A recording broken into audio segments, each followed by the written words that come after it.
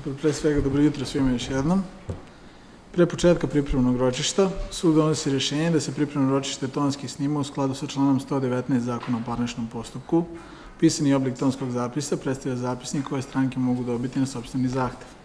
Započeto dana 2.7.2019. godine u 9 časova i 15 minuta utvrđuje se da su na pripremno ročište pred drugim osnovnim sudom u Beogradu i to sudijem pojedincem Vukadinom Brajoškovićem u predmetu ovog suda P broj 111 kroz 18 u parnici tužioca Nikole Miloševića iz Ripnja protiv tuženih Janka Jankovića iz Ripnja, Miloša Nikolića iz Ripnja, radi naknade štete, vrednost predmeta spora 1.572.000 dinara, pristupili za tužioca. Punomoćnik advokat Ilija Marković iz Beograda. Hvala. Za tužene? Punomoćnik advokat Aleksandar Đorđević iz Beograda po punomoću u spisi. Hvala. Sud donosi rešenje da se pripremno ročište održi. U smislu odredbe člana 305 stav 3 zakona o parničnom postupku, imate pravo da do pravnosnažnog okončenja postupka spor rešite mirnim putem, medijacijom ili na drugi sporazuman način, kao i zaključenjem sudskog poravnanja. Da li su vam jasne pouke? Da. Da li postoji mogućnost mirnog rešenja spora? Mi smo pokušali da nađemo rešenja, ali nismo uspeli da dođemo do toga. Ističemo da smo po- pokušali da pronađemo način za zaključenje poravnanja, ali da je tužilačka strana to odbila. U redu, konstatuje se da stranke ovaj spor ne mogu rešiti mirnim putem. Upozoravate se da ste dužni da na pripremnom ročištu iznesete sve činjenice potrebne za obrazlaganje svojih navoda i predloga. Predložite sve dokaze kojima se te činjenice potvrđuju, dok ćete u daljem toku postupka to moći da učinite samo ukoliko učinite verovatnim da bez svoje krivice to niste učinili na pripremnom ročištu, dakle danas. Da se izjasnite o navodima i ponuđenim dokazima protivne stranke, da predložite vremenski okvir za sprovođenje ovog postupka. Da li su vam jasne pouke? Da. Da. U redu. Počnemo sa izlaganjem tužbe. Punomoćniče tužioca, izvolite. Ostajemo samo pri tužbi postavljenom tužbenom zahtevu, ističemo su pravnosnažnom presudom drugog osnovnog suda u Beogradu K 548 kroz 11 od 4. juna 2014. godine. Ovde tužen je oglašen primer po krivičnog dela izazivanja opšte opasnosti, da je to navedeno prilikom izazvan požara, u kojem požaru su izgorele stvari tuži- tužioca i to glavni pomoćni magacin, nastrešnica, bandere, kao i stvari, mašine, alati koji su se nalazili u navedenim objektima. Vrednost navedenih stvari izveštačena na krivičnom postupku i ona, ona predstavlja ovde utuženi iznos. Što se tiče dokaznih predloga, ostajemo kod svih dokaznih predloga iz tužbe i to da se izvrši, da se združe spisi ovog suda K5 48 kroz 11 i da se izvrši uvid u pravnosnažnu presudu iz ovih spisa na okolnost utvrđivanja osnova nastanka štete, da se nalazi i mišljenja iz krivičnih spisa od 27.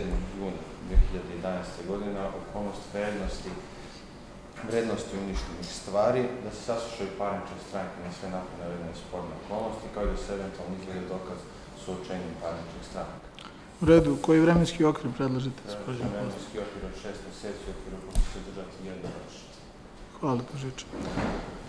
Punomoćniče tuženih, kako se vi izjašnjavate na navode tužbe, postavljenom tužbenom zahtevu i dokaznim predlozima tužioca? Mi osporavamo, na, uh, mi ostajemo pri navodima iz odgovora na tužbu, delimično osporavamo tužbeni zahtev, s tim što ne sporimo osnov tužbenog zahteva po, povodom zapaljenih objekata, kablova i bandere. Ali osporimo postojanje odgovornosti za naknadu štete na stvarima, jer tužilačka strana tvrdi da su se one nalazile u uh, objektima, jer je u krivičnoj presudi utvrđeno da je šteta nastala i da se sastoji od zapaljenja objekata, magacina, pomoćnog magacina, elektrokablova i bandere nadstrešnice. Mi sporimo postojanje osnova za naknadu štete za stvari koje su postojale u tim pro- prostorima iz prostorog razloga što one nisu uh, postojale, niti su pronađene u tom prostoru, a veštačenje, a su bez ikakvih dokaza, odnosno pokazivanja tužioca. Koji, dok, koji su vaši dokazni predlozi? Što se tiče dokaznih predloga, uh, predlažemo jedino saslušanje parničnih stranaka, ali nismo saglasni da se u jednom delu kao, uh, kao dokaz koristi predmetno veštačenje i to u delu koji se odnosi na uništene stvari koje su se nalazile u zapaljenim objektima. Saglasni smo da se za objekte i stvari koje su obuhvaćene izrekom krivične presude koristi veštačenje, ali ne i u preostalom delu. U redu, koji vremenski okvir predlažete? Takođe predlažemo vremenski okvir od šest meseci u u okviru koga će se održati jedno ročište. Hvala. Punomoćniče tužilac, kako se vi izjašnjavate na navode tuženika? Njihovi navodi su neistiniti u pogledu osporavanja postojanja uništenih stvari u objektima i smo se radili što su te stvari postojale. Što se tiče novog veštačenja, predlažemo novo veštačenje, ostajemo pri predlogu da se koristi veštačenje iz krivičnih spisa, ukoliko tužena strana želi, novo veštačenje kao nam predloži. Teret dokazivanja na tužilačkoj strani. Na osnovu vaših današnjih navoda, kao navode iz tužbe i odgovora na tužbu, sud utvrđuje da je među parničnim strankama nesporno da su pravnosnažnom presudom drugog osnovnog suda u Beogradu, K broj 548 kroz 11 od 4.6.2014. godine, tuženi i oglašeni krivim za krivično delo izazivanja opšte opasnosti iz člana 278 stav 2 krivičnog zakonika, da su im izrečene uslovne osude i tužilac upućen na parnični postupak radi ostvarenja imovinsko-pravnog zahteva u pogledu nastale štete. Nesporan je i osnov tužbenog zahteva u delu koji se odnosi na postojanje prouzrokovane štete na objektima, glavnom magacinu, pomoćnom magacinu, nastrešnici, kablovima i drvenoj banderi, a koje stvari su navedene u izreci presude drugog osnovnog suda u Beogradu, K broj 548 kroz 11 od 4.6.2014. godine, kao i visina štete na navedenim stvarima. Utvrđuje se da je među parničnim strankama sporno postojanje osnova i visine nastale štete za deo tužbenog zahteva koji se odnosi na stvari, mašine i alate koji su se nalazili u zapaljenim objektima. Da li smo ovim odredili sve sporne ili nesporne okolnosti? Da. Imate li nešto da dodate? Ne. Sud donosi rešenje, određuje se izvođenje dokaza na glavnoj raspravi radi utvrđenja spornih okolnosti i to da se izvrši uvid u spise predmeta drugog osnovnog suda u Beogradu, K broj 548 kroz 11, i to čitanjem pravnosnažne presude od dana 4.6.2014. godine, a na okolnost utvrđenja osnova nastanka štete, čitanje dela nalaza i mišljenja Komisije veštaka iz krivičnih spisa od dana 27.6.2011. godine na okolnost visine nastale štete na zapaljenim objektima, kablovima banderi koji su obuhvaćeni izrekom krivične presude, Takođe da se saslušaju parnične stranke na osnovu utvrđenja postojanja osnova nastanka materijne štete, kao i visine štete u pogledu stvari koje su se nalazile u zapaljenim objektima, kao i suočenje parničnih stranaka na sporne okolnosti. Sud donosi rešenje, određuje se vremenski okvir za trajanje postup, postupka u trajanju od šest meseci u okviru kog će se održati jedno ročište, na kom će se izvesti dokaz čitanja svih predloženih spisanih dokaza sa slušanjem parničnih stranaka i suočenjem parničnih stranaka. Sud donosi rešenje, priprema ročište je završeno. Radi izvođenja dokaza određuje, e, određenih na pripremnom ročištu, zakazuje se ročište za glavnu raspravu za 2.7.2019. godine u 9 časova i 20 minuta. E, što je prisutnima saopšteno, te ih ne pozivati. Pozvati panične stranke, pozivam za saslušanje uz upozorenje o posledicama propuštanja i to ako se ročište izostane neka od stranaka, rasprava će se održati sa prisutnom strankom, a ako neopravdano izostanu i tužilac i tužen ili odbiju da raspravljaju, da će se tužba smatrati povučenom. Takođe se vas upozoravam da ste dužni da o svakoj promeni adrese odmah obavestite sud. Ukoliko to ne učinite, sud će odrediti da se sva dalja dostavljanja u ovom parničnom postupku za tu stranku vrše isticanje pismena na oglasnoj tabli suda. Nalog pisarnici da se združi spisi drugog osnovnog suda u Beogradu, K broj 548 kroz 11, dovršeno u 9 časova i 20 minuta. Prelazimo na glavnu raspravu, a pre početka glavne rasprave sud donosi rešenje da se ročište tonski snima na osnovu člana 119 zakona o parničnom postupku. Pisani oblik tonskog zapisa predstavlja zapisnik koje stranke mogu dobiti na sobstveni zahtev. Započeto dana 2.7.2019. godine u 9 časova i 20 minuta otvara se glavna rasprava pred drugim osnovnim sudom u Beogradu i to sudijom pojedincem Vukadinom Brajuškovićem u predmetu P broj 111 kroz 18 u parnici tužioca Nikole Miloševića iz Ripnja protiv tuženih Janka Jankovića iz Ripnja i Miloša Nikolića iz Ripnja radi naknade štete, vrednost predmeta spora 1.572.000 dinara. Utvrđuje se da su na ročište za glavnu raspravu pristupili za tužioca Tužilac slično sa punomoćnim advokatom Ilija Marković iz Beograda po punomoćnim spisima. Hvala za tužene. Prvo tuženi lično sa punomoćnikom advokatom Aleksandrom Đorđevićem po punomoću u spisima. Hvala. Od ostalih lica nisu pristupili drugo tuženi uredno pozvan. Sud donosi rešenje da se ročište za glavnu raspravu drži. Glavna rasprava je javna. Dajem reč punomoćniku tužioca. Izvolite. Ostajem svemu pritužbi postavljenom tužbenom zahtevu i dosadašnjim navodima. Predlažemo se današnjem ročištu saslušaju tužilac i tuženi.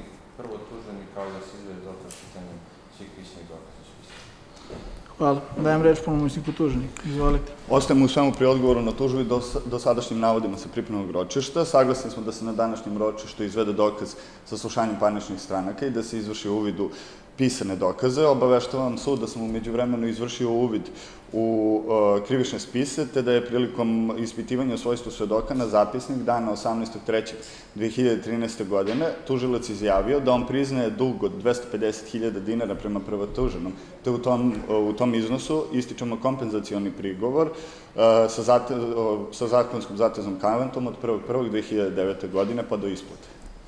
E, Punomoćniče tužilac, kako se izjašnjavate na Navedeni tuženika? kompenzacioni prigovor je neosovan, nisu se navedeno potraživanje od 250.000 dinara dokazuje.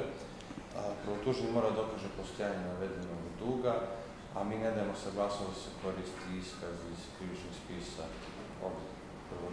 ovih tužioca koji saslušamo u svojstvu. Ispitamo svojstvo svedoka, oštećeno u krivičnom spisu. Hvala. Sada prelazimo na dokazni postupak. Sud donosi rešenje. Izvodi se dokaz sa slušanjem tužioca Nikole Miloševića u svojstvu parnične stranke na sporne okolnosti shodno članu 315 Zakona o parničnom postupku. Tužioče, dajte mi svoju ličnu kartu. Konstatuje se da identitet tužioca utvrđen uvidom u ličnu kartu broj 202897100273 izdatu od strane Policijske uprave za grad Beograd.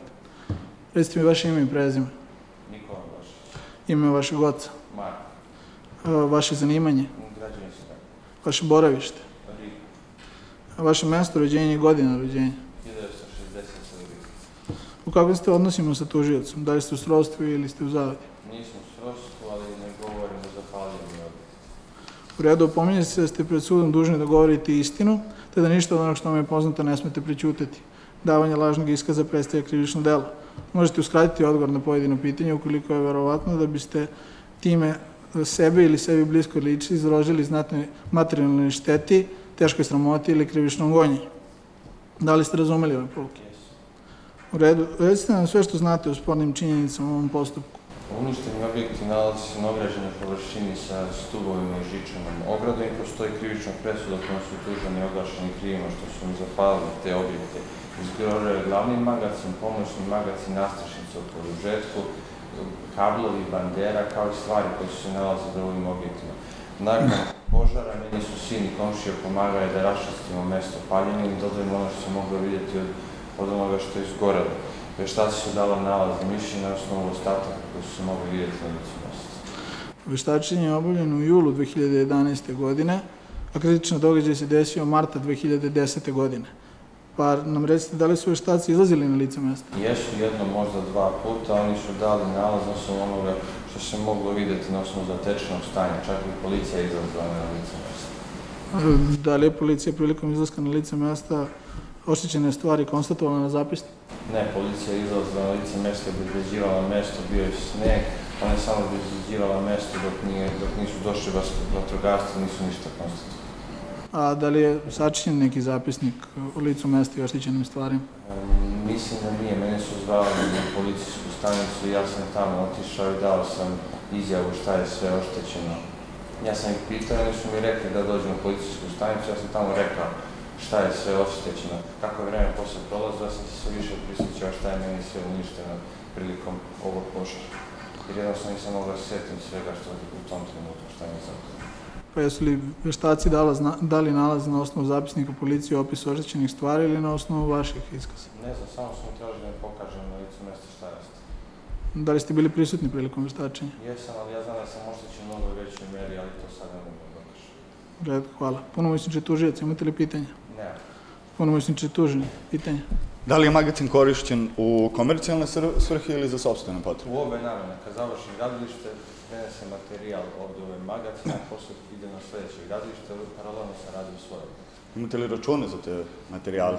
Nemam, ja svojim poslom bavim 30 godina, 20 godina skupljam alati mašine.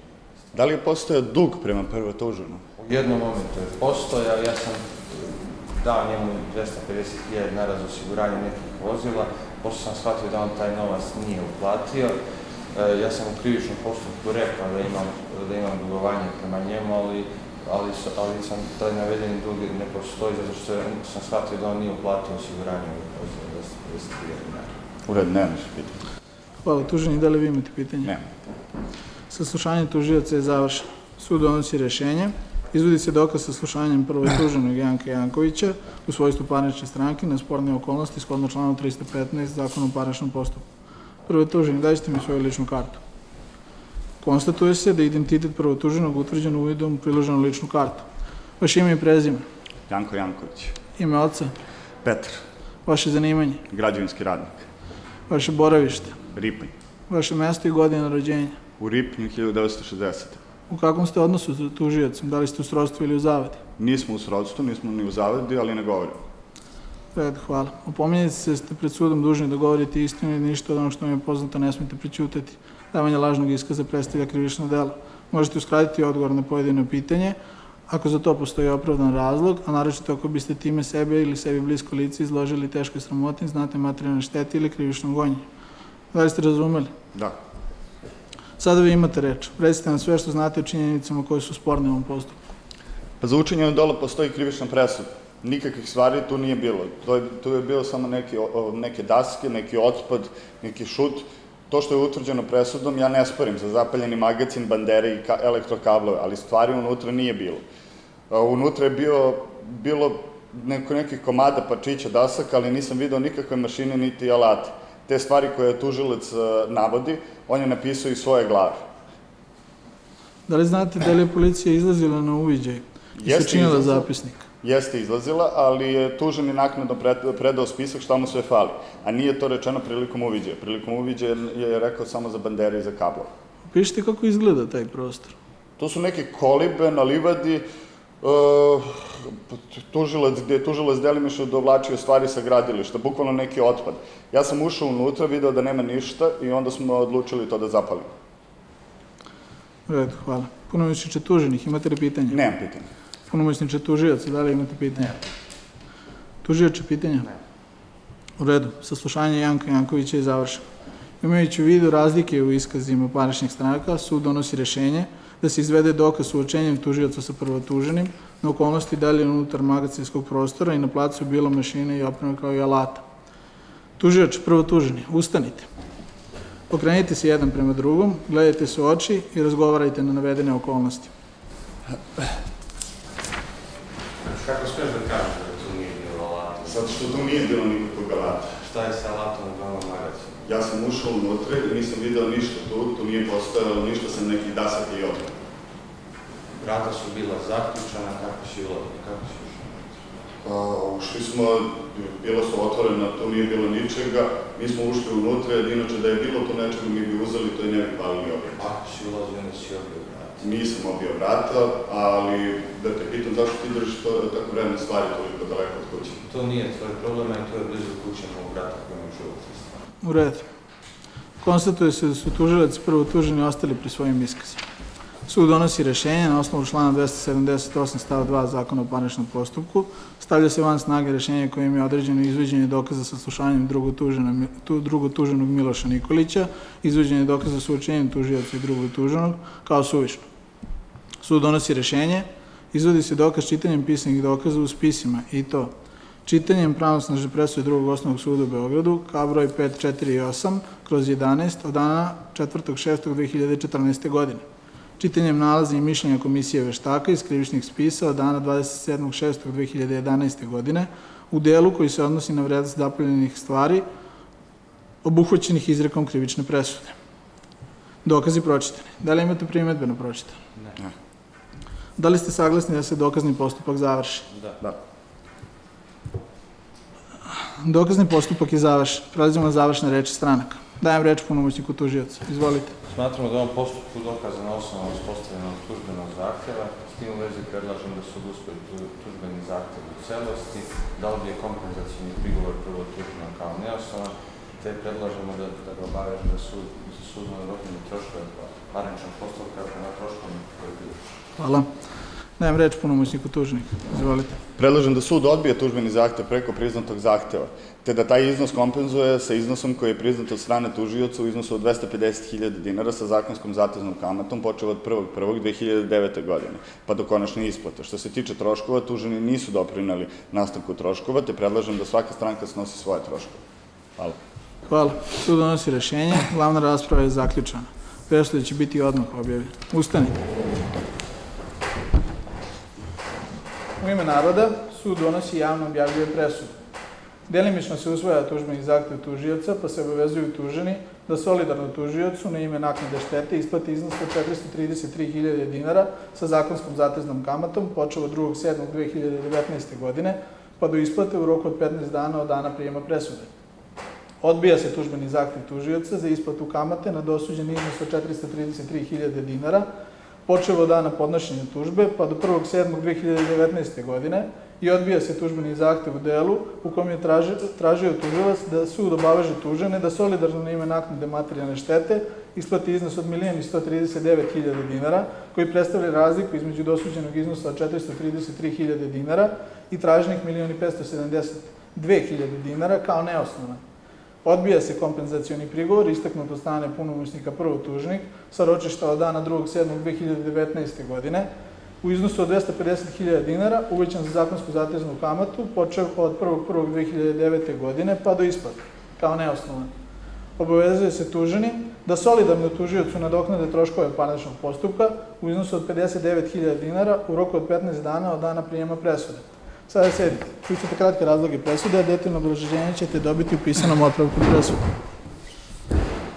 U toku postupka sud je nesumnjivo utvrdio ocenom svih izvedenih dokaza u smislu člana 8 zakona o parničnom postupku da su ovde tuženi dana 10.3.2010. godine u jutarnjim časovima u naselju Ripanj navlašćeno ušli na plac tužioca i namjerno izazvali požar kojom prilikom su izgoreli glavni magacin, pomoćni magacin, nastrešnica u produžetku, elektrokabel i bandera, te da su takvim radnjama izazvali opasnost za imovinu većeg obima, čime su izvršili krivično delo izazivanja opšte opasnosti, a za koje su oglašeni krivim izrečene su im uslovne osude.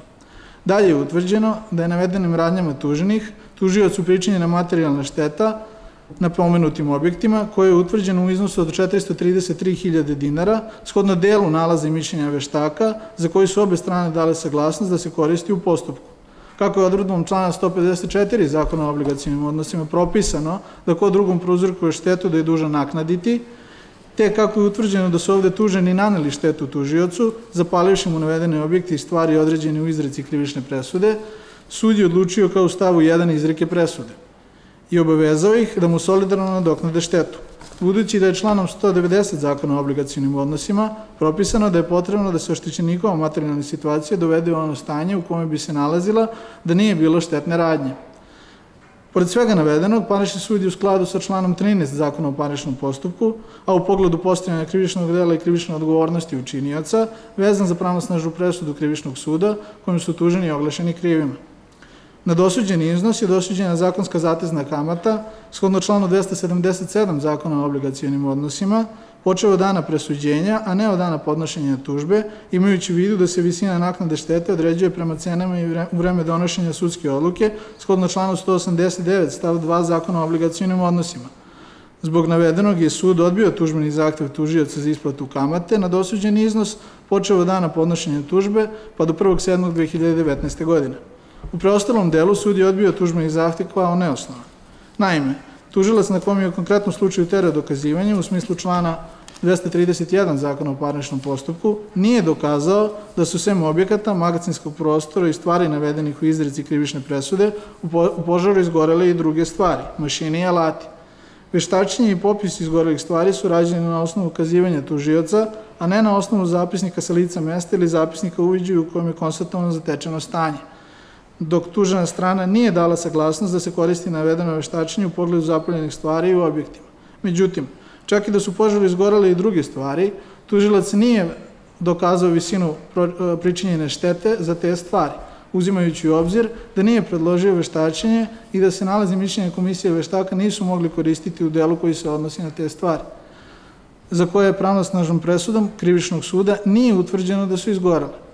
Sud je imao u vidu i navode veštaka koji su na osnovu službene beleške policije konstatovali oštećenje i drugih stvari, ali je to bez uticaja na drugačiju odluku suda, jer pokazivanju samog tužioca policija nije vršila uviđaj u to šta je se u požaru izgorelo, niti o tome se činila zapisnik, već je zapisnik sačinjen u policijskoj stanici pokazivanju tužioca. Sa napred navedenog, a preko dosuđenog iznosa do traženog, sud je tužbenih zahtev odbio kao neosnovan i odlučio kao u stavu 2 izrike presude.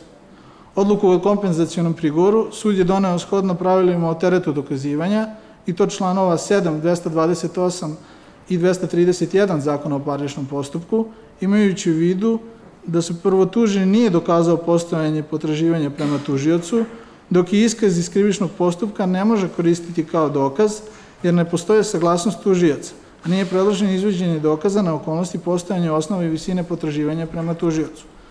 Kako prvotuženi nije predložio izveđenje dokaza kojim bi se pouzdan način mogla utvrditi visina istog, da bi sud po njemu mogao postupati, sud je odbio prigovor protiv tuženog kao neosnovan.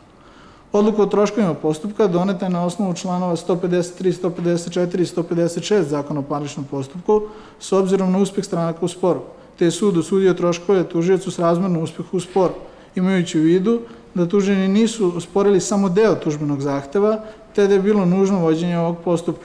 S obzirom na potrebne troškove, sud je obavezao tužene da troškove paričnog postupka tužiocu nadoknade solidarno, čija je visina odmerana prema vrednosti predmeta spora i važećoj advokatskoj tarifi u vreme donošenja odluke i taksenoj tarifi u vreme nastanka taksene obaveze. Protiv ove presude možete izjaviti žalbu u roku od 15 dana od dana prijema njenog pisanog prepisa i to apelacijonom sudu Beogradu preko ovog suda. Pismeni otpravak presude biće dostavljen strankama u roku od 8 dana. Dovršeno u 9 časova i 40 minuta.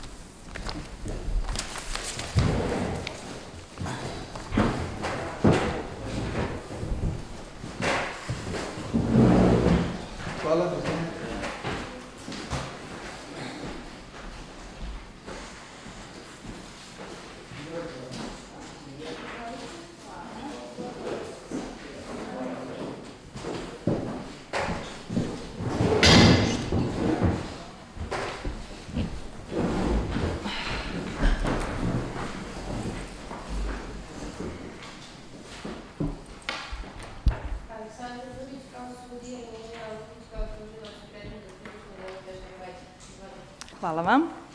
Dobar dan svima.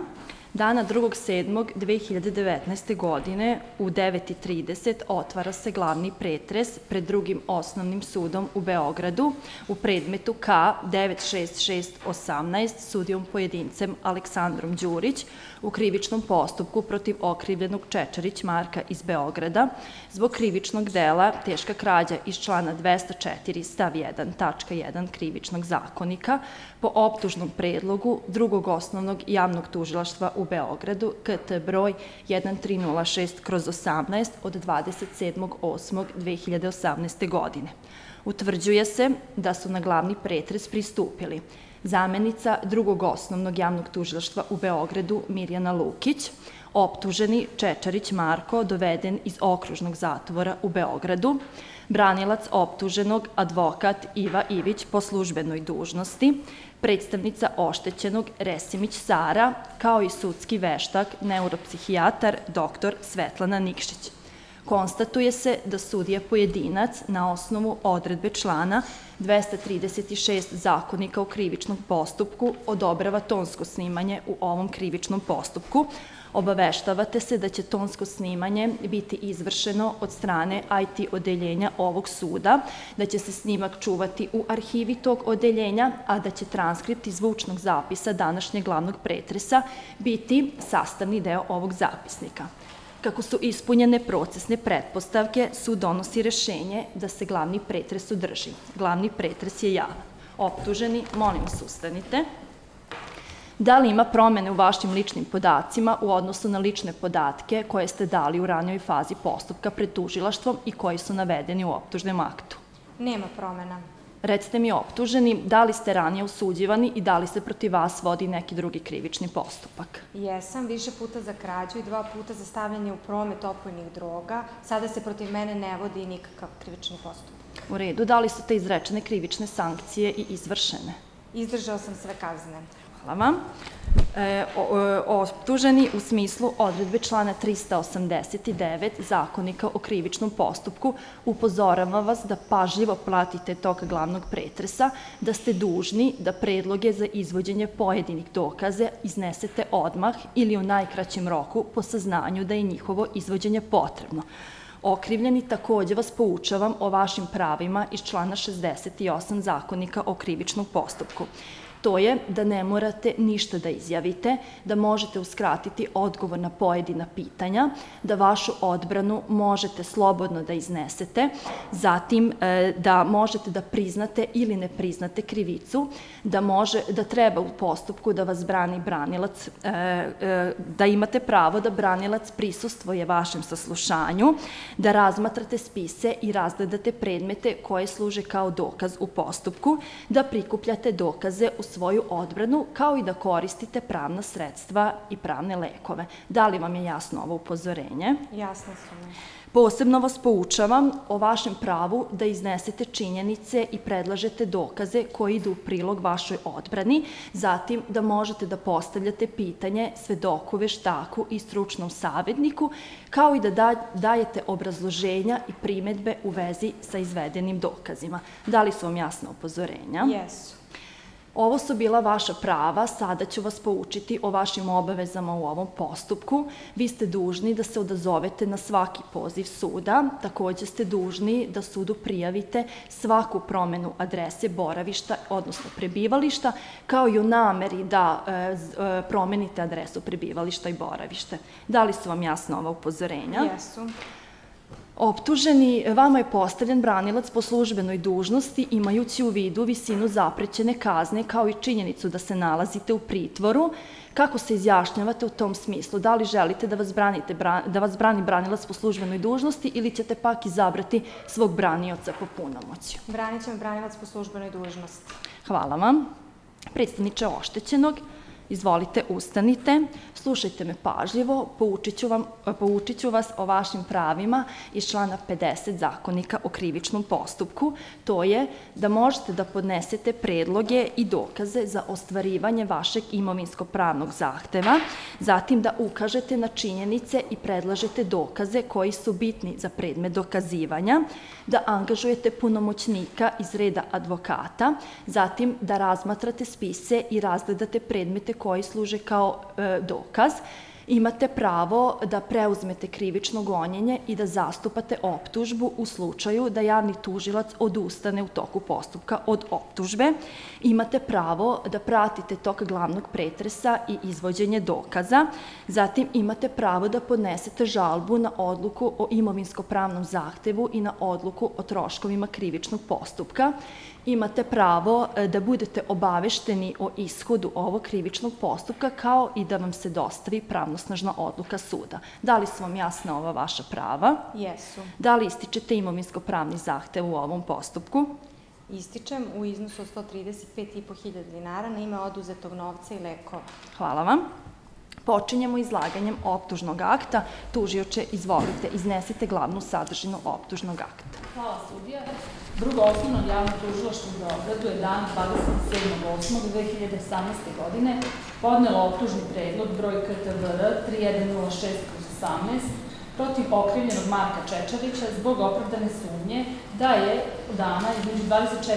i 25. aprila 2018. godine u vremenskom intervalu između 20 časova i 7 časova izjutra u Beogradu na Voždovcu u ulici Vojvode Stepi 102, pri čemu je njegova sposobnost da shvati značaj svoga dela i upravlja svojim postupcima bila smanjena, ali ne bitno, svesna zabranjenosti dela koje preduzima i čije izvršenje je hteo, obijanjem zatvorenog prostora apoteke Bošković Farm, oduzeo tuđe pokretne stvari u nameri da njihovim prisvajanjem pribavi sebi ne malu materijalnu i e, protivpravnu imovinsku korist na štetu apoteke Bošković Farm. Na taj način, što je došao do navedene apoteke na navedenoj adresi i prišao sa bočne strane gde se nalazeo prozor toaleta koji je zavlačenjem podesnog predmeta između štoka i prozora obio te kroz isti ušao najprvo u toalet, a zatim u samu apoteku. Iz apoteke je oduzeo novac i lekove i to najprije je oduzeo novac u iznosu od 88.000 dinara koji se nalazio u kutiji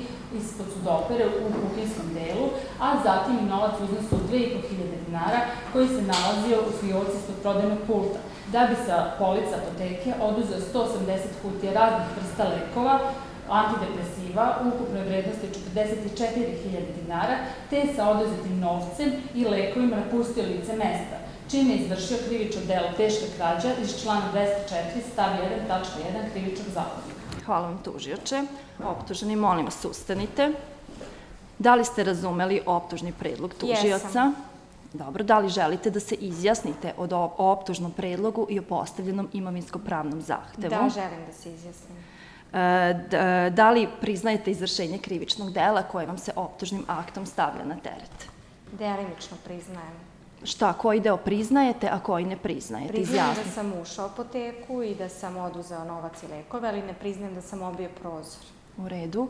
Upozoravam vas da će se na glavnom pretresu izvoditi dokazi samo u vezi sa osporenim delom optužnog predloga. A što se tiče imovinsko-pravnog zahteva predstavnika oštećenog, kako se tu izjašnjavate?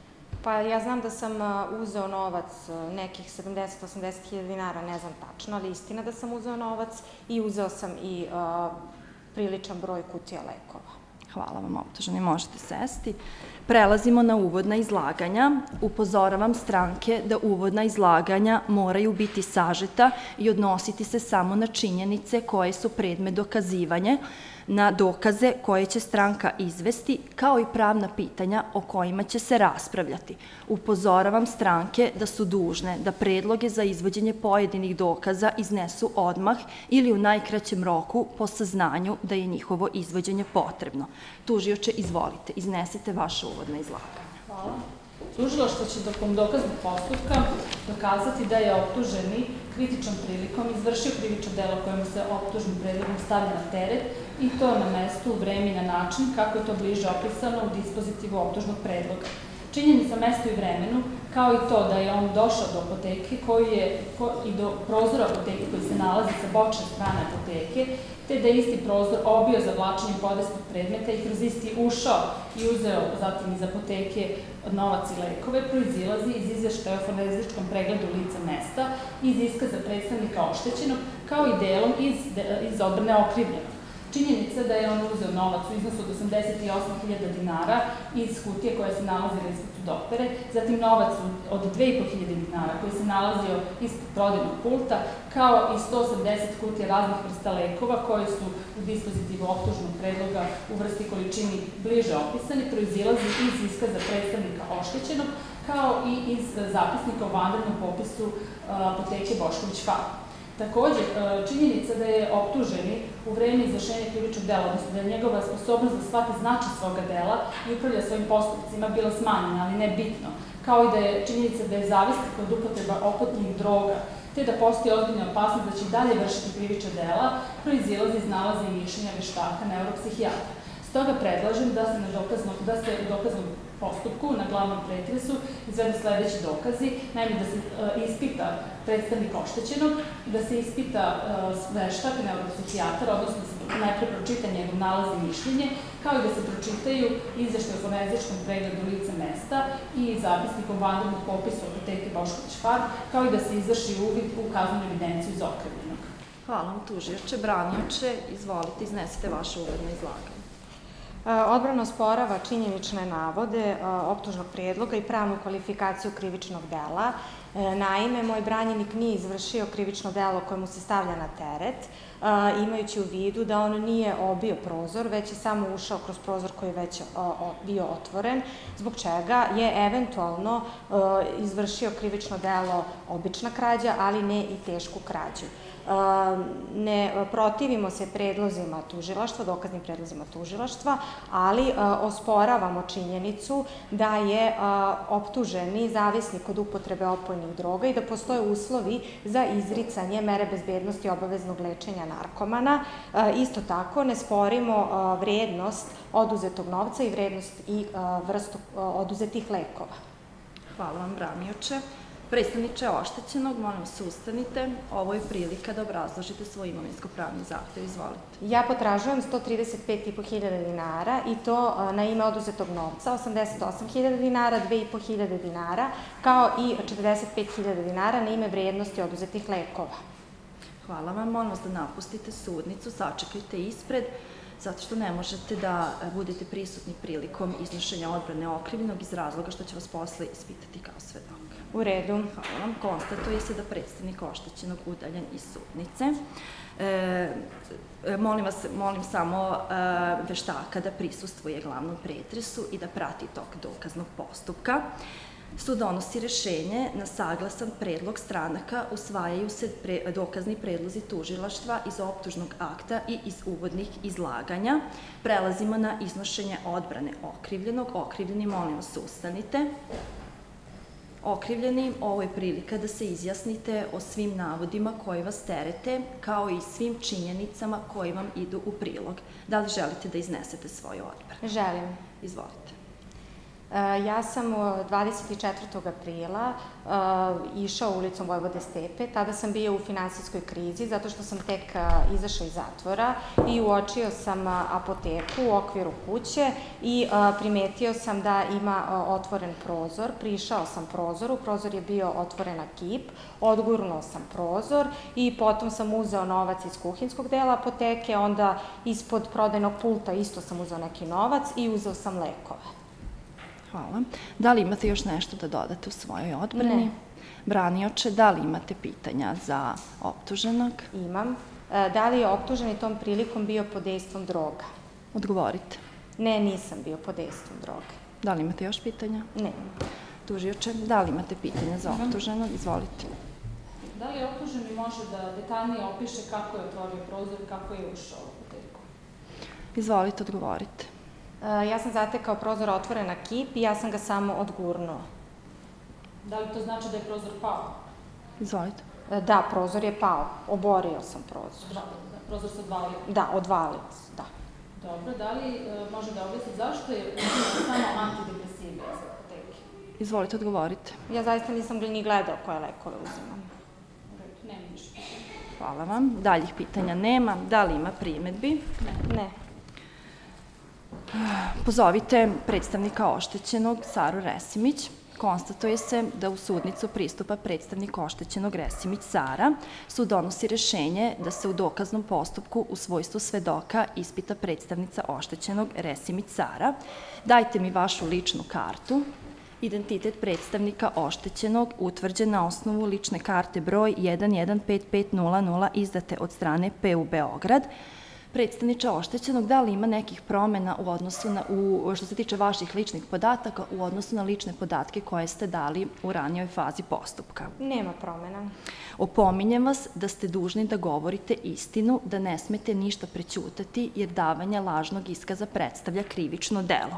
Niste dužni da odgovorite na određeno pitanje ukoliko biste odgovorom na to pitanje sebe ili sebi bliska lica izložili teškoj sramoti, znatoj materijalnoj šteti ili krivičnom gonjenju. Jesu vam jasna upozorenja? Jasno mi je. Upozoravam vas da ste i vi dužni da sudu prijavite svaku promenu adrese, kao i da vas upozorim na već položenu zakletvu koju ste položili pred e, tužilaštvom. Razumem. Kakav je vaš odnos sa optuženim? Da li ga poznajete? Da li ste u eventualnom srodstvu u zavadi? Ne poznajem optuženog, prvi put ga vidim. Da li znate zašto sam vas danas pozvali? Naravno, zbog krađe moje apoteke. Izvolite, izjasnite se šta vam je o tome poznato, odakle vam je poznato.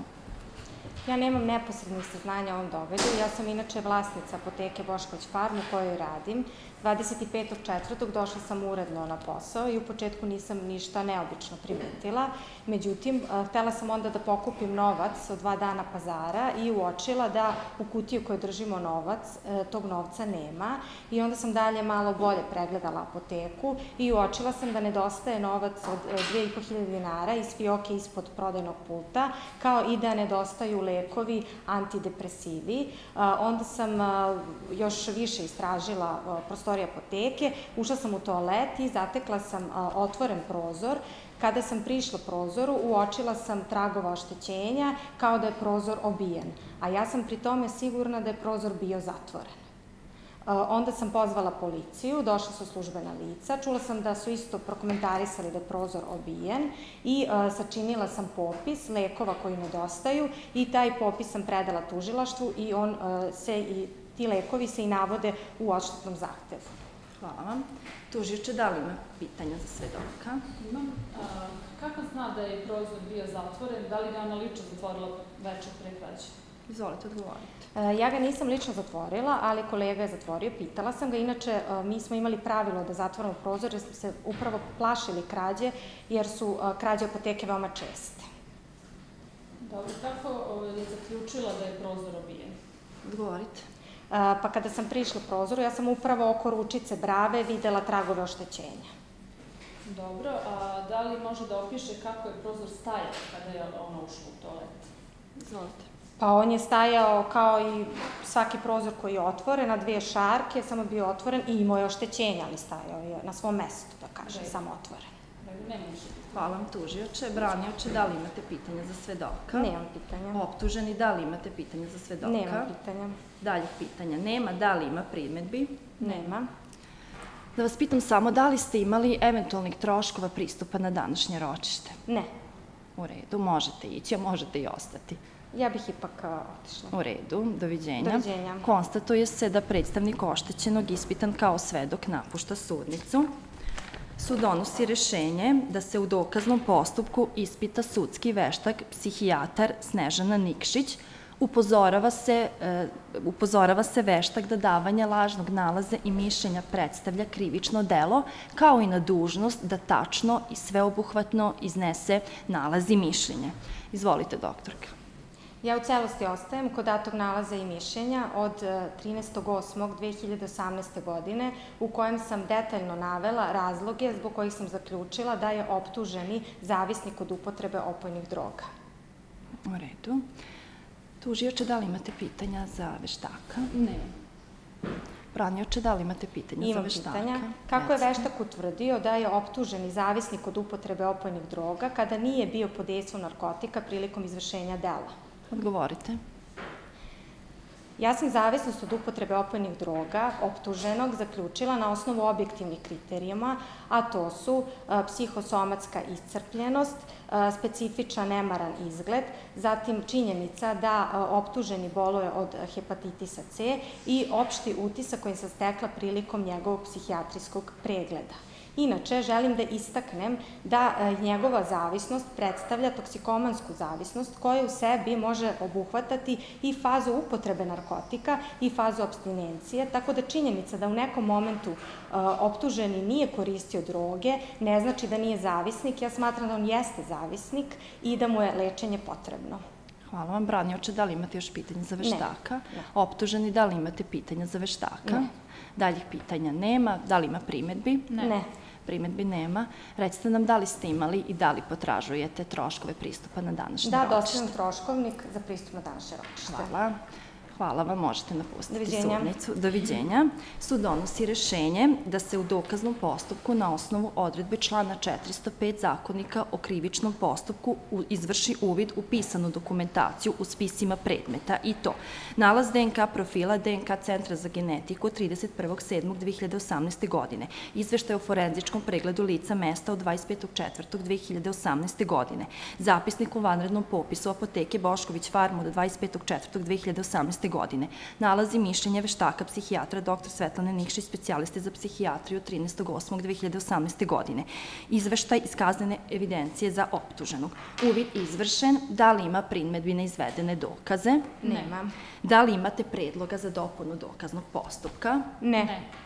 Kako nema predloga za dopunu e, postupka, sud objavljuje da je dokazni postupak završen. Prelazimo na završne reči stranaka. Tužioče, izvolite, iznesite vašu završnu reč. Hvala sudija.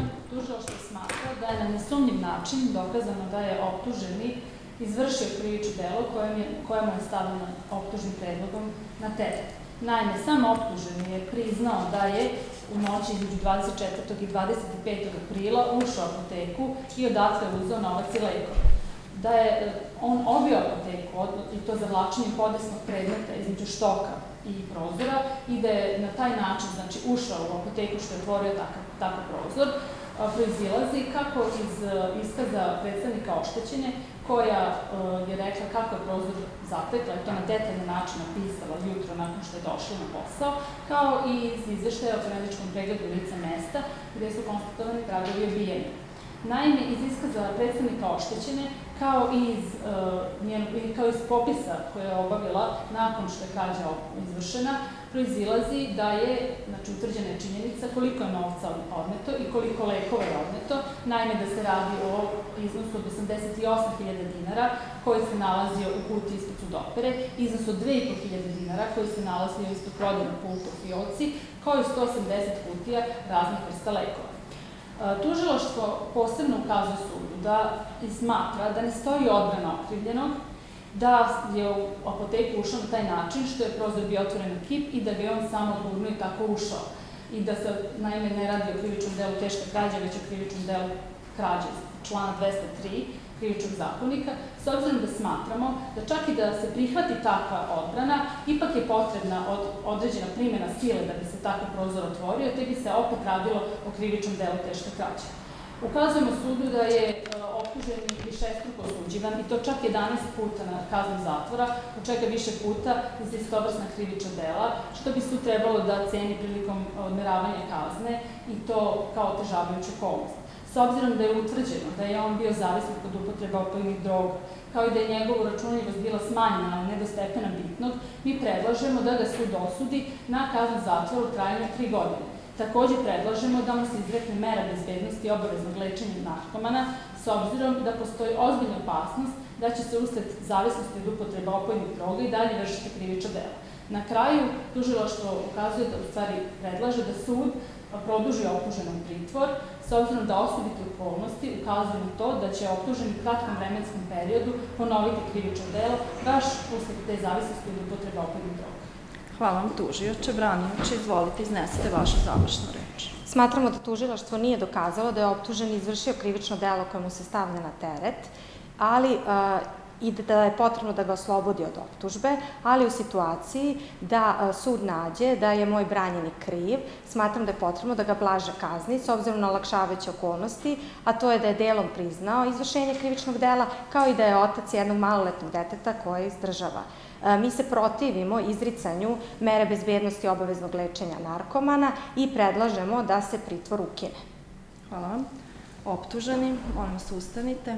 Šta vi kažete u vašoj završnoj reči? Da li se pridružujete završnoj reči vašeg branjaca? Da, da li eventualno imate nešto da dopunite, da ispravite? Recite. Ja se pridružujem reči branioca, nemam šta da dopunim ili ispravim. Hvala vam.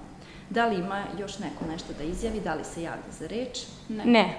Kako se niko ne javlja za reč, sud objavljuje da je glavni pretres završen. Molim sve prisutne da ustanu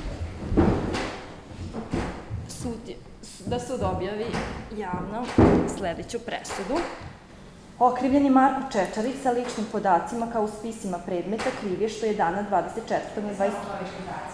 Aha, aha, čime je izvršio krivično delo teška krađa iz člana 204 stav 1 tačka 1 krivičnog zakonika, pa su dokrivnog Čečarić Marka primenom napred navedene zakonske odredbe, kao i odredbi člana 1, 2, 4, 5, 42, 43, 45, 54, člana 63 krivičnog zakonika, osuđuje na kaznu zatvora u trajanju od dve godine, u koju se okrivljeno Marku Čečariću uračunava vreme provedeno na zadržavanju počeva do 8.8.2018. godine, kada je lišen slobode po rešenju zadržavanja u PU za grad Beograd, UKP drugog odeljenja, ku broj 6951 kroz 18, od 8.8.2018. godine do 10.8.2018. godine, kada mu je ukinuto zadržavanje po rešenju o ukidanju zadržavanja policijske stanice Vračarku, broj 6951 kroz 18 od 10.8.2018. godine, kao i vreme provedeno u pritvoru kojemu je određeno rešenjem drugog osnovnog suda u Beogradu KPP broj 185 kroz 18 od 10.8.2018. godine, koji mu se računa u dana 8.8.2018. godine kada je lišen slobode, pa do upućivanja u Zavod za izvršenje krivičnih sankcija, ali najduže dok ne istekne vreme trajanja kazne izrečena u prvostepenoj presudi.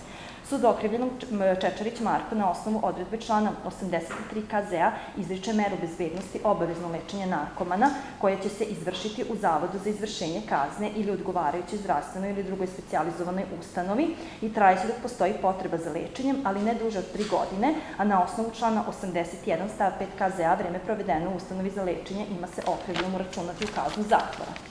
Na osnovu člana 258 stav 4 ZKP-a obavezuje se optuženi da oštećenoj apoteci Bošković Farm DOO na ime imovinsko-pravnog zahteva u celini plati iznos od 135.548 dinara u roku od 15 dana od dana pravnosnažnosti presude.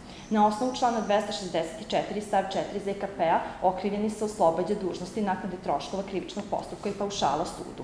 Protiv ove presude imate pravo žalbe u roku od 8 dana od dana dostavljene overenog prepisa presude apelacijalnom sudu u Beogradu, a putem ovog suda. Takođe vas poučavam da na izjedenu žalbu imate pravo odgovora na žalbu u roku od 8 dana od dana prijema žalbe. Te vas upozoravam da ste dužni da obavestite suda o svakoj promeni od adrese do pravnosnažnog okončanja postupka.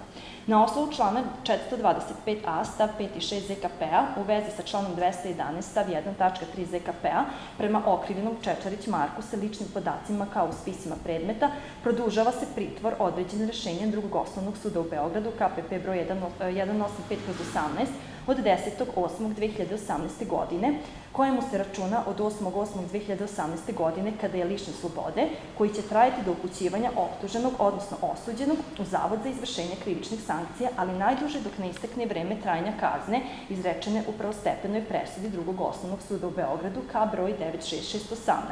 Na rešenje o produženju pritvora dozvoljena je žalba u roku od tri dana od dana dostavljanja Višem sudu u Beogradu, a posredstvom ovog suda. Žalba ne zadržava izvršenje. Sada možete da sednete, čućete kratke razloge za donošenje ovakve presude. Iz svih izvedenih dokaza u toku postupka sud je utvrdio činjenično stanje kao izraci ove presude. Naime, e, sud nije prihvatio odbranu okrivnog Čečarić Marku, Marka u delu u kojem je naveo da je u unutrašnjost apoteke ušao tako što je samo odgurnuo prozor koji, se već, e, koji je već bio otvoren na kip, imajući u vidu da suprotno proizlazi iz pisanih, e, pisani, pisane dokumentacije u spisima predmeta koju je sud cenio ocenio i prihvatio, naročito iz izveštaja o forenzičkom pregledu lica mesta u kom su jasno konstatovali znaci obijanja na prozoru i na bravi. Navedeno proizlazi iz iskaza predstavnika oštećenog koji je ispitan kao svedok u ovom postupku, a čiji iskaz je sud u celosti prihvatio, imajući u vidu da je ista e, prva u stvari došla na lice mesta sutradan po učinjenoj kraći.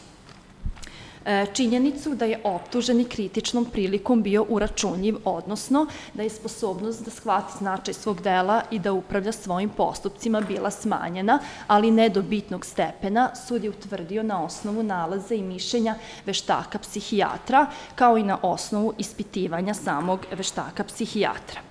Prilikom odlučivanja o vrsti i visini krivične sankcije, sud je uzeo u obzir kako otežavajuće, tako i olakšavajuće okolnosti koje se nalaze na strani okrivljenog. Od olakšavajućih okolnosti sud je imao u vidu da je okrivljeni delimično priznao izvršenje krivičnog dela koje mu se stavlja na teret, činjenicu da je okrivljeni, odnosno činjenice koje se tiču porodičnih, ličnih i imovinskih prilika okrivljenog, da je oženjen otac maloletnog deteta, e, te ga sud e, shodno tome osudio na kaznu zatvora u trajanju od dve godine. Što se tiče mere bezbednosti, sud je okrivljenom izrekao meru bezbednosti obaveznog psihijatrijskog lečenja narkomana, imajući u vidu da iz nalaza i mišljenja veštaka psihijatra proizlazi da je okrivljeni zavisnik od upotrebe psihoaktivnih substanci, te je sud našao da usled takve zavisnosti postoji opasnost da će i dalje vršiti krivična dela.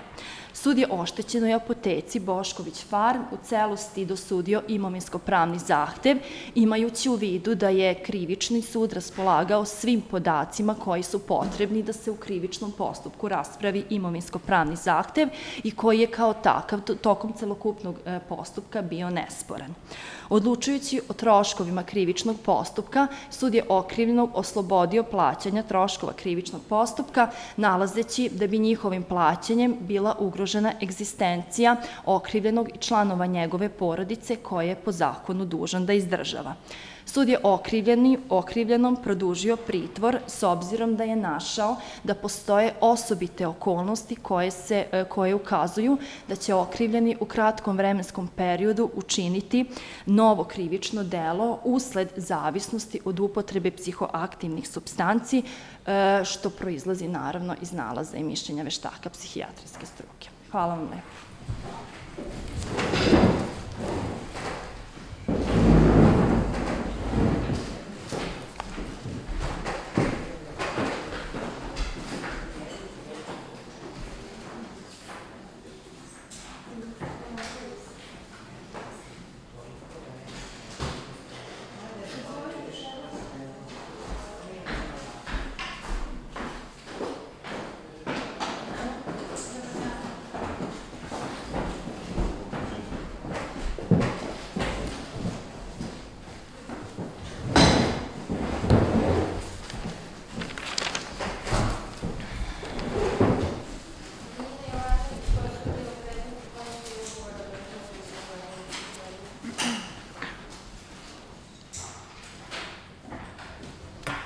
Dobar dan. Pre nego što počnemo, obaveštavam prisutne da će se pripremno ročište tonski i optički snimati. Na osnovu člana 119 zakona o paničnom postupku su donosi rešenje da se pripremno ročište tonski i optički snima. Protiv ovog rešenja nije dozvoljena posebna žalba. Ovaj snimak ročišta je sastavni deo sudskog spisa. Stranke imaju pravo na kopiju snimka, dok druga lica imaju to pravo ukoliko imaju opravdani interes za to.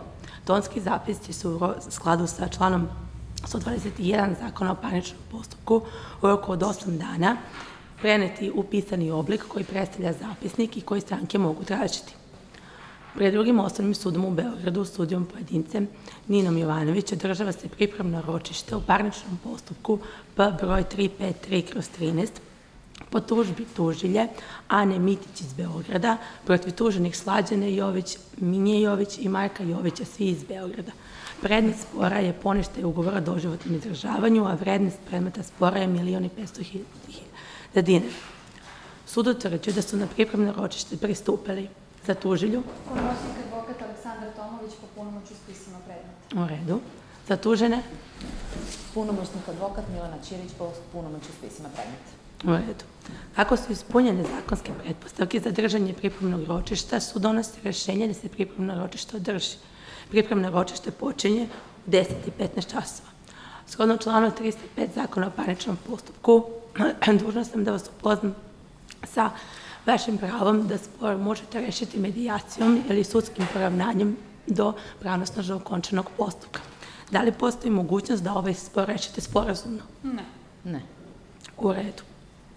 Takođe vas upozoravam da ste dužni da iznesete sve činjenice i predložite sve dokaze kojima se dokazuju te činjenice, kao i da se izjasnite o činjenicama i dokaznim predlozima protivne stranke i da predložite vremenski okvir za spravođenje ovog parničnog postupka. Punomoćnik tužitelj, izvolite.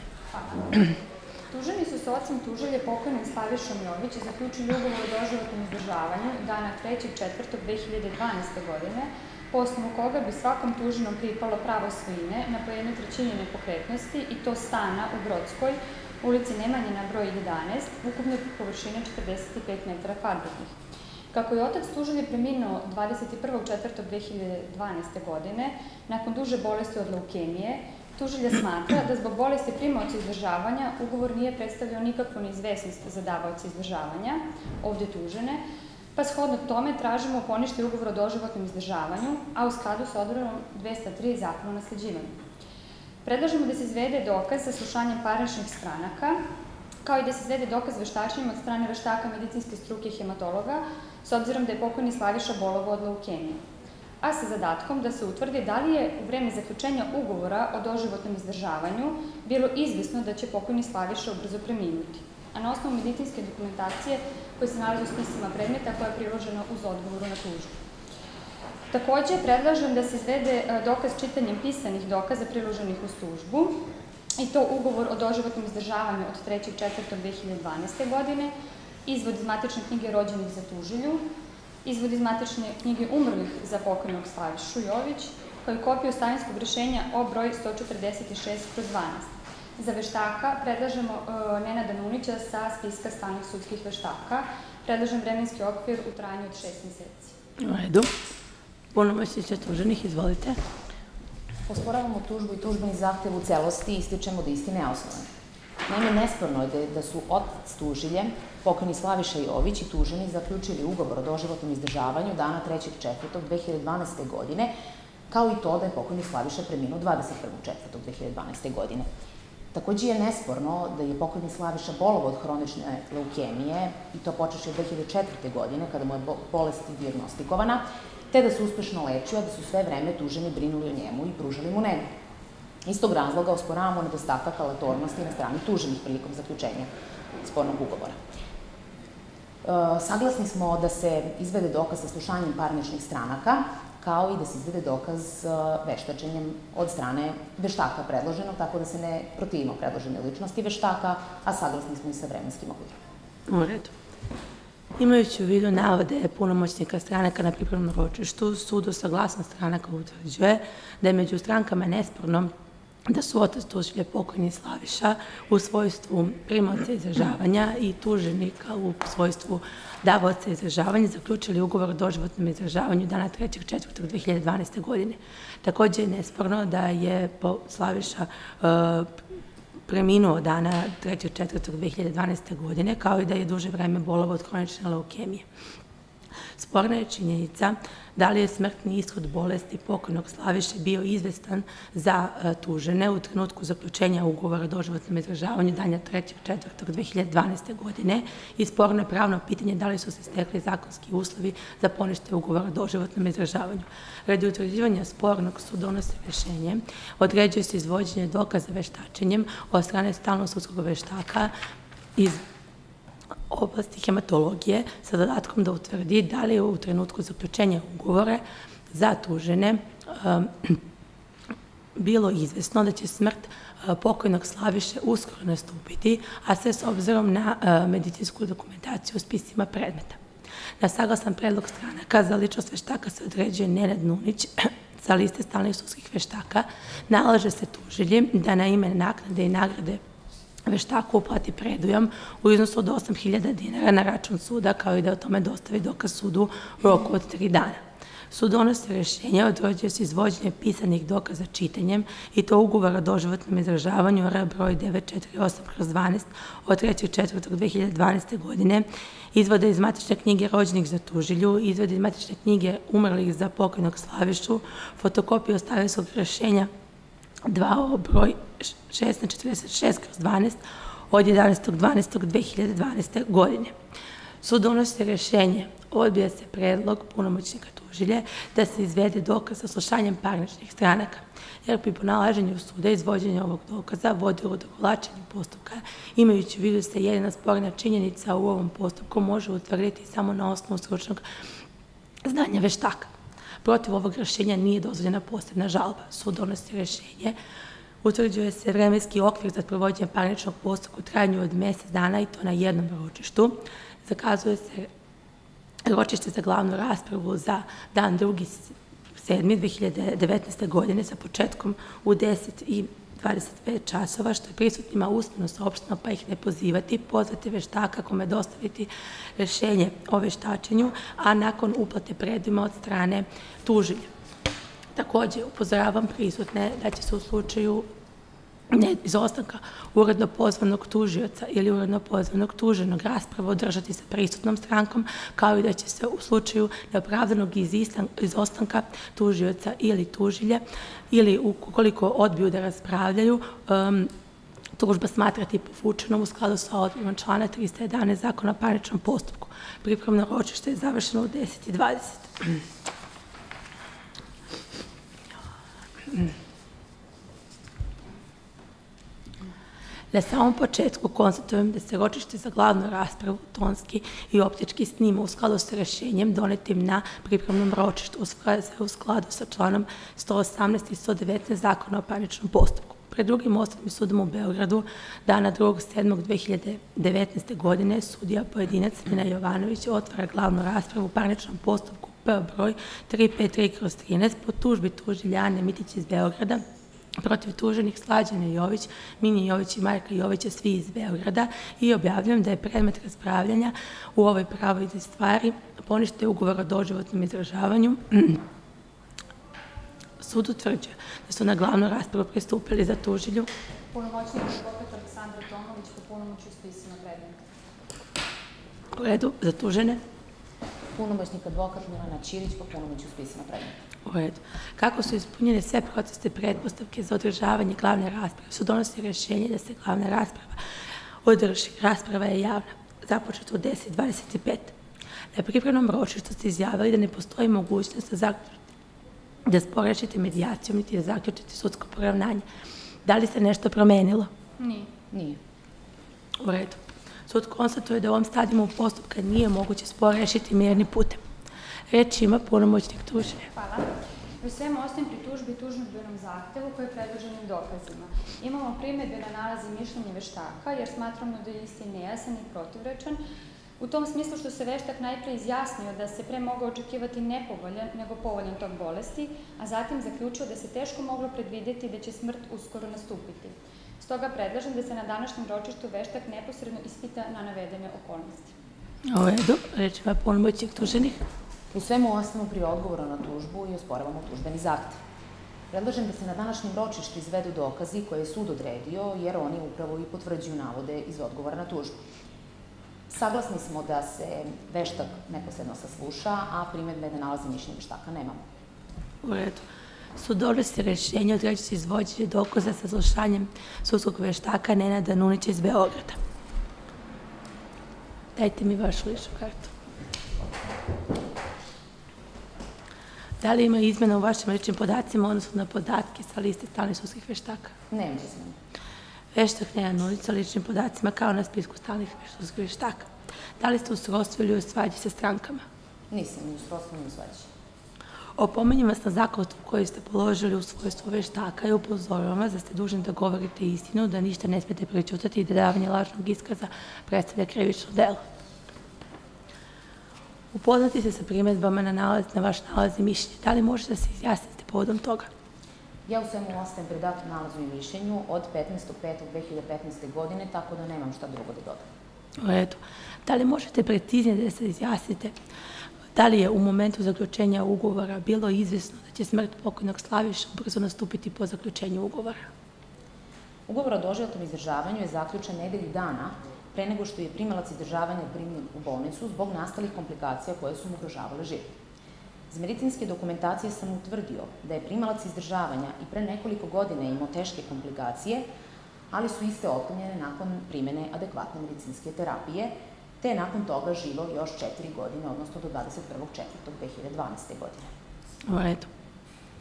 U nalazu i mišljenju ste naveli da ste pre mogao očekivati nepovoljan nego povoljan tog bolesti, a onda ste zaključili da je se teško moglo pretpostaviti da će smrt pokojnog Slaviša ubrzo nastupiti. Da li možete to malo preciznije da nam objasnite? Kao što sam već naveo, pokojni Slaviša, ovde primalac izdržavanja, je 2004. godine obola od hronične leukemije, dakle maligne bolesti, i da njegova bolest sve do 2008. godine nije zahtevala nikakvu medicinsku terapiju. Međutim, 2008. godine je uočena evolucija njegove bolesti uz nastanak većih komplikacija, usled čega mu je ostranjena slezina, a nakon toga je primao hemioterapiju. Primenom adekvatne terapije uspostavljena je potpuna kontrola bolesti. U toku 2009. i 2010. godine je ponovo primao terapiju, ali sa manje uspehe, tada više nije mogla da se trajnije zaustavi evolucija njegove bolesti. Istog razloga sam zaključio da se pre mogao očekivati ne povoljan, nego povoljan tok njegove bolesti. Ponavljam, izvesno je bilo da će se bolest odvijati sa sve većim komplikacijama koje će ugrožavati život, ali se teško moglo pretpostaviti da će smrt pokojnog Slaviše Jović nastupiti ubrzo nakon zaključenja ugovora o doživotnom izdržavanju. U redu, punomoćnik Četužilje, da li imate pitanje? Imajući u vidu da je pokojni Slaviša bolovo od maligne bolesti, kako je to veštak naveo, da li može da nam pojasni kako je moguće da se za neko ko boluje od maligne bolesti i sa tako učestalim komplikacijama može zaključiti da se ne očekuje skora smrt? Možete se izjasniti. Od malignih bolesti se ne umire, već od komplikacija koje se javljaju kao posledica bolesti i koje mogu da prouzrokuju bržu smrt. U konkretnom slučaju radi se o najbenignijoj malignoj bolesti, ako tako mogu da kažem, sa smanjenom imunološkom otpornošću i koja se može dugo vremena držati pod kontrolom uz primjenu adekvatne terapije sve dok ne nastupe komplikacije i to prvenstveno teške infekcije. Dakle, ponavljam, pokojni Slaviša je imao teške komplikacije 2008. godine, a koje su uspešno otklonjene primjenom adekvatne terapije. U momentu zaključenja ugovora, tačnije dana 3.4.2012. godine, kod pokojnog Slaviša se nisu ispoljavale teške zdravstvene komplikacije, već su iste nastupile nedelju dana nakon zaključenja ugovora, odnosno 10.4.2012. godine, zbog čega je isti hospitalizovan.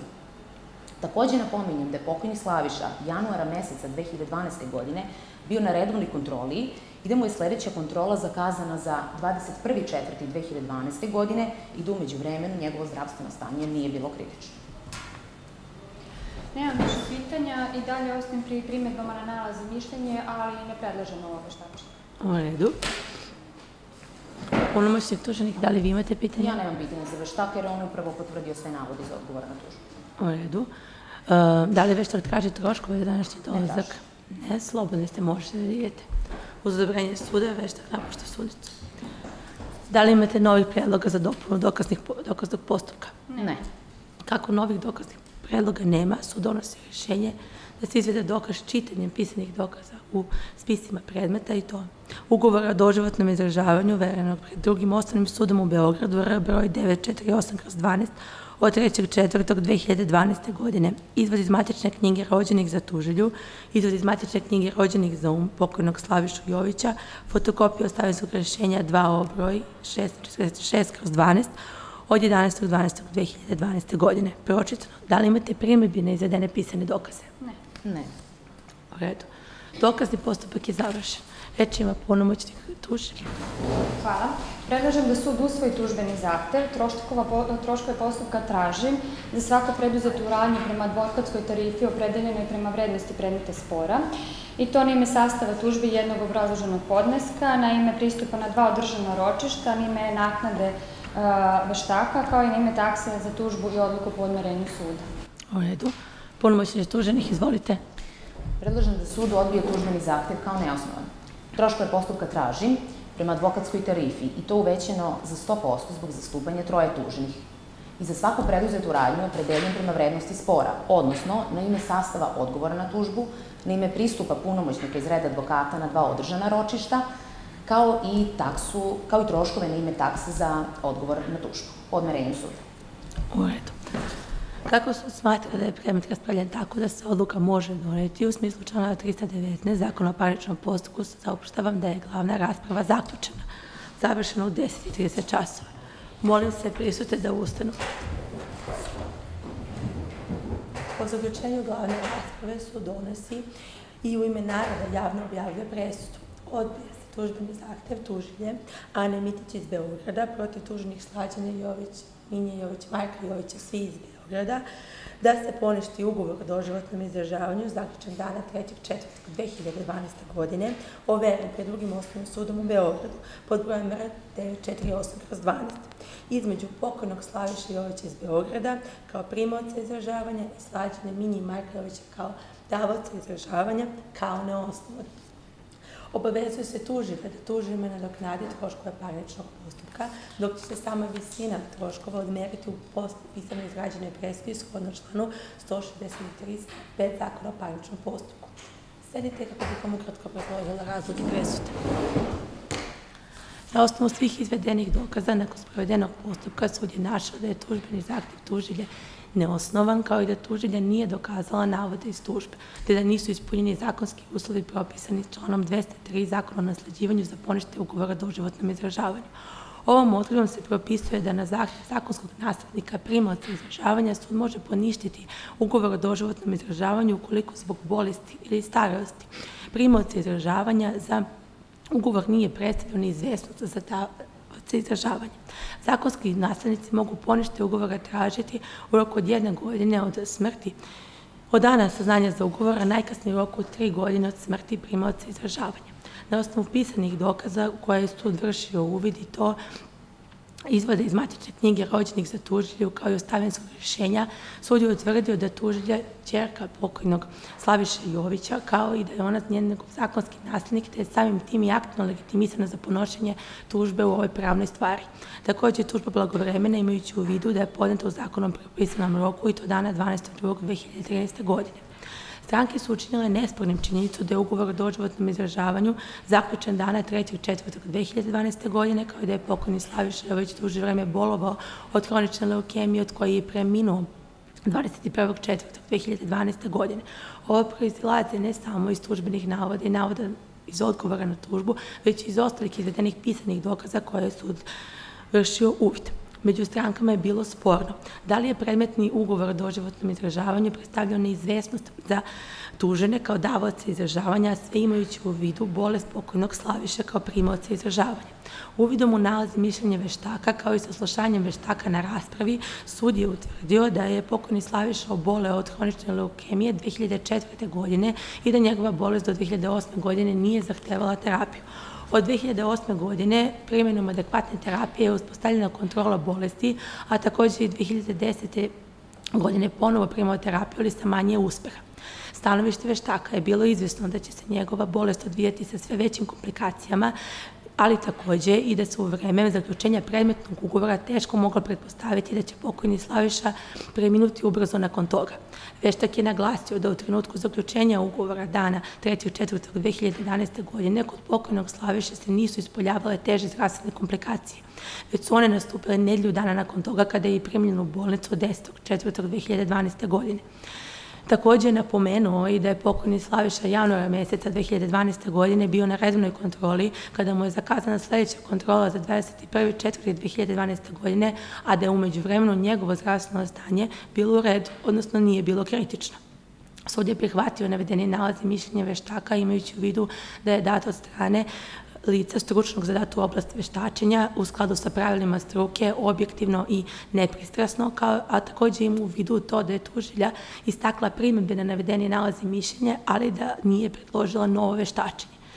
Sud je odbio predlog punomoćnika tužilja da se u postupku izvede dokaz slušanjem parničnih stranika imajući u vidu sve stranke izjašnjavale o činjenicama u tužbi, odgovor na tužbu kao i na pripremnom ročištu i da su te činjenice učinila nespornim, te je smatrao da njihovo saslušanje ne bi doprinalo utvrđenju činjeničnog stanja, već bi vodilo do govlačenju postupka. Imajući u vidu da je u dokaznom postupku utvrđeno da je smrt pokojne Slaviše primaoca izražavanja bila neizvesna za tužene u trenutku zaključenja ugovora, odnosno da se nije moglo očekivati da će njegova smrt ubrzo nastupiti nakon zaključenja ugovora, sud je odbio tužbeni zahtev tužilje kao neosnovan. Odluku o troškovima postupka sud je donao na osnovu člana 153 zakona o parničnom postupku i obavezao je tužilju da um, nadoknadi troškove parničnog postupka tuženima s obzirom da nije uspelo u parnici. Detaljnije obrazloženje presude dobit ćete u pisanom otrovku presude koje će sud izraziti u zakonom propisanom roku. Na ovu presudu imate pravo žalbe u roku 15 dana od dana prijema pisanog otrovka presude i to apelacijnom sudu u Beogradu, a preko ovog suda.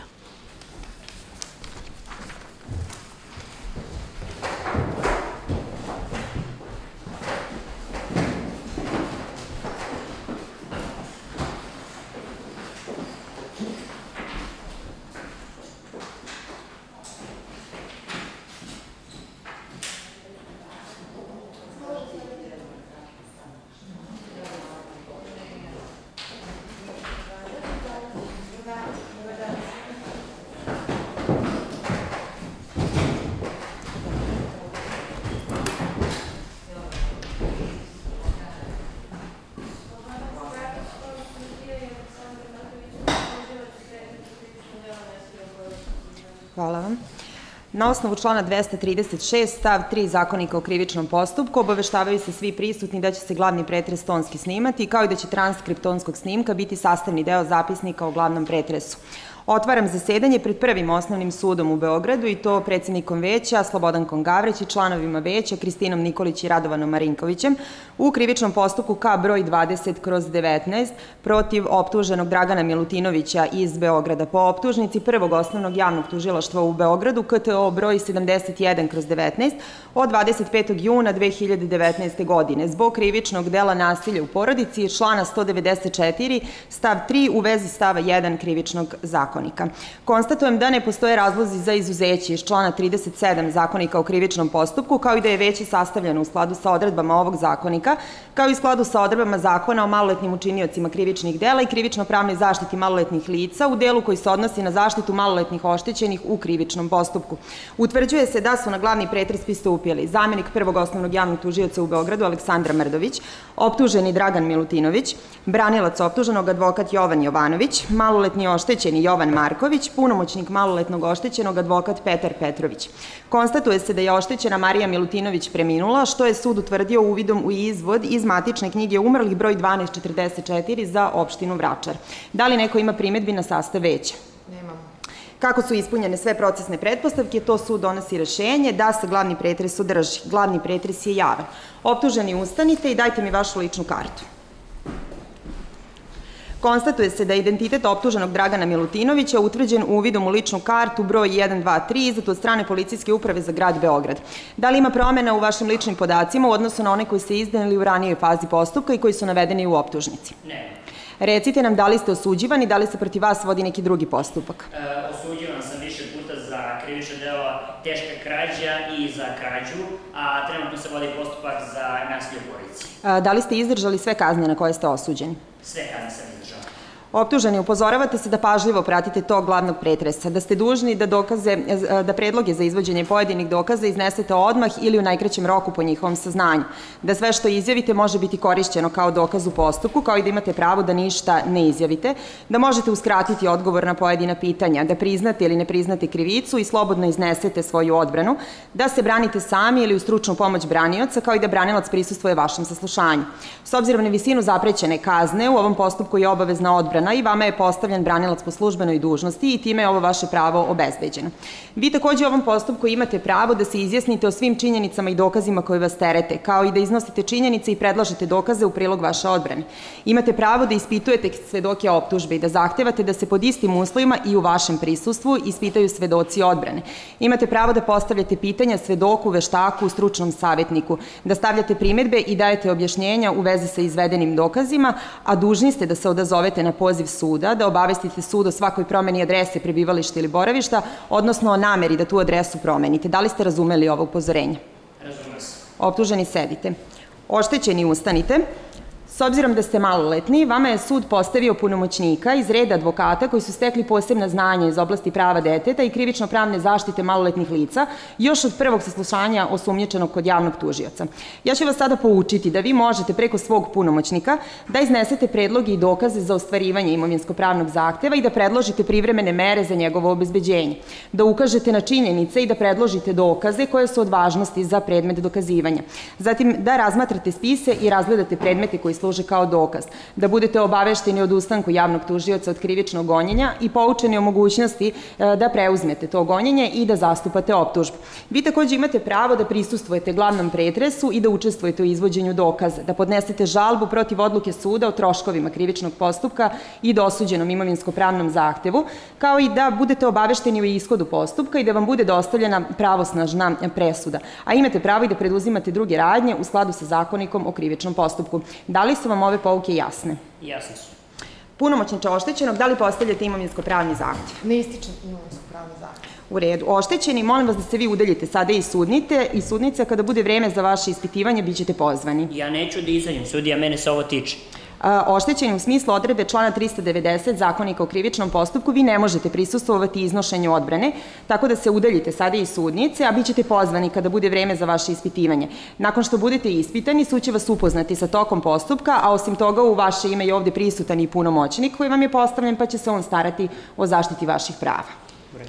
Sada počinjemo sa izlaganjem optužnog akta. Tužioče, izvolite usmeno izložite sadržaj optužnice. Hvala sudija.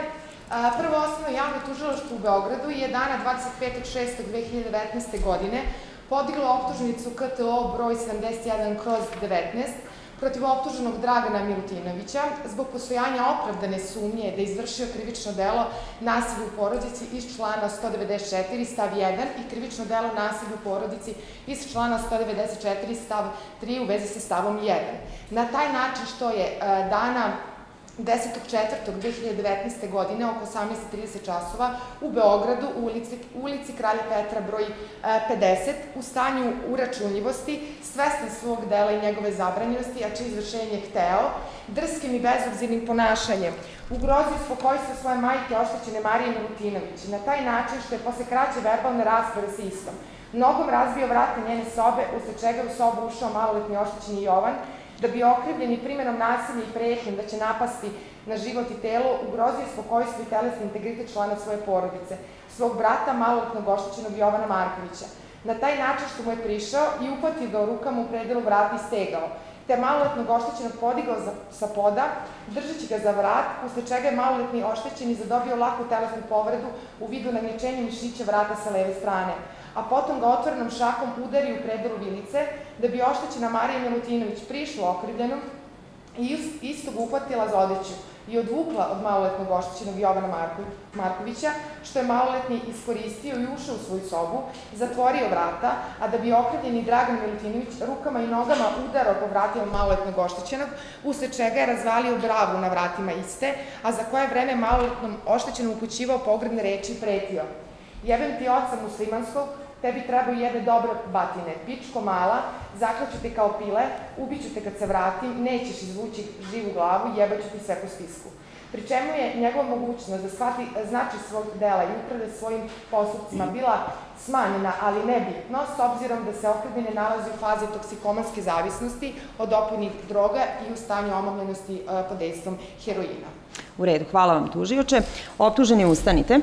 Kao što ste već poučeni, niste dužni da se izjasnite o iznetoj optužbi, niti da odgovarate na postavljena pitanja. Da li ste vi razumeli optužbu? Jes. Da li želite da se izjasnite o optužbi? Želim da se izjasnim. Da li priznajete krivična dela koja su vam stavljena na teret? Ne priznajem krivična dela koja su mi stavljena na teret. Sedite optuženi. Sada prelazimo na uvodne izlaganja koje moraju biti sažeta i moraju se odnositi samo na činjenice koje će biti predmet dokazivanja, do, na dokazne predloge i pravna pitanja o kojima će se raspravljati. Upozoravate se da se neće izvesti oni dokazi koji su vam bili poznati, ali ih bez opravdanih razloga niste odmah predložili, kao i da će se na glavnom pretresu izvoditi dokazi samo u vezi sa osporenim delom optužbe. Tužioče, izvolite, iznesite uvodne izlaganje. Hvala. Tužilaštvo će tokom dokaznog postupka dokazati da je optuženi Dragan Milutinović izvršio krivična dela koja su mu stavljena na teret u vreme, na mesto i na način kako to stoji u dispozitivu optužnice. Činjenicu da je on drskim i bezobzirnim ponašanjem ugrozio spokojstvo svoje majke, oštećene Marije Milutinović, Tužilaštvo će dokazati ispitivanjem svedoka oštećenog Jovana Markovića, te uvidom u zapisnik uviđaju sa lica mesta sa fotodokumentacijom od 10.4.2019. godine. E, činjenicu e, da je primjenom nasilja i pretnjom da će napasti na život i telo ugrozio spokojstvo i telesni integritet e, člana svoje porodice, oštećenog maloletnog Jovana Markovića, Tužilaštvo će dokazati ispitivanjem svedoka oštećenog Jovana Markovića, te uvidom u izveštaje lekara specijaliste Kliničkog centra Srbije broj ambulantnog protokola R2863 kroz 19 za maloletnog oštećenog Jovana od 10.4.2019. godine čitanjem nalaza i mišljenja sudskog veštaka psihologa Nataše Petrović od 18.6.2019. godine i nalazi i mišljenja sudskog veštaka specijalista opšte hirurgije doktora Tihomira Porubovića od 17.6.2019. godine. Dok će činjenicu da je optuženi Milutinović delo izvršio u stanju smanjene računljivosti, ali nebitno, dokazat ćemo čitanjem nalaza i mišljenja sudskog veštaka psihijatrije doktorke Bojane Kecman od 15.6.2019. godine. Pored toga predlažemo da se počita izveštaj iz kaznene evidencije i prekršne evidencije za okrivljenog. Hvala vam tužioče. Branioče, izvolite iznesite vaše uvodne izlaganje. Branilac u potpunosti osporava optužbu. Naime, nije sporno da se a, tog dana a, desio konflikt između a, oštećenih i ovde optuženog, Međutim, tom prilikom je optuženi samo udario jedan šamar oštećenom, nakon čega ga je odvukao u sobu da sukob ne bi dalje eskalirao. Zato predlažem da se ispita kao svedok Ana Ivanović iz Beograda, Masarikova broj 83, na okolnost se događaj desio upravo ovako kao što sam sad opisao. U redu, tužioče, kako se vi izjašnjavate na predlog branioca da se u svojstvu svedoka ispita Ana Ivanović iz Beograda? saglasan sam sa dokaznim predlogom odbrane s obzirom da ona je bila očevidac predmetnog događaja. Sud donosi rešenje i objavljuje početak dokaznog postupka. Usvaja se predlog tužioca da se izvede dokaz ispitivanjem svedoka oštećenog Jovana Markovića, da se izvrši uvid u zapisniku uviđaju sa lica mesta sa fotodokumentacijom sačinjen od strane policijskih službenika PS Vračar od 10. aprila 2019. godine, u izvešte lekara specijaliste Kliničkog centra Srbije broj ambulantnog protokola R2863 kroz 19 za maloletnog oštećenog Jovana Markovića od 10. aprila 2019. godine i izvod iz kaznene i prekršene evidencije za okrivljenog, da se pročita nalazi mišljenja sudskog veštaka specijalista opšte hirurgije dr. Tihomira Porubovića od 17. juna 2019. godine, nalazi mišljenja sudskog veštaka psihologa Nataše Petrovića od 18. juna 2019. godine i nalaze i mišljenja sudskog veštaka specijaliste za psihijatriju dr. Bojane Kecman od 15. juna 2019. godine. O predlogu branioca da se u svojstvu svedoka ispita Ana Ivanović sud će odlučiti naknadno. Optuženi, sada možete da ustanete, stanite ovde i vreme je kada možete izneti vašu odbranu. Izvolite. Ja sam se tog dana nalazio sa svojom devojkom u stanu, a, kada smo uzimali puno rakije i uzimali smo heroin koje je ona donala na nos, a, odlučili smo da u jednom trenutku izađemo u kapić koji se nalazi u blizini a, kada sam ja otišao do predsoblja da uzmem, uzmem jaknu, a majka me je srela, pitala me gdje ću. Ja sam rekao da idem sa Anom i da ću se vratiti brzo. Ona je na to negodovala, a u tom je iz sobi izašao moj mlađi brat Jovan, koji je rekao, nećeš valjda opet izaći sa tom raspalom kurvetinom. Mene to jako naljutilo jer je uvredio i mene i moju devojku, a devojka se nalazila odmah iza mene i ja sam hteo da pokažem da poštem svoju devojku, udario sam mu ovla šamar i oterao u sobu, već sam tada bio i ljut i rekao sam majici da e, gleda svoja posla i da ću se vratiti, da ćemo se videti sutra. E, e, u tom smo ja i Jana otišli do kafića, došla je policija, legitimisala me i bez ikakvog razloga me uhapsila. A, da li vi optuženi imate još nešto da navedete u svojoj odbrani? Nemam. Branioče, ima li pitanja za optuženog? Nemam pitanja. Tužioče, imate li vi pitanja? A, da li vam je poznato da je vaš brat tog dana zadobio povrede? E, nije, ja stvarno nisam ništa video, e, možda je povrede zadobio na, na košarkaškom treningu. Tužioče, ima li još pitanja? Nemam ništa. Optuženi, priđite, molim vas. Konstatuje se da se okrivljenom predočava fotodokumentacija koja je sačinjena od strane policijskih službenika PS Vračar u zapisniku uviđaju sa lica mesta od 25.5.2019. godine. Da li vam je stan sa ovih fotografija poznat? poznato mi, to je, to je stan u kojem sam ja živao sa pokojnom majkom i bratom. A kako objašnjavate oštećenja na sobnim vratima koje se vide na ovim fotografijama koje su vam predočene? To su stara oštećenja još dok sam bio u srednjoj školi, međutim mi smo stvarno jako siromašni i nismo imali novca da popravimo te. Molim vas, priđite još jednom. Konstatuje se da je okrivljenom predočena fotografija broj 7 na kojoj je prikazana dnevna soba u predmetnom stanu, da se sa desne strane nalaze sobna vrata koja su vidno oštećena, da se na oko pola metra od sobnih vrata na podu nalazi brava sa kvakom. Kako vi objašnjavate ovu fotografiju? Pa stvarno ne znam, ja dok sam bio u, u kući sve je bilo u redu. U redu, punomoćniče, optuženog, punomoćniče oštećenog imate li pitanja za optuženog? Nemam ja, nema. Da li ima primetbi? Nema. Možete da sednete. Pozovite svedoka Jovana Markovića da stupi u sudnicu. Sud donosi rešenje da se u dokaznom postupku ispita svedok oštećeni Jovan Marković. Daćete mi neki identifikacioni dokument. Konstatuje se da je identitet svedoka utvrđen uvidom u pasoš Republike Srbije broj 2234 izdat od strane Policijske uprave za grad Beograd. Da li ima promene u vašim ličnim podacima u odnosu na one koje ste izneli u ranijoj fazi postupka? Nema. Obzirom da je vama ovde optuženi brat po majici, ja vas upozoravam da ste vi shodno odredbi člana 94 stav 1 tačka 2 zakonika o krivičnom postupku oslobođeni dužnosti svedočenja, tako da ne morate svedočiti u ovom predmetu ukoliko to ne želite. Da li želite da iskoristite svoje zakonsko pravo da ne svedočite ili želite da svedočite? Želim da svedočim. S obzirom na to da želite da svedočite, upozoravam vas da ste shodno odredbi člana 95 zakonika o krivičnom postupku dužni da govorite istinu, da ništa ne smete da prećutite, kao i da je davanje lažnog iskaza krivično delo. Takođe vas upozoravam da niste dužni da odgovarate na određena pitanja, ukoliko je verovatno da biste time izložili sebe ili lice iz člana 94 stav 1 zakonika o krivičnom postupku teškoj sramoti, znatnoj materijalnoj šteti ili krivičnom gonjenju. Ova odredba odnosi se na lice sa kojim vi živite u braku, vanbračnoj ili drugoj trajnoj zajednici života, srodnika po krvi u pravoj liniji do bilo kog stepena, u pobočnoj zaključno sa trećim stepenom, srodnika po tazbini zaključno sa drugim stepenom, svog usvojenika ili usvojitelja. Vi ste takođe dužni da e, obavestite sud o svakoj promeni adrese prebivališta ili boravišta, a imajući u vidu da ste u momentu ispitivanja maloletni sud vas neće zaklinjati. Da li ste vi razumeli ova upozorenja? Razumem se. Recite nam da li vam je i šta vam je poznato o događaju od 10. aprila 2019. godine? Ja sam se tog dana nalazio u svojoj sobi kada sam čuo neko lupanje ispred vrata i neku vrisku. Kada sam izašao, video sam da brat e, udara nogom više puta u vrata majčine sobe i da viče. Rekao sam mu da prestane sa tom vikom i sa udaranjem. On je onako besno pogledao, pohitao je ka meni i uhvatio me rukom lako za vrat, podigao me, lupio mi je jedan šamar i nešto je krenuo nešto da, da, da viče, a, a u tom je izašla iz sobe moja majka i krenula da ga vuče za, ne znam, rukavi, neki deo, deo tela. Ja sam to iskoristio tako što sam, oslobodio sam se pritiska i kontakta, ušao sam u svoju sobu i navukao sam vrata preko, odnosno krevet preko vrata kako Dragan ne bi ušao a, u tom je Dragan došao do, do moje sobe, udarao besno, nešto mi je vikao, neke pogredne reče mi je, reče mi je upućivao, a ja sam smogao snage da pozovem policiju kako bi spasao sebe i majku. E, u tom je ova buka je utihnula i ja sam shvatio da Dragan više nije tu, pa sam izašao, uh, video sam majku, u tom je došla i policija koja je izvršila uviđaj. Tužioč, imate li pitanja za svedoka? E, Recite mi, da li možete da setite reči uh, koji je optužni izgovarao kada je udarao u vrata vaše sobe?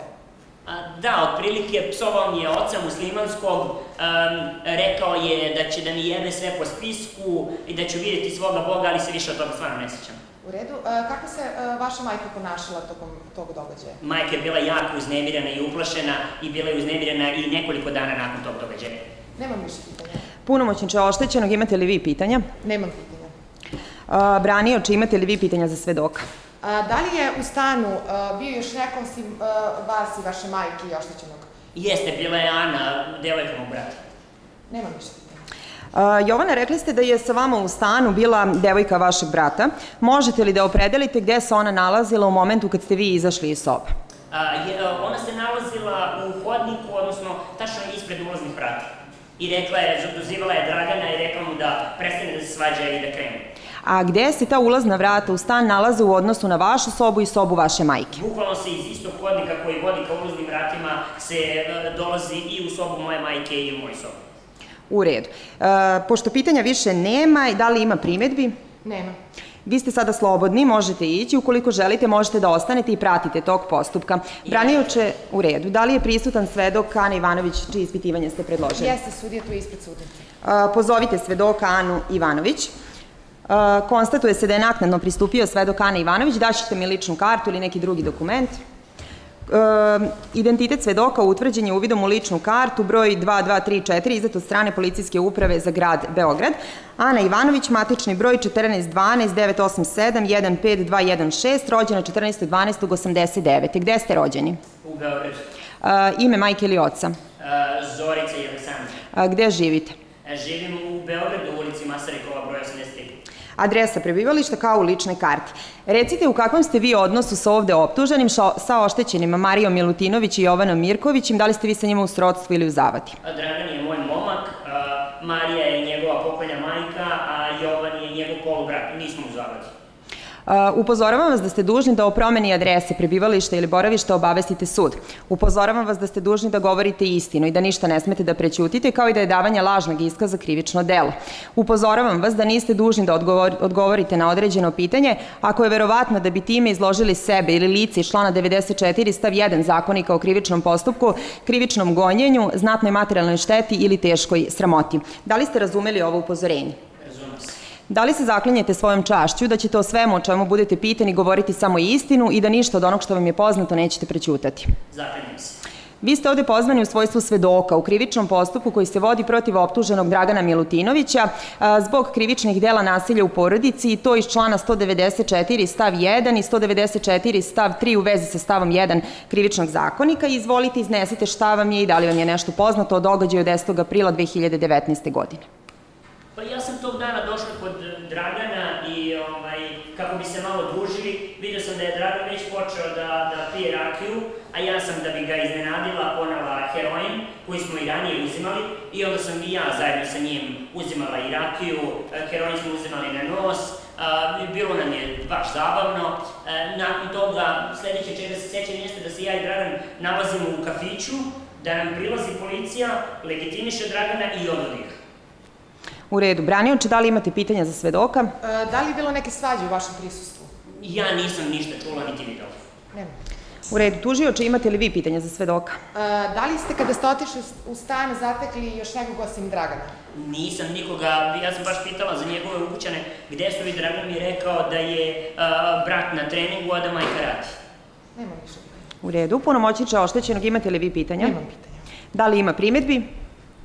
Nema primjera. E, pitanja nema, primetbi nema, vi možete napustiti sudnicu.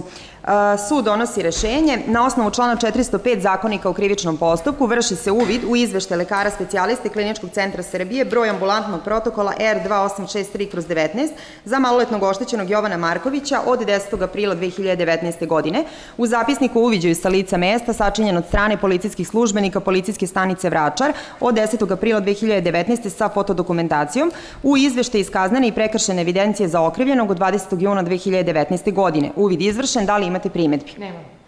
Sud donosi rešenje da se na osnovu člana 406 stav 1 tačka 2 zakonika o krivičnom postupku na saglasan predlog stranaka izvrši upoznavanje sa sadržinom nalaza i mišljenja sudskog veštaka specijalista opšte hirurgije dr. Tihomira Porubovića od 17. juna 2019. godine, nalaza i mišljenja sudskog veštaka specijaliste za psihijatriju dr. Bojane Kecman od 15. juna 2019. godine i nalaza i mišljenja sudskog veštaka psihologa Nataše Petrović od 18. juna 2019. godine.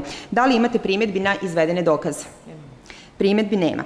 Na osnovu člana 407 stav 1 tačka 1 zakonika o krivičnom postupku sud donosi rešenje, izdvaja se iz spisa predmeta zapisnik o ispitivanju svedoka oštećene Marije Milutinović, sačinjen dana 20. maja 2019. godine pred prvim osnovnim javnim tužiloštvom u Beogradu. Sud je ovo rešenje doneo imajući u vidu da je Marija Milutinović privilegovani svedok koji je e, preminuo i zbog toga nije pozvana na glavni pretres, te se njen iskaz ne može koristiti u ovom postupku. Na ovo rešenje imate pravo žalbe u roku od tri dana od dana dostavljanja istog, već iz člana 21 stav 4 zakonika o krivičnom postupku. Tužioče, branioče, da li je potrebno da vam se dostavlja prepis rešenja, da li želite da iskoristite pravo na žalbu? A, nije potrebno dostaviti rešenje, odičem se prava na žalbu. U redu, konstatuje se da su se stranke odrekle prava na žalbu i da je rešenje pravnosnažno danom donošenja. Na osnovu odredbe člana 237 stav 2 i 3 zakonika o krivičnom postupku, e, zapisnik se ima staviti u zapečećen omot i predati na čuvanje sudiji za prethodni postupak Prvog osnovnog suda u Beogradu. Da li neko ima predloga za dopunu dokaznog postupka? Kako nema predloga za dopunu dokaznog postupka, sud objavljuje da je glavni pretres završen, odnosno da je dokazni postupak završen. Prelazimo na završne reči stranaka. Tužioče, izvolite, iznesite vašu završnu reč. hvala sudija. Tužilaštvo smatra da je u dokaznom postupku na nesumnjiv način utvrđeno je da je e, optuženi Dragan Milutinović izvršio, izvršio krivična dela koja su mu optužnicom stavljena na teret. Naime, on u svojoj odbrani navodi da imao samo kraći konflikt sa majkom, da nije udar u vrata sobe, da je maloletnom oštećem udario samo jedan šamar, odvukao u sobu i napustio stan. Smatram da je takva odbrana neistinita, da je usmerena na izbjegavanje krivice, a i samim tim neprihvatljiva. Imajući, imajući u vidu ostali izvedene dokaze, posebno delu koji se odnosi na način nanošenja telesnih povreda, jer je maloletni oštećeni Jovan u svom iskazu do detalja opisao predmetni događaj, a što je potvrđeno nalazom i mišljenjem sudskog veštaka, specijalista opšte hirurgije doktora Tihomira Porubovića, koji u celosti potvrđuje mehanizam nanošenja telesne povrede, a upravo isključuje ono što je okrivljeni u svoj odbrani naveo, da je mogao eventualne povrede zadobije na košarci. Takođe, položaj brave, izgled spornih vrata i zapisnika uviđaju sa fotodokumentacijama od 10.4.2019. godine u potpunosti odgovaraju onome što je maloletni oštećeni u svom iskazu i naveo. Smatram da bi sud od otežavajućih okolnosti na strani okrivljenog trebalo da uzme u obzir da je on višestruko osuđivan za krivična dela sa elementima nasilja, zatim način izvršenja dela, posebno jačinu nasilja koji je iskazao prema maloletnom oštećenom i upornost koji je pokazao čineći navedena krivična dela. Takođe, protiv njega se vodi još jedan krivični postupak za istovrsno krivično delo prema istim oštećenima. Dok smatram da ne postoje olakšavajuće okolnosti, imajući u vidu navedeno, predlažem da ga sud oglasi krivim i izrekne mu kaznu zatvora u trajanju ne manje od pet godina. Hvala. Hvala vam, tužioče. Punomoćniče oštećenog, vi imate reč. Pridružujem se rečima ovaj, tužioca. Hvala. Branioče, koja je vaša završna reč? Naime, mi smatramo da tokom postupka nije e, dokazano da je moj branjenik izvršio krivično dela koje smo optužnicom stavljeni na teret, e, zato što smatramo da tužilaštvo nije dokazalo e, uzročnu vezu između radnji mog branjenika i nanošenja telesnih povreda. E, međutim, ako, e, međutim, ukoliko sud nađe da je optuženi kriv za navedena krivična dela, predlažem da uzme u obzir da se on znatno popravio nakon izvršenja krivičnih krivičnih dela, kao da se sada brine o maloletnom bratu i promenio svoje navike. Takođe, predlažem sud da ga oslobodi od troškova zbog postupka zato što je nezaposlen. Je li to sve? To je sve. U redu. Optuženi, šta vi imate da kažete u vašoj završnoj reči? Da li se pridružujete završnoj reči branioca ili imate nešto da ispravite ili da dodate? Pridružujem se svim rečima mog branioca. Da li se još neko javlja za reč? Kako se više niko ne javlja za reč, sud objavljuje da je glavni pretres završen, veće se povlači na većenje i glasanja radi donošenja presude. Molim sve prisutne da ustanu kako bi sud objavio presudu. Nakon većanja i glasanja, prvi osnovni sud u Beogradu izriče i odmah javno objavljuje u ime naroda presudu. Optuženi Dragan Milutinović sa ličnim podacima kao u spisima, kriv je, što je dana 10. aprila, čime je izvršio krivično delo nasilja u porodici, člana 194, stav 1 krivičnog zakonika i krivično delo nasilja u porodici iz člana 194, stav 3 u vezi sa stavom 1 krivičnog zakonika, pa mu sud primjenom navedenih zakonskih propisa i odredbe člana 4, 42, 45 i 54 krivičnog zakonika prethodno utvrđuje pojedinačne kazne zatvora. I to za krivično delo nasilja u porodici iz člana 194 stav 1 krivičnog zakonika kaznu zatvora u trajanju od godinu dana i za krivično delo nasilja u porodici člana 194 stav 3 u vezi sa stavom 1 krivičnog zakonika kaznu zatvora u trajanju od dve godine. Te sud optuženom Draganu Milutinoviću daljom primenom odredbe člana 60 izriče jedinstvenu kaznu zatvora u trajanju od dve godine i osam meseci. Troškovi krivičnog postupka padaju na teret budžetskih sredstava. Protiv ove presude je dozvoljeno pravo žalbe u roku od 15 dana od dana dostavljanja iste apelacijonom sudu u Beogradu, a putem ovog suda. Na podnetu žalbu možete odgovoriti u roku od 8 dana od dana prijema iste. Sada možete da sednete, čućete kratke razloge na osnovu kojih je sud donao ovu odluku, a detaljno obrazloženje će vam biti izneto u samoj presudi kad vam bude dostavljena. Pre svega ocenom svih izvedenih dokaza, kako pojedinačno, tako i njihovoj međusobnoj vezi, sud je na nesumnjiv način utvrdio činjenično stanje onako kako je opisano u izreci ove presude, odnosno nesumnjivo i izvesno je utvrdio da je optuženi dana 10. aprila 2019. godine izvršio krivična dela koja su mu stavljena na teret upravo onako kako su opisana dispozitivom optužnice. Sud je stava da je odbrana okrivljenog kompromitovana ostalim izvedenim dokazima i direktno usmerena na izbegavanje krivične odgovornosti. Samim tim ona nije bila prihvatljiva za sud. E, naime, sud nije poklonio veru odbrani okrivljenog, da on opisanom prilikom nije udarao u vrata majčine sobe, da je vratu samo ovlaš udario jedan šamar, zato što ova njegova odbrana nije potkrepljena ni jednim drugim dokazom, a direktno je suprotna iskazu svedoka maloletnog oštećenog Jovana Markovića, koji je potvrđen i zapisnikom o uviđaju sa lica mesta, ali i nalazom i mišljenjem veštaka hirurga dr. Tihomira Porubovića. Sud je naročito imao u vidu ovaj nalaz i mišljenje, u celosti ga je prihvatio, nije našao ni jedan razlog da u isti posumnja. Imajući u vidu da je ovaj veštak e, jasno, dosledno i stručno objasnio da su povrede koje je maloletni oštećeni u svom iskazu opisao mogle isključivo nastati e, onako kako je on u iskazu opisao, a da nikako nisu mogli nastati na košarkaškom treningu kako je optuženi u svojoj odbrani tvrdio, zbog čega je odbrana okrivljenog u tom delu neprihvatljiva. Sud je cenio, ali nije prihvatio iskaz svedoka Ane Ivanović, naročito u delu e, koji se odnosi tamo gde je tvrdila da u stanu nikog nije bilo kada je ona tu bila, da nikakve svađe nije bilo, imajući u vidu da je ovakav njen iskaz direktno suprotan i iskazu samog, direktno suprotan i odbrani samog okrivljenog koji je potvrdio da su u stanu bili njegova majka i brat i da je do neke svađe i došlo. Sud nije prihvatio iskaz ovog svedoka iz razloga što je njen iskaz kompromitovan i ostalim izvedenim dokazima koje je sud prihvatio u toku postupka, ne našavši razloge da u iste posumnja. Prilikom odlučivanja o vrsti i visini kazne, sud je vodio računa o svim okolnostima i člana 54 krivičnog zakonika, pa je od otežavajućih okolnosti na strani optuženog našao da je on višestruko osuđivan. Zatim, način na koje je dela izvršio, a naročito upornost i jačinu nasilja koje je primenio prema svom maloletnom bratu. Sud je našao i olakšavajuće okolnosti na strani optuženog, a to je da je u pitanju relativno mlad čovek i da je nakon izvršenja dela znatno popravio svoje ponašanje. Imajući u vidu sve navedeno, sud je odlučio da optuženog osudi na jedinstvenu kaznu zatvora u trajanju od dve godine i osam meseci, nalazeći da je ovakva kazna neophodna, ali adekvatna, da bi njoj se njome u potpunosti ostvarila svrha e, izricanja krivičnih sankcija iz člana 4 krivičnog zakonika, ali i svrha kažnjavanja iz člana 42 istog zakonika. Odluku o troškovima postupka sud je doneo na osnovu odredbe člana 264 stav 4 zakonika o krivičnom postupku, imajući u vidu da je utvrđeno da je optužen i nezaposlen i da bi njegovim obavezivanjem da nadoknadi nadoknadi ove troškove bila ugrožena njegova egzistencija. Sud upozorava okrivljenog da do pravosnažnog okončanja postupka obavesti sud o promeni adrese prebivališta i boravišta i takvo upozorenje važi i za oštićenje.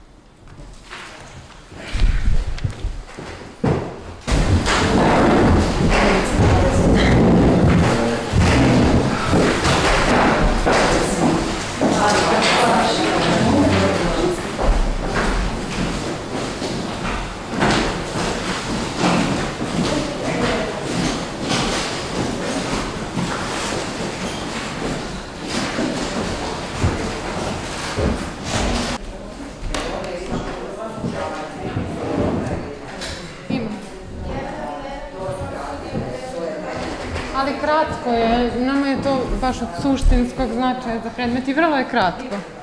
Kako, mislim, kažete?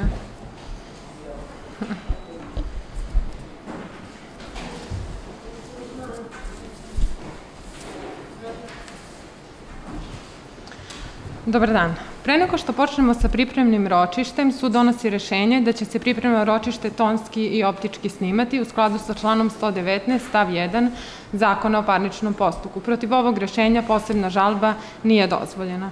Pred trećim osnovnim sudom u Beogradu dana 3. juna 2019. godine održava se pripremno ročište u predmetu 3P broj 22 kroz 19 po tužbi tužioca Aleksandra Đorđevića protiv tuženog Predraga Đorđevića, obojica iz Zemuna. Predmet spora jeste poništa i zaveštanja. Moje ime je Jelena Milenović i postupaću u ovom predmetu kao sudija pojedinac. Sud utvrđuje da su na pripremno ročište pristupili za tužioca... advokat Nemanja Maslavović, punomoć uspisima predmeta. Hvala vam. Za tuženog? Punomoći advokat Marko Cvetanović po punomoći u spisima. U redu. Kako su ispunjene procesne pretpostavke za održavanje pripremnog ročišta, sud donosi rešenje da se pripremno ročište održi. Pripremno ročište započeto je u 11.25 časova. Odmah na početku dužna sam da vam ukažem na mogućnost mirnog rešenja ovog spora ili mogućnost e, medijacije. Recite mi da li postoji nekakva mogućnost da postignete dogovor u vezi ovog spora? Ne postoji takva mogućnost. Ne, ne, nikako. U redu. Sud konstatuje da je tužilac u tužbi e, vrednost predmeta ovog spora suviše nisko odredio, svega 500 dinara, pa je pribavio izveštaj Poreske uprave grada Beograda, broj 352, povlaka 4117, kroz 19, od 25.2019. godine, na osnovu koga je utvrđena tržišna vrednost obe nepokre... ukupna tržišna vrednost obe nepokretnosti kojima je zaveštalac ovim spornim zaveštanjem raspolagao na iznos od 4 miliona dinara pa na osnovu člana 33 stav 3 Zakona o parničnom postupku su donošci rešenje utvrđuje se vrednost predmeta spora na iznos od 4 miliona dinara. U redu. U redu. Upozoravam vas da ste dužni da iznesete sve činjenice kojima obrazlažete svoje predloge, kao i da predložite sve dokaze kojima će se ove činjenice potvrđivati. Takođe, dužni ste da se izjasnite i o navodima i dokazima suprotne strane i da predložite vremenski okvir za sprovođenje ove parnice. Upozoravam vas da ćete moći naknadno da do završetka glavne rasprave iznosite nove činjenice i predlažete nove dokaze samo ukoliko učinite verovatnim da ih bez svoje krivice niste mogli danas na ovom pripremnom ročištu izneti i predložiti. Punomoćniče tužioca možete izložiti tužbu. Tužilac je kao i tuženi od dvojice njihove braće zakonski naslednik trećeg naslednog reda iza smrti pokojnog Aksenita Đorđevića. Ostavinski sud nas je uputio od ovoj parnice zahtevano poništenje ospornog zaveštanja od 3.4.2019. godine. Smatramo da je to zaveštanje rušljivo iz razloga što je pokojni, zave, e, pokojni akcenti u momentu sastavljanja tog zaveštanja bio nesposoban za rasuđivanje. On je bolovao od teških bolesti i zaveštanje je sačinio samo mesec dana pred svoju smrt. Takođe, vrlo je upitno i da li su i pod kojim uslovima zavešteni svedoci potpisali ovo zaveštanje, pa iz tih razloga smatramo da isto treba poništiti. Što se tiče naših dokaznih predloga, predlažemo da se saslušaju upravo zavešteni svedoci, Takođe predlažemo da se izvrši uvid u medicinsku dokumentaciju za zaveštavca, rešenje Trećeg osnovnog suda u Beogradu o 55 od 3.4.2019. godine, samo pismeno zaveštanje pred svedocom od 6.5.2018. godine, a predlažemo da se izvrši neuropsihijatrijsko veštačenje na okolnost zaveštene sposobnosti pokojnog aksentija u momentu sastavljena zaveštanja. Što se tiče ličnosti veštaka, smatramo da bi to najbolje uradio dr. Zoran Ćirić iz Beograda, zato da predlažemo njega kao ličnost veštaka. Vremenski okvir samo? Vremenski okvir predlažemo da, da bude dva meseca i to na jednom očištu. U redu, hvala vam. Punomoćniče tuženog, izvolite. Osporavamo tužbeni zahtev u celosti. Pre svega ističemo da je zaveštanje potpuno punovažno sa svim zakonskim predviđenim elementima, da je potpisano kako od zaveštoca, tako i od dva svedoka. Takođe i osporavamo i činjenicu da je zaveštaoc u trenutku sačinjavanja zaveštanja bio nesposoban za rasuđivanje, jer je on bolovao od srčanih bolesti koje nikako nisu mogle da kompromituju njegovu sposobnost za rasuđivanje.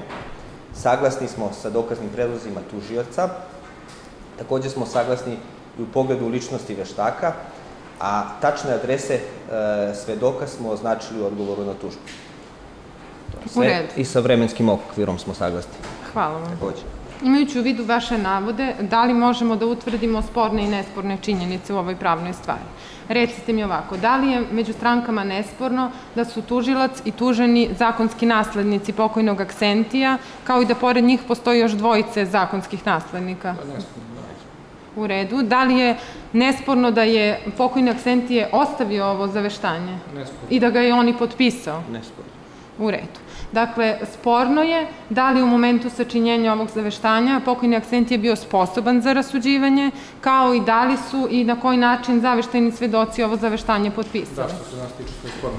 U redu. E, sporno pravno pitanje je da li su se, dakle, stekli uslovi za poništaj ovog e, zaveštanja Sud radi utvrđenja ovih spornih pravnih činjenica donosi rešenje, određuje se izvođenje dokaza sa slušanjem svedoka Marka Markovića i Petra Petrovića, Petrovića, iz Zemuna, a na okolnost sačinjavanja i potpisivanja ovog zaveštanja određuje se izvođenje dokaza, čitanje medicinske dokumentacije za zaveštaoca, a na okolnost zdravstvenog stanja zaveštaoca, određuje se izvođenje dokaza čitanjem rešenja Trećeg osnovnog suda u Beogradu, OBR 55 kroz 19 od 10.5.2019. godine i pismenog zaveštanja pred svedocima proglašenog na zapisniku pred Trećim osnovnim sudom u Beogradu o broj 55 kroz 19 od 3.4.2019. godine, a na okolnost ispunjenosti zahteva forme za ovu vrstu zaveštanja.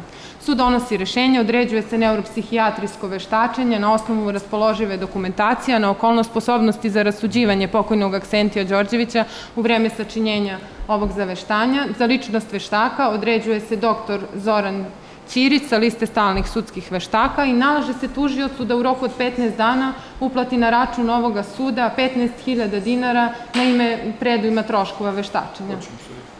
Takođe sud donosi rešenje, određuje se vremenski okvir u trajanju od dva meseca i to na jednom ročištu na kome će se izvesti svi određeni dokazi i to za 2.7.2019. godine sa početkom u 11 časova, što je prisutnima usmeno saopšteno, te ih ne pozivati. Pripremno ročište završeno je u 11.30 časova. Ovako, upozoravaju se prisutni da će u slučaju izostanka tužioca ili tuženog sa ročišta za glavnu raspravu ročište biti održano sa prisutnom strankom, a da će ukoliko izostanu i tužilac i tuženi neopravdano sa ročišta za glavnu raspravu ili odbiju da raspravljaju, biti doneto rešenje kojim će se utvrditi da je tužba tužioca povučena. Pisanim pozivom za svedoke pozvati Marka Markovića i Petra Petrovića na adresama iz odgovora na tužbu. Prelazimo na glavnu raspravu. Na samom početku sud donosi rešenje da se glavna rasprava tonski i optički snima i da će zapisnik biti sačinjen na osnovu tonskog i video zapisa, a u skladu sa članom 118 stav 1 i 119 stav 1 Zakona o parničnom postupku. Dana 2.7.2019. godine pred trećim osnovnim sudom u Beogradu sudija pojedinac Jelena Milenović otvara glavnu raspravu u predmetu 3P broj 22 kroz 19 po tužbi tužioca Aleksandra Đorđevića protiv tuženog Predraga Đorđevića, obojica iz Zemuna i objavljujem da je predmet raspravljanja poništenje zaveštanja. Sud utvrđuje da su na raspravu pristupili punomoćnik e, tužioca Nemanja Maslovarić, advokat iz Beograda po punomoću u spisima predmeta, za tuženog punomoćnik advokat, advokat Marko Cvetanović, po punomoću u spisima predmeta. U redu, hvala vam. Od ostalih pozvanih lica pristupili su svedok Marko Marković i Petar Petrović, obojica iz Beograda. Molim svedoke da se udalje izvan sudnice gde će sačekati da budu pozvani radi ispitivanja. Ovako, na pripremom ročištu izjavili ste da nije moguće mirno rešenje ovog spora, pa recite mi da li su umeđu vremenu nešto promenilo? Nije su. U redu. E, dakle, kako su ispunjene sve procesne pretpostavke, sud donosi rešenje da se ročište za glavnu raspravu održi. Ročište započeto u 11.35 i e, glavna rasprava je javna. Punomoćniče tužioca, imate reč? U svemu pri tužbi i tužbenom zahtevu predlažem da se na današnjem ročištu izvedu svi dokazi. U redu, hvala vam, punomoćniče tuženog. U svemu pri odgovoru na tužbu, osporavam tužbeni zahtev, saglasan sam sa predlogom da se na današnjem ročištu izvedu svi dokazi.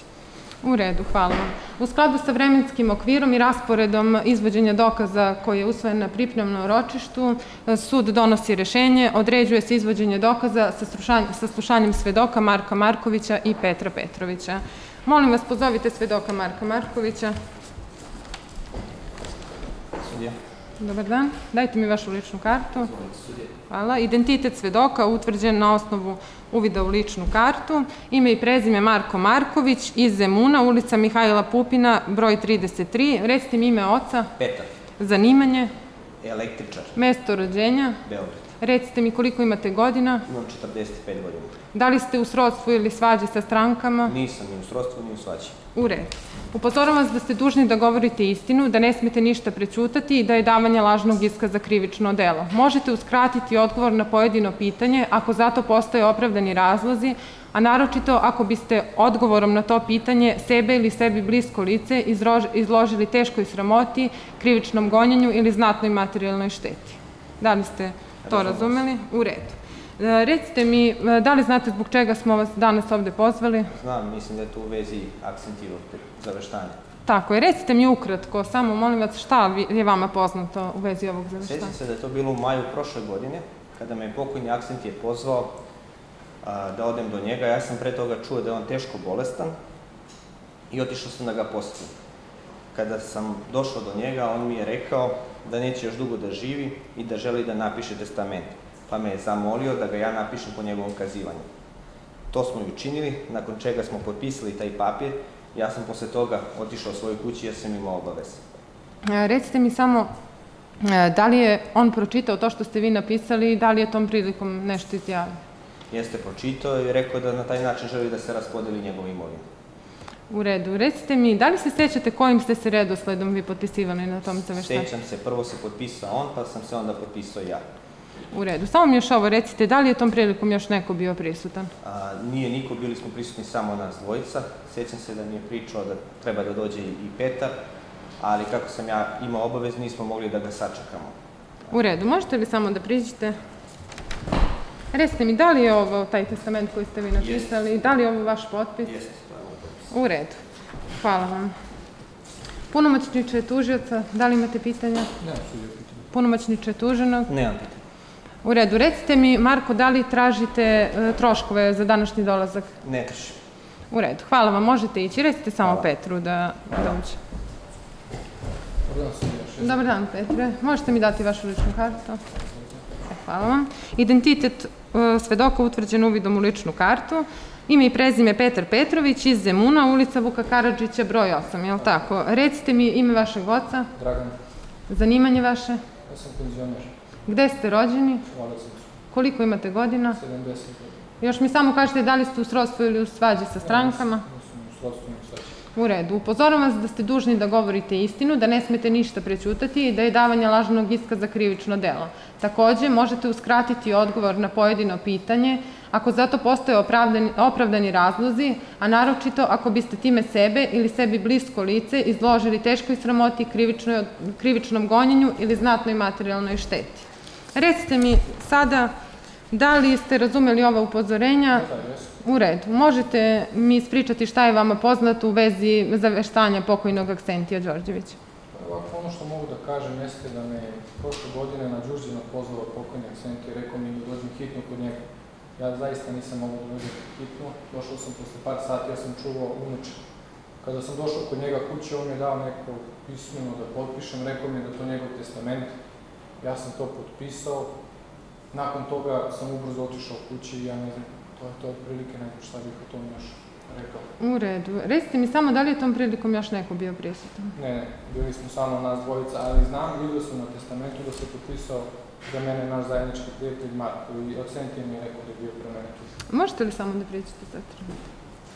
Recite mi, da li je to A, testament... potpis, tu. E, vi ste dakle potpisali. U redu. Hvala vam. Punomoćniče tužioca, da li imate pitanja za svedoka? Punomoćniče tuženog? Nemam sudija.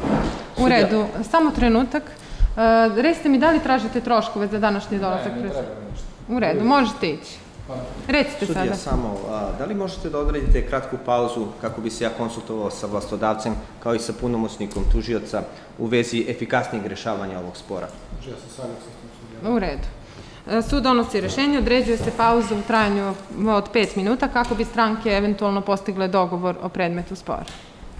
Sud donosi rešenje, ročište za glavnu raspravu se nastavlja. Recite mi e, kakva, kakav ste dogovor postigli i da li ste postigli bilo kakav A, dogovor? Jesmo, postigli smo dogovor, saglasili smo se da zaključimo sudsko proravnanje i to na taj način što bi kuća u Zemunu, u ulici Branka Miljkovića, broj a, 52, površine 43 kvadratna metra, na katastarskoj parceli 222 katastarske opštine Zemun, pripala u svojinu tužicu Aleksandru Đorđeviću, a stan u Zemunu, u ulici Nasarovoj broj 53, površine 29 kvadratnih metara, na katastarskoj parceli a, 343 katastarske opštine Zemun, u svojinu tuženom Predragu Đorđeviću, jer smatramo da je za njih to, to pravično i da bi se tako efikasnije reš, rešio ovaj spor.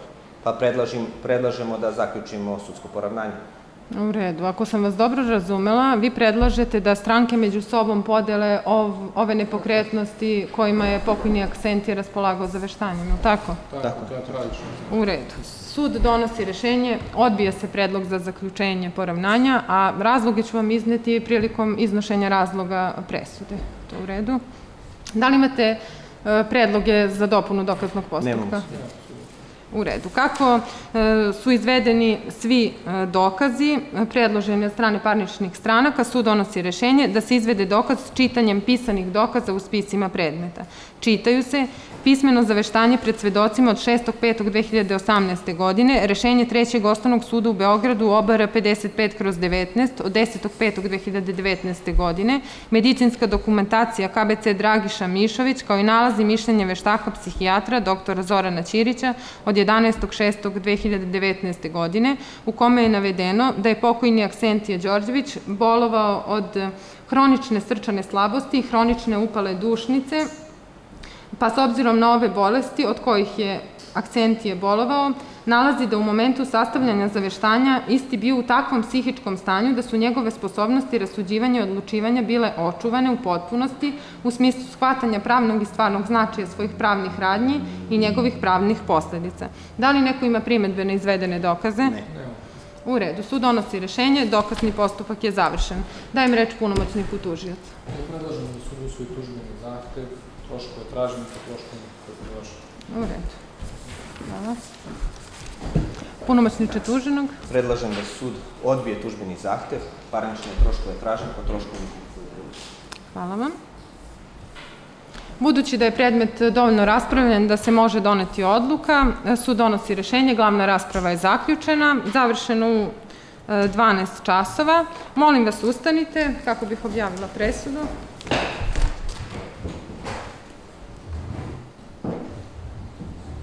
Treći osnovni sud u Beogradu donosi u ime naroda javno objavljuje presudu. Usvaja se tužbeni zahtev tužioca Aleksandra Đorđevića iz Zemuna, pa se poništava pismeno zaveštanje pred svedocima pokojnog Aksentija Đorđevića, proglašeno na ročištu održanom pred trećim osnovnim sudom u Beogradu na zapisniku OBR 55 kroz 19 od 3.4.2019. godine. Obavezuje se tuženi da tužiocu naknadi troškove postupka, čiji će tačan iznos sud u skladu sa odredbom člana 163 stav 5 zakona o parničnom postupku odmeriti u pismeno izrađenoj presudi. Molim vas, e, sedite sada kako bih vam ukratko iznela razloge ove presude. E pa ovako. Sud je na osnovu e, izvedenih, e, svih izvedenih dokaza, njihove savestne i brižljive ocene, kako svakog dokaza pojedinačno, tako i svih dokaza zajedno, našao da je tužbeni zahtev tužioca osnovan. Tokom postupka bilo je sporno da li je pokojni Aksentija Đorđević prilikom sačinjenja ovog zaveštanja bio nesposoban za rasuđivanje, a time i zaveštajno nesposoban, kao i da li je E, da li ovo zaveštanje koje on ostavio ispunjava zakonom propisane uslove punovažnosti za, te, za pismeno zaveštanje pred svedocima. Zaveštajnu nesposobnost kao razlog rušljivosti ovog testamenta isključio je svojim nalazom i mišljenjem veštak neuropsihijatar koji se izjasnio da e, hronična srčana slabost od koje je pokojni Aksentije bolovao ni na koji način nije kompromitovala njegovu sposobnost za rasuđivanje, da je zna, e, shvatati i pravni, stvarni značaj i posledice svojih postupaka. E, stoga, kako je sud ovom, ovom veštačenju poklonio punu veru, jer je isto logično, jasno i u skladu sa pravilima struke, a stranke tokom postupka na njega nisu imale primetbe, time je otpao ovaj razlog rušljivosti zaveštanja. Međutim, Situacija je drugačija u pogledu povrede oblika i uslova pod kojima je ovo zaveštanje sačinjeno. E, odredbom člana 85 zakona o nasleđivanju propisano je da zaveštalac koji zna da čita i piše može sačiniti zaveštanje tako što će e, pred dva svedoka unapred sačinjen, za unapred sačinjeno pismeno izjaviti da je isto pročitao, da je to njegova poslednja izjava volje, zatim će se na isto potpisati, a nakon toga istovremeno će se na zaveštanju potpisati i dva zaveštajna svedoka. Iako je ovo zaveštanje na prvi pogled deluje potpuno, ono potpisano je kako od strane zaveštavca, tako i od strane dva svedoka, Razlog njegove rušljivosti jeste nedostatak istovremenog prisustva oba zaveštajna svedoka.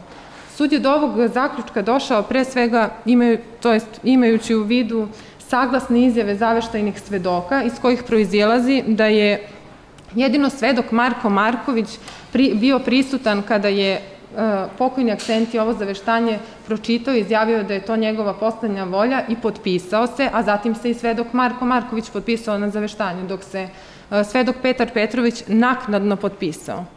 Kako su i sami zaveštajni svedoci potvrdili da su se sukcesivno potpisivali na ovom zaveštanju, a kako je istovremenost prisustva oba svedoka neophodan uslov za punovažnost ove forme zaveštanja, koji je strogo formalan pravni posao, to je sud odlučio na osnovu člana 164 zakona o nasleđivanju da ovo zaveštanje poništi. Osvrnut ću se i na e, predlog vaše za zaključenje poravnanja. Naime, sud je imao u vidu njegovu sadržinu i to da su stranke e, među sobom e, htele podeliti e, za ostavštinu pokojnog Aksentija Đorđevića, a koja se, s obzirom da je ovo zaveštanje poništeno, ima raspodeliti prema zakonskom redu nasleđivanja. A pored tužioca i tuženog, postoji još zakonskih naslednika pokojnog Aksentija Đorđevića pa je sud našao da, da je ovakvo poravnanje suprotno prinudnim propisima, a time je e, i nedozvoljeno na osnovu člana 3 stav 3 zakona o parničnom postupku. Što se tiče troškova postupka, sud je, kako je tužilac uspeo u sporu, obavezao tuženog da nadoknadi tužiocu troškove postupka i to na osnovu člana 153 stav 1 zakona o parničnom postupku. Detaljnije obrazloženje dobit ćete u pismenom otpravku presude koja će vam biti dostavljena u zakonom propisanom roku, a protiv presude moći, moći ćete izjaviti žalbu u roku od 15 dana apelacijonom sudu u Beogradu od dana dostavljanja.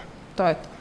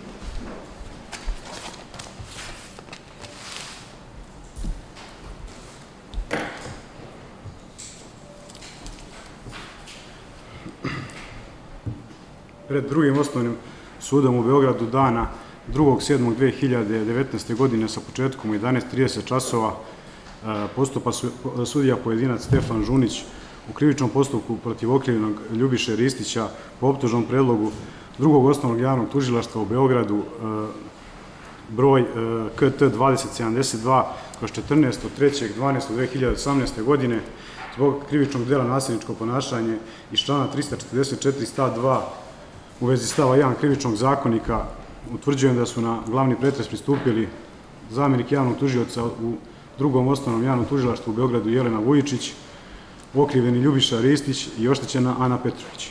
Na osnovu člana 236 zakonika o krivičnom postupku obaveštavaju se svi prisutni da će se glavni pretres tonski snimati, a transkript ovog snimka predstavlja deo sudskog zapisnika o glavnom pretresu kako su ispunjene sve zakonske pretpostavke da se glavni pretres održi, sud donosi rešenje, glavni pretres da se održi, glavni pretres će biti javan. Okrivljeni, ustanite, dajte mi vašu ličnu kartu.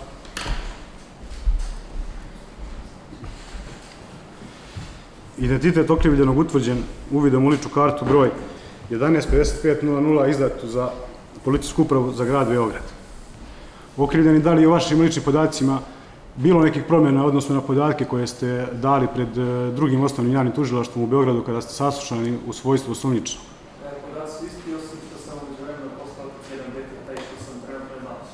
Da li ste ranije osuđivani? U redu. U smislu odredbe člana 389 stava 1 tačka 2 zakonika o krivičnom postupku upozorava vas da pažljivo pratite tok glavnog pretresa, da ste dužni da predloge za izvođene dokaza koje imate pravo da postavite od završetka glavnog pretresa iznesete odmah ili u najkraćem roku po saznanju da je njihovo e, izvođenje potrebno.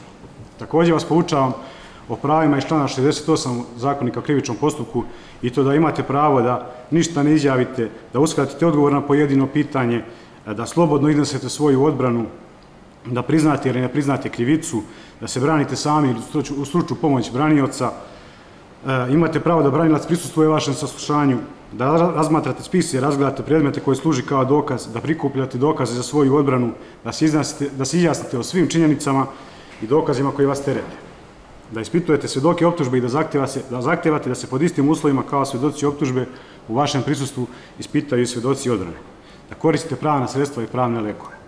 Posebno vas poučavam da imate pravo da iznosite činjenice, predlažete dokaze u prilog svoje odbrane da postavljate pitanja svedoku, veštaku i stručnom savjetniku, te da stavljate primetbe i dajete objašnjenja u vezi sa izvedenim dokazima. Takođe, na osnovu člana 70 zakonika o krivičnom postupku, upozoravam vas da ste dužni da se odazovete na poziv suda i da obavestite sud o promeni adrese prebivališta ili boravišta, kao i o nameri da promenite adresu prebivališta ili boravišta. Ukoliko ne postupite u skladu sa svojim dužnostima, može biti određena neka od mera za obezbeđenje vašeg prisustva i nesmetanog vođenja krivičnog postupka. Odnosno, može biti izdate naredba za vaše doveđenje, može vam se zabraniti da napuštate stan, a može vam biti određeni pritvor. Da li ste razumeli ove pouke? Imajući u vidu da ste, okri, da za krivično delo za koje nije propisana obavezna odbrana, da li želite da se branite sami ili u stručnu pomoć branioca koga biste vi sami angažovali? U redu, možete sesti. Neka ustane oštećena Ana Petrović. E, upoznat ću vas o pravima koje imate shodno članu 50 zakonika o krivičnom postupku. Imate pravo da podnesete predlog i dokaze za ostvarivanje imovinsko-pravnog zahteva i da predložite privremene mere za njegovo obezbeđenje, da ukažete na činjenice i da predlažete dokaze koji su od važnosti za predmet dokazivanja, da angažujete punomoćnika iz reda advokata, da razmatrate spise i razgledate predmete koje služe kao dokaz, da budete obavešteni od ustanku javnog tužioca od krivičnog gonjenja, da možete da preuzmete krivično gonjenje i zastupanje optužbe, da prisustujete glavnom pretresu i učestvujete u izvođenju dokaza, da podnesete žalbu protiv odluke o troškovima krivičnog postupka i dosuđenom imovinsko-pravnom zahtevu, da budete obavešteni u ishodu postupka i da vam se dostavi pravosnažna presuda. Da li ste razumeli ovu preruku? Jesam, a imovinsko-pravni zahtev ću ostvariti u parnici. U redu. Sledi izlaganje optužbe, tužioče objavite glavnu sadržinu optužnog predloga. Drugo osnovno javno tužilaštvo u Beogradu podnelo je optužni predlog KT broj 2072 kroz 14 protiv optuženog Ljubiše Ristića iz Beograda zbog postojanja opravdane sumnje da je 4. oktobra 2013. godine oko 14 časova i 10 minuta u Beogradu u ulici Vojvode Stepe kod broja 100 E, sposoban da shvati značaj svog dela i da upravlja svojim postupcima, svestan svog dela čije izvršenje hteo i svestan zabranjenosti svog dela, vršio nasilje prema oštećenoj Jani Petrović iz Beograda, čime je značajnije ugrožavao spokojstvo građana Marka Todorovića i Petra Nikolića, nanevši tom prilikom laku telesnu povredu oštećenoj Jani Petrović. Na taj način, što je navedenog dana na trotoaru ulice Vojvode Stepe, u blizini tramvajskog stajališta na kome su bili prisutni građani Marko, e, Marko Todorović i Petar Nikolić. E, nakon kraće verbalne rasprave sa oštećenom, na neoštećenoj zada oštećenoj više udaraca u predelu lica pesnicom, od kojih udaraca je oštećena Ana Petrović pala na tlo, zadobivši tom prilikom e, telesne povrede u vidu višestrukog nagnječenja mekih tkiva, poglavine i lica i nagnječenje e, mekih tkiva sa, četvrt, sa krvnim podlivom četvrtog prsta desne šake, čime je izvršio krivično delo nasilničko ponašanje iz člana 344 stav 2 u vezi stava 1 krivičnog zakonika. U redu, okrivljeni, ustanite. Da li ste razumeli optužbu? Jesam. Ponavljam, ponavljam vam da niste dužni da se izjasnite o optužbi niti da odgovarate na postavljena pitanja. Takođe vas upozoravam da će se na glavnom pretresu izvoditi samo dokazi u vezi sa, sa osporenim delom optužnog akta. Da li želite da se izjasnite o optužbi? Želim. Da li priznajete da ste učinili krivično delo koje nas stavlja teret? U redu, sedite. Pozivam stranke da iznesu svoja uvodna izlaganja. Upozoravam vas da uvodna izlaganja moraju biti sažeta i nositi se samo na činjenice koje će biti predmet dokazivanja, na izlaganje dokaza koje će stranke izvesti i na pravna pitanja kojima će se raspravljati. Predložite dokaz i obrazložite činjenice koje će se o njima dokazivati, imate pravo da se izrastite o predlozima suprotne stranke ili oštećenog. Upozoravam da se neće izvesti dokazi koji su vam bili poznati, ali ih bez opravdanog razloga do sad niste predložili. Tužioče, iznesite svoje uvodno izlaganje. Opravdana sumnja da je optuženi Ljubiša Ristić iz Beograda učinio krivično delo nasilničko ponašanje iz člana 344 stav 2 u vezi stava 1 krivičnog zakonika u vreme, na mestu i na način kako je opisano e, izrekom optužnog predloga e, proističe iz dokaza čije se izvođenje predlaže na glavnom pretresu.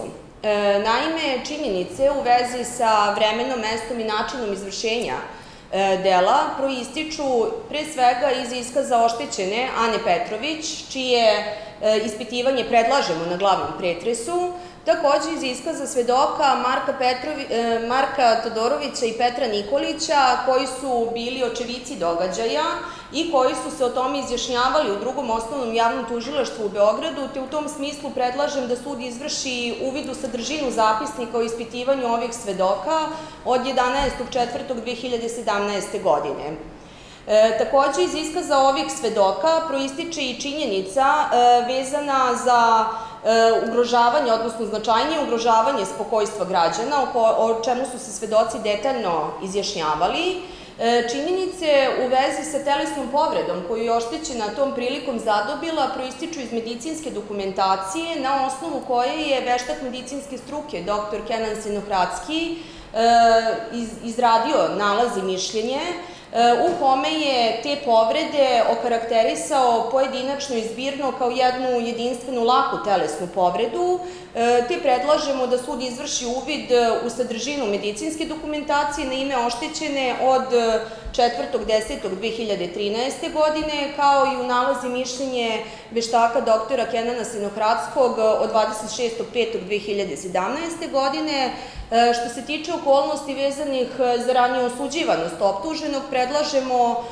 vršenje uvida u izvod iz kazneni prekršenje evidencije za optuženog.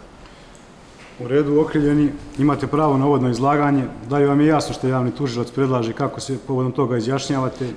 Nekih dokaza? Razumeo sam sa predlozima tužioca, sam saglasan, a drugi dokaznih predloga nema. U redu, oštećena, imate li vi dokaznih predloga? E, saglasan sam sa predlozima javnog tužioca, nemam predloga. U redu, izađite ispred do poziva suda.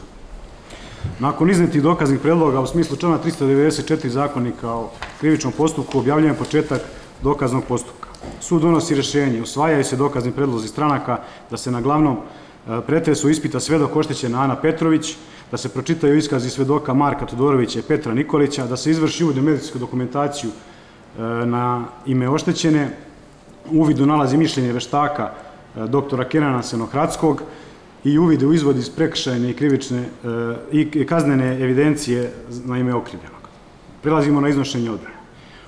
Okrivljeni ustanite. Poučavam vas da se možete izjasniti o svim okolnostima koje vas terete e, i možete izneti sve činjenice koje vam idu korist. Pozivam vas ukoliko želite da iznesete odbranu. Izvolite.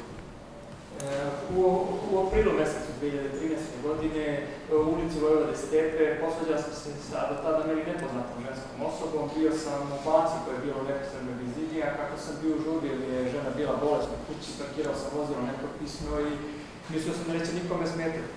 E, kada sam izašao, neka nepoznata žena me napala, ja sam parkirao vozilo ispred njenog i e, počela je da se dere na mene, da viče na mene i taj raspada trajala možda 2-3 minuta, onda je ona počela da me udara po glavi, da me čupa za kosu, a ja sam bio iznenađen i instinktivno sam i odgurno i možda sam je zakačio ključivom po ruci kada sam i odgurno jer sam ih držao tom Da li imate još nešto da najavite odbranu? Ne. U redu, pristupamo sa slušanju okrivljenog. Tužioče, imate li pitanja za okrivljenog? Da, imam pitanja. E, upravo ste naveli da je oštećena prva vas napala, te da ste vi e, naneli povredu eventualno time što ste se branili, odnosno refleksno reagovali i odgurnuli je. Tako je. E, možete li malo detaljnije da nam opišete način na koji je oštećena vas napala? Pa udarala me rukama u predvoru glave, čupala me za kosu, noktima me zakačila po obrazu. Oštećena je žena sitne građe, jako je niska, vi ste i dosta mlađi od nje i tvrdite da je ona na taj način mogla vas da napada. Pa da, da sam to jasno. A da li je neko prisustvovao tom napadu? Bilo je neki prolaznik, ali ja te ljude ne poznajem, niko od njih nije zastavio. Da li je možda ona tom prilikom vama nanela i neke telesne povrede? E, jeste, jeste. Imao sam ogrebotine na desnom obrazu, modricu ispod desnog isto. Jeste li se javljali lekaru, imate li možda medicinsku dokumentaciju o tome? Nisam, nisam se javljao lekaru, ja sam samo stavljao hladne obloge i mazao sam nema. Zbog čega se niste javljali? Pa već sam rekao da sam žurio kući jer mi je žena bila bolesna. U redu, sudija, hvala, nemam više pitanja. U redu, sud donosi rješenje, određuje se izvođenje dokaza, ispitivanje svedoka oštećene Ane Petrović. Pozovite oštećenu. Oštećena, dajte mi vašu ličnu kartu. E, ima li izmena o vašim ličnim podacima u odnosu na podatke koje ste dali pred drugim osnovnim javnim tužilaštvom e, u Beogradu? Nema. U kakvom ste odnosu sa okrivljenim? Da li ste u srodstvu? Ne, ne, poznajem ga, prvi put sam ga vidio baš tog dana kada je Opominjem vas da ste dužni da govorite istinu i da ništa ne smete prećutiti. Davanje lažnog iskaza predstavlja krivično delo. Takođe vas upozoravam e, da niste dužni da odgovorite na određeno pitanje ukoliko e, je verovatno da biste time sebe ili sebi blisku osobu e, izložili teškoj sramoti, znatoj materijalnoj šteti ili krivičnom gonjenju. Upozoravam vas da ste dužni da obavestite sud o svakoj promjeni adrese. Priđite i pročitate tek zaklet. Zakljivim se svojom čašću da ću u svemu što budem pitan govoriti samo istinu i da ništa od onoga što mi je poznato neću pričuti. Da li vam je poznato zbog čega smo vas pozvali? Ispričajte na vaša saznanja o vezi događaja koji je predmet ovog postupka. Pa pre spornog događaja ja nisam poznavao okrivljena, kao prvi put sam ga vidjela tog dana. Sigurno sam pola sata stajala i čekala da vozač koji je parkirao vozilo ispred mojeg pomeri vozila kako bi morala da se spakiram. Kada je stigao, ja sam ga samo pitala da li je u redu to što radi i rekla sam da je nepristojno da parkira na taj način. A on je onda počeo da viče na meni sve glasa, pretio da će me prebiti, toliko, toliko je vikao da je moglo da se čuje dve ulice dalje. Zatim je počeo da me udara rukama po glavi, udario me tačno desnicama po licu, ja bilo sam zatečena i nisam znala šta me znaš. Ja sam od tih udaraca pala na beton, a povredila sam i prst. E, te su povrede konstatovane u zavodu za hitnu medicinsku pomoć koju me odvezla lekarska ekipa. To je stvarno sve užasno izgledalo, bilo je okolo mnogo ljudi i okrivljen je toliko galamio i vikao i neki ljudi su prišli da mi pomognu, a on je među vremenu pobegao. Ne znam zašto me napao, nisam znao. Tužioče, vi ste predložili ovog svedoka, da li imate pitanje? Da, imam. Optužen je naveo u svojoj odbrani da ste zapravo vi njega prvi napali. E, objasnio je da ste ga udarali po glavi, čupali za kosu, grebali. Kako se vi povodom toga izjašnjavate? Ma kako, ja uopšte nisam njega prva napala, jer nisam čak, čak, čak stigla ni da se branim, on je dosta mlađi i krupniji čovek, ja nisam stigla ni da reagujem. U redu, nema ništa. Da li ima primedbi na iskaz ovog svedoka? Ne, ne. E, prigovaram iskaz u tijelu. U redu oštećena, da li potražujete troškove za dolazak na glavni pretres? Ne. Vi dalje možete prisutovati glavnom pretresu, a ukoliko želite možete i napustiti sudnicu. U redu. Sud donosi rešenje u saglasnost stranaka, a na osnovu člana 405 i 406 zakonika o krivičnom postupku vrši se uvid u sadržinu zapisnika o ispitivanju svedoka Marka Todorovića i Petra Nikolića od 11.8.2017. godine koji su sastavljeni u prostorijama drugog osnovnog javnog tužilaštva u Beogradu. Medicinske dokumentacije na ime oštećene Ane Petrović od 4.10.2013. godine nalazi i mišljenje veštaka medicinske struke doktora Kenana Senokratskog od 26.5.2018. godine. Izvod iz kaznene evidencije za okrivljenog i izvod iz prekršajne evidencije za okrivljenog. Ima li primjedbi na izvršen uvid? Ne. Ne. Ima li predloga za dopunu dokaznog postupka? Ne. Kako predloga za dopunu dokaznog postupka nema, objavljujem da je e, dokazni postupak završen. Prelazimo na završne reči. Tužioče, izvolite.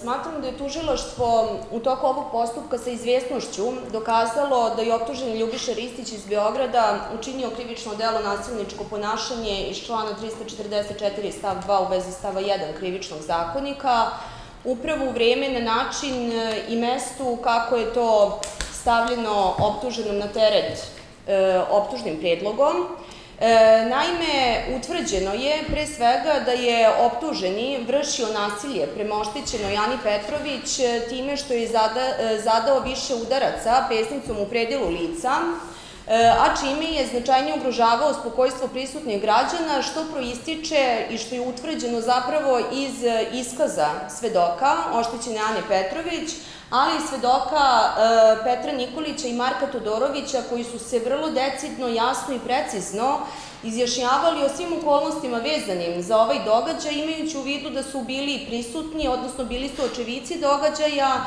te su naveli, između ostalog, e, da su najpre čuli grub muški glas, vrlo specifičan, što im je privuklo pažnju, a zatim, s obzirom da su bili udaljeni na nekih 15-20 metara od mesta događaja jasno mogli da vide moment kada je e, oštećeno i optuženi zadao više udaraca pesnicom u predelu glave, od kojih udaraca je ona pala. Oni su se, pored navedenog, e, vrlo precizno izjašnjavali o tome da su bili u šoku zbog događaja kom prisustvuju, takođe su objasnili da su se osjećali uznemireno i uplašeno i za svoju ličnu bezbednost, e, što ukazuje na činjenicu da je ostvarena i posledica u vidu značajnijeg ugrožavanja spokojstva građana koja čini konstitutivni element bića krivičnog dela nasilničko ponašanje. E, takođe, imajući u vidu da je ovom prilikom oštećena zadobila i laku telesnu povredu, kako je to naveo veštak medicinske struke, E, a imajući u vidu medicinsku dokumentaciju koja je nastala neposredno nakon događaja tog dana, na osnovu koje je veštak dr. Kenan Senohradski izradio nalaz i mišljenje i ovu, ove povrede zapravo kvalifikovao sa medicinskog aspekta kao jednu jedinstvenu laku telesnu povredu, tužilaštvo smatra da je time ostvarena i kvalifikatorna okolnost u vidu lake telesne povrede, odnosno da postoji krivično delo nasilničko ponašanje iz stava 2 člana 344 krivičnog zakonika. E, takođe, e, što se tiče e, imajući u vidu zapravo da su svi ovi dokazi međusobno saglasni, vrlo detaljno, detaljni, e, smatram da su njima, da je njima obesnažena i odbrana optuženog, za koju smatramo da sud ne treba da je prihvati, imajući u vidu da je pre svega životno nelogična, jako neuverljiva, e, S obzirom da optuženi sve vreme tvrdi da je on bio napadnut od strane oštećene i pokušava na neki način da svoju reakciju opravda time da se on branio i refleksno i odgurno, te ostavlja mogućnost da je time možda naneo neku povredu oštećenoj, e, pri čemu je od važnosti da on za ove svoje tvrdnje sudu nije predložio ni jedan dokaz.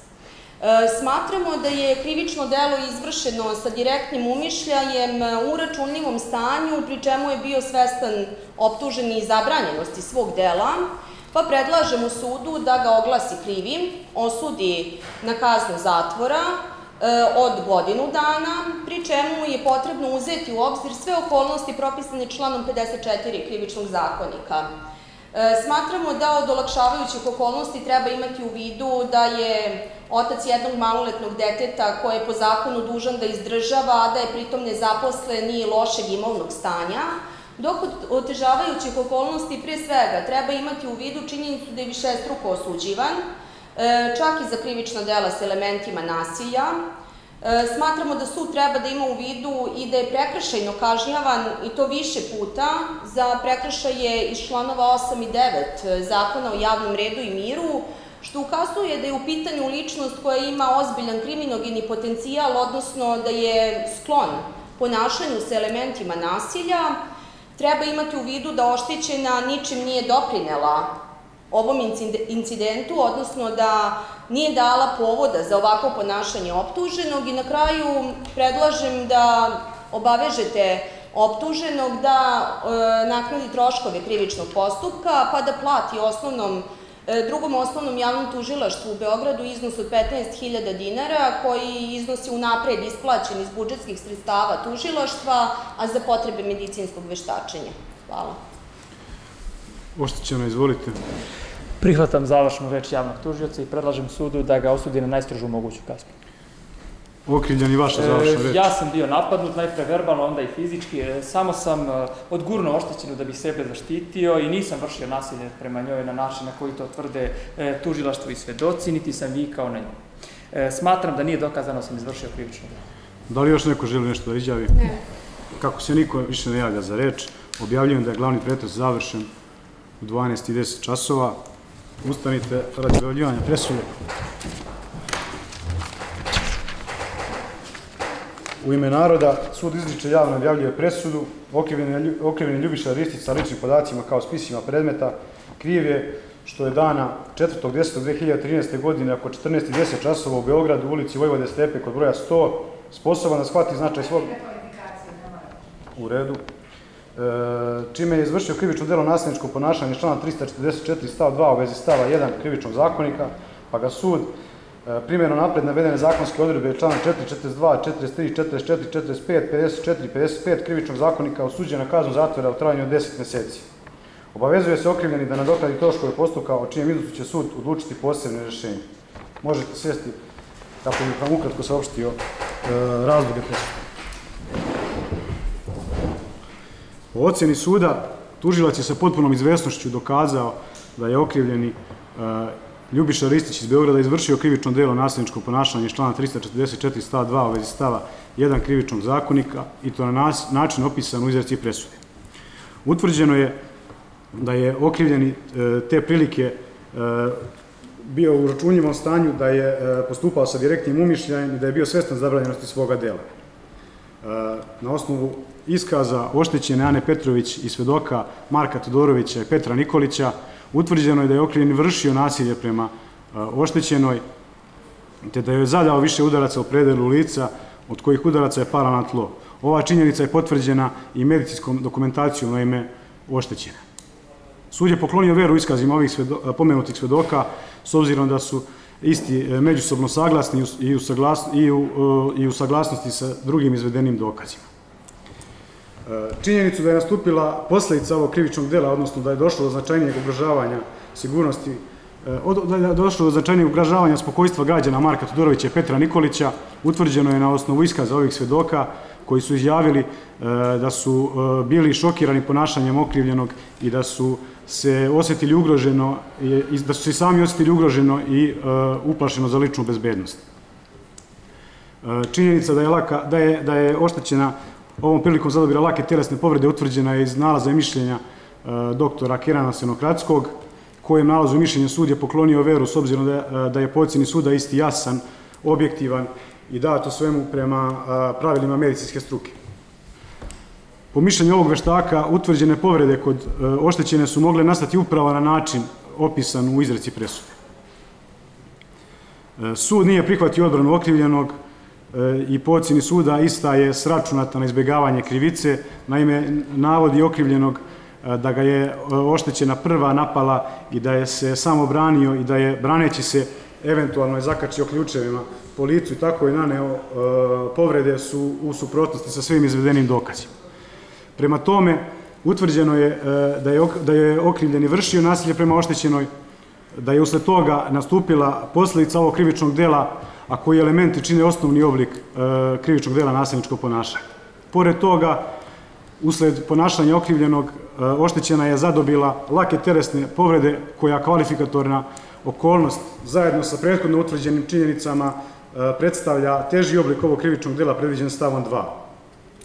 Imajući u vidu do sad, sve, sve do sad navedeno, smatram da je u toku postupka utvrđeno e, i potpuno dokazano da je okrivljen izvršio krivično delo e, nasilničko ponašanje iz člana 344 stav 2 u vezi stava 1 krivičnog zakonika, pa ga je sud za isto oglasio krijem i osudio na kaznu zatvora u trajanju od 10 meseci. Po ocjeni suda izrečena kazna zatvora je adekvatna, dovoljna i sa istom se može postići svrha kažnjavanja i na okrivljenog uticati da u buduće ne čini krivična dela. Prilikom e, odluke, prilikom donošenja odluke o kazni, odnosno o, o, me, o vrsti i meri kazne, sud je imao u vidu olakšavajuće, odnosno otežavajuće okolnosti na strani okrivljenog. Od olakšavajućih okolnosti cenio je e, njegove lične prilike, pre svega porodične i imovinske, činjenicu da je otac jednog maloletnog deteta, da je nezaposlen i da se država od povremene zarade. Od otežavajućih okolnosti sud je imao u vidu e, či, e, sud je imao u vidu raniju krivičnu suđivanost okrivljenog, Pored toga, uzeta je u obzir i činjenica da je okrivljeni prekršajno kažnjavan i to protiv prekršaja, i to za prekršaje protiv javnog reda i mira, te da je, te da, te da je njegovo ponašanje e, e, sklono nasilničko. Na osnovu člana 264 zakonika o krivičnom postupku, sud je okrivljenog obavezao da nadoknadi troškove krivičnog postupka, s tim što će visina istih biti nakladno određena. Na ovu presudu možete izjaviti e, žalbu od u roku od 8 dana od prijema pisanog otplaka presude Višem sudu u Beogradu, a preko ovog suda. Detaljni razlozi presude bit će e, izneti u overanom prepisu presude koji će vam biti nakladno dostavljen. Okrivljeni upozoravate se da o svakoj promjeni adrese e, obavestite sud, a sve do pravosnažnog okončanja postupka.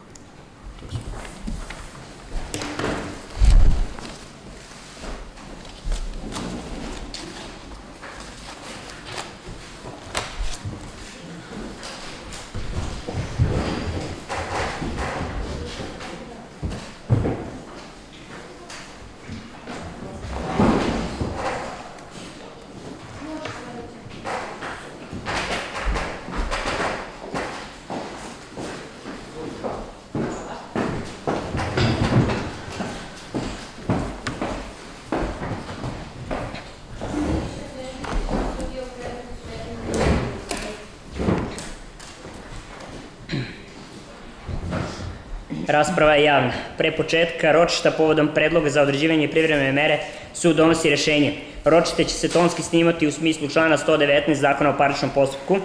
U skladu sa odredbom, e, pisani oblik tonskog zapisa predstavlja zapisnik koji stranke mogu dobiti na svoj zahtev.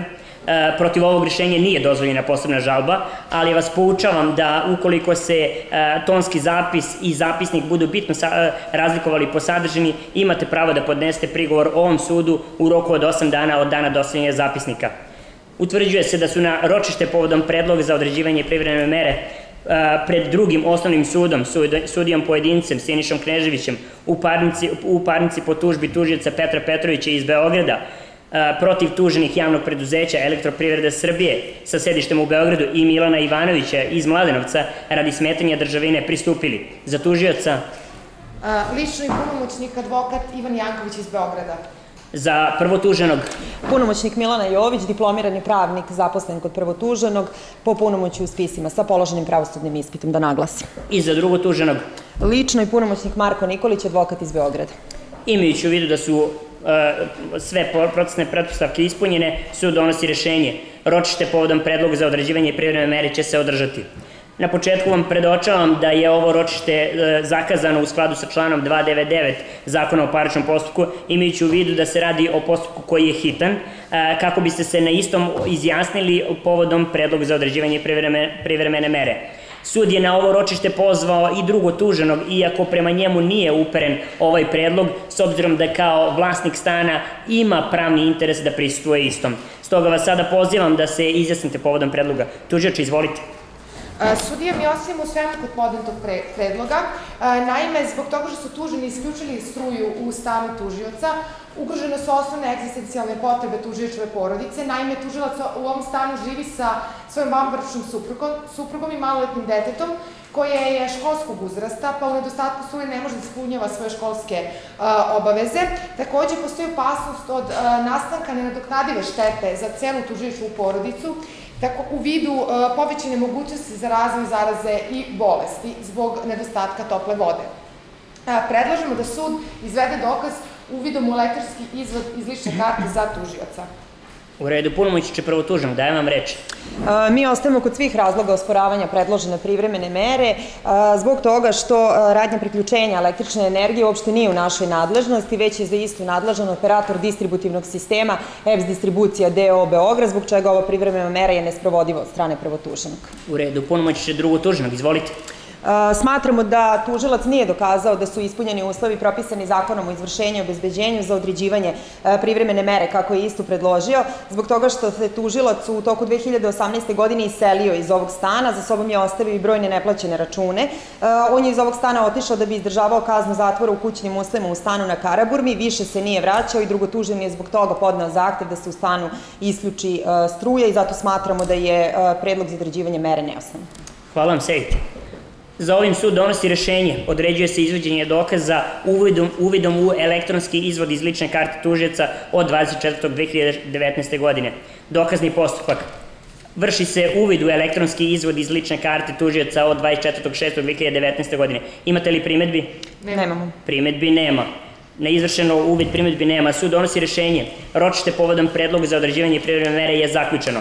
Sud donosi i javno objavljuje rešenje. Odbija se predlog tužioca za određivanje privremene mere, kojem je traženo da sud naloži prvotuženom javnom preduzeću elektroprivrede Srbije iz Beograda da na stanu u kući koja se nalazi u Kaluđerici na adresi u ulici Nikole Tesla broj 52 u roku 24 časa priključi električnu energiju, poučavaju se tužilac i prvotuženi da protiv ovog rešenja imaju pravo žalbe u roku od 8 dana od dana prijema overenog prepisa istog Višem sudu u Beogradu putem ovog suda. Sud će u zakonskom roku od 8 dana da izradi overeni prepis rešenja koji će biti dostavljen strankama.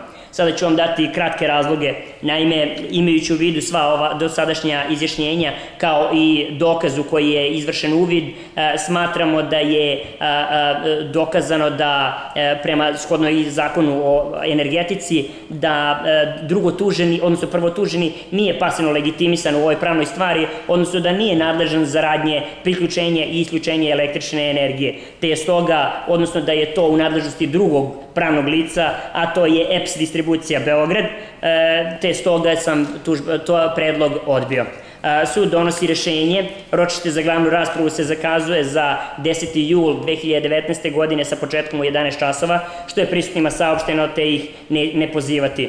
Upozorava se tuženi da ukoliko sa sledećeg ročišta izostane, da će sud doneti rešenje zbog izostanka. Upozoravaju se parične stranke da ukoliko sa, glavnu raspravu, sa glavne rasprave neopravdano izostanu i, ili ukoliko odbiju da raspravljaju, da će sud e, doneti rešenje kojim se tužba smatra povučenom. Dovršeno u 10 časova. Rasprava je javna, Pre početka glavnog ročišta sud donosi rešenje. Ročište za glavnu raspravu će se tonski snimati u smislu člana 119 zakona o paričnom postupku. Pisani oblik tonskog zapisa predstavlja zapisnik koje stranke mogu dobiti na svoj zahtev.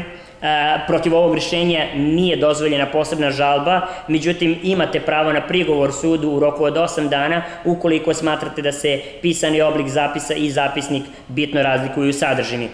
Otvara se glavna rasprava pred drugim osnovnim sudom u Beogradu, sudijom pojedincem Sinišom Kneževićem po, u parnici po tužbi tužioca e, Petra Petrovića iz Beograda protiv tuženih elektroprivrede Srbije iz Beograda i Milana Ivanovića iz Mladenovca radi smetanja državine.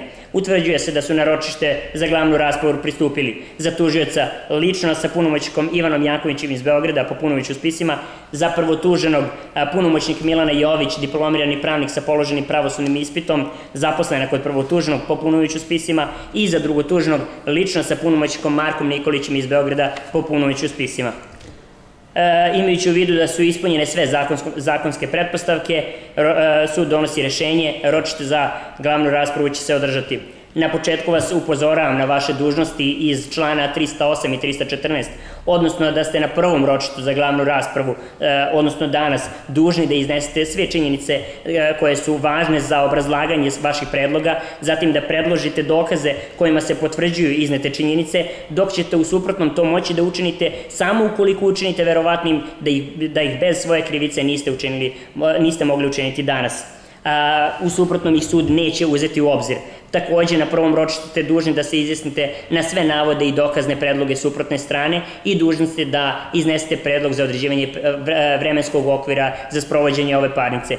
Isto tako u smislu člana 450 zakona o paričnom postupku kojim je propisan poseban postupak radi smetanja državine, upozoravam vas da će se, da će se raspravljanje po tužbi u ovoj pravnoj stvari ograničiti samo na raspravljanje i dokazivanje činjenica posljednjeg stanja državine i nastalog smetanja, te da je isključeno raspravljanje i dokazivanje o pravu na državinu, zatim pravnom osnovu, savjesnosti državine ili o zahtevima za naknadu štete. Takođe vas upoznajem sa vašim pravom da ovaj spor rešite i vansudskim putem, posredovanjem ili medijacijom, a takođe pred ovim sudom možete zaključiti i sudsko poravnanje.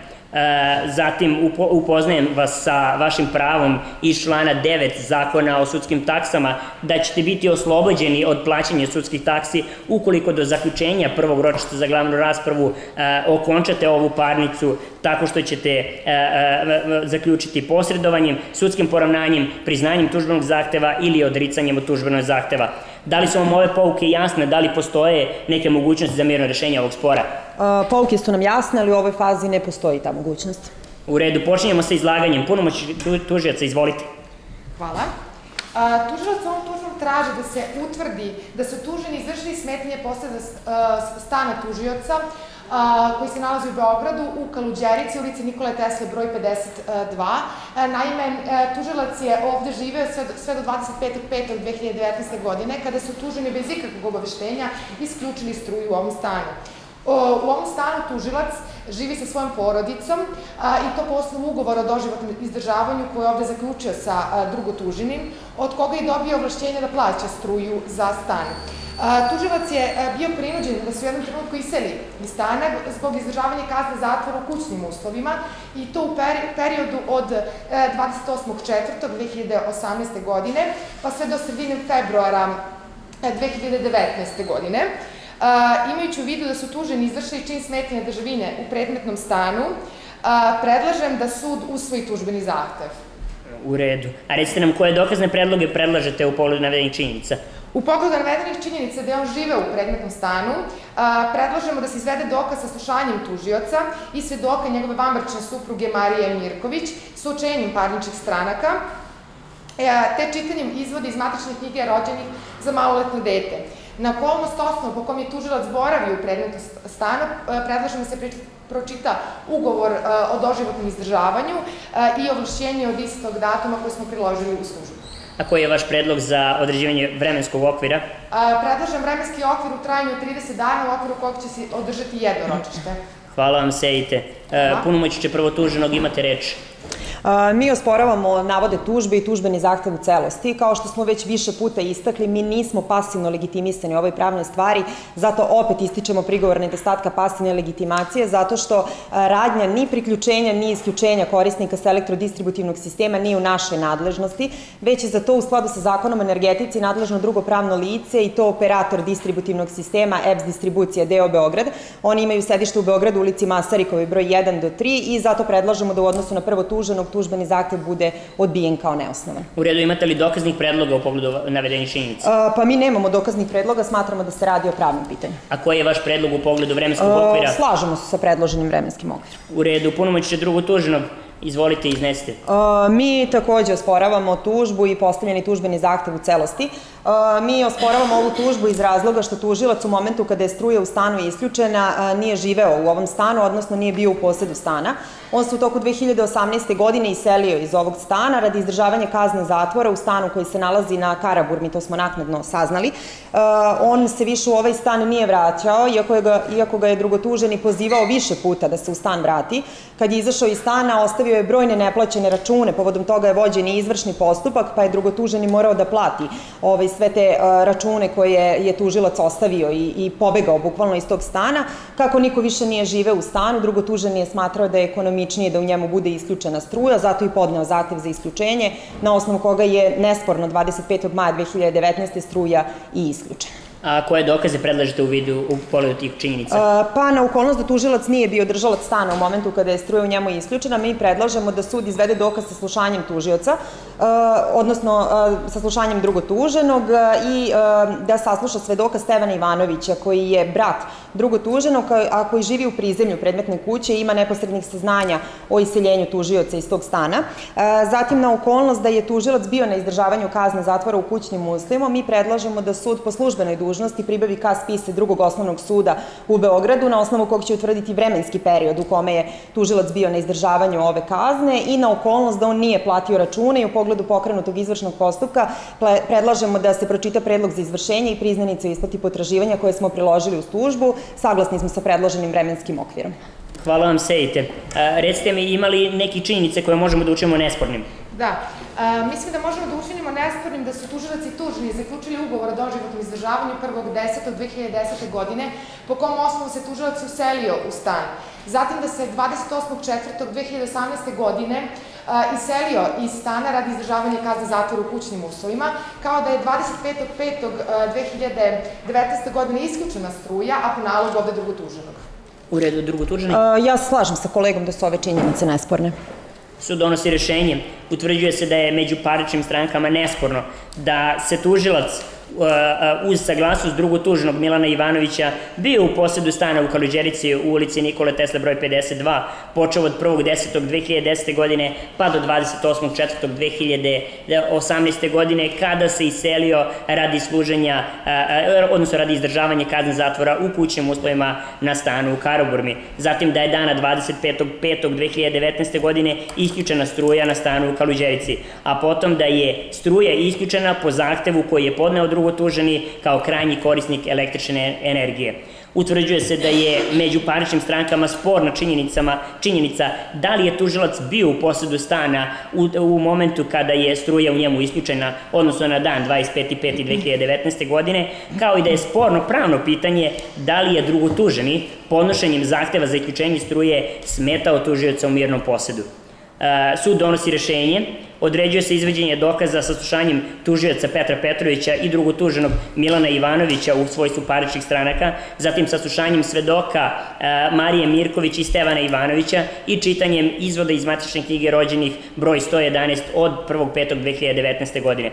Odbijaju se dokazni predlozi tužioca da sud izvede dokaz e, čitanjem ugovora o doživotnom izdržavanju overen pred drugim osnovnim sudom pod ov broj 1555 kroz 10 od 1.10.2010. godine, kao i ovlašćenje ovlašćenja overenog i takođe pred drugim osnovnim sudom pod ov broj 1556 kroz 2010 od 1.10.2010. godine, te da se pročitaju predlog za izvršenje i broj 1234 kroz 19 od 1.12.2018. godine i priznanice o isplati potraživanja, s obzirom da su predloženi na okolnost dokazivanja činjenica koje, koje nisu od značaja za odlučivanje u, ovom, pa, u ovoj parnici.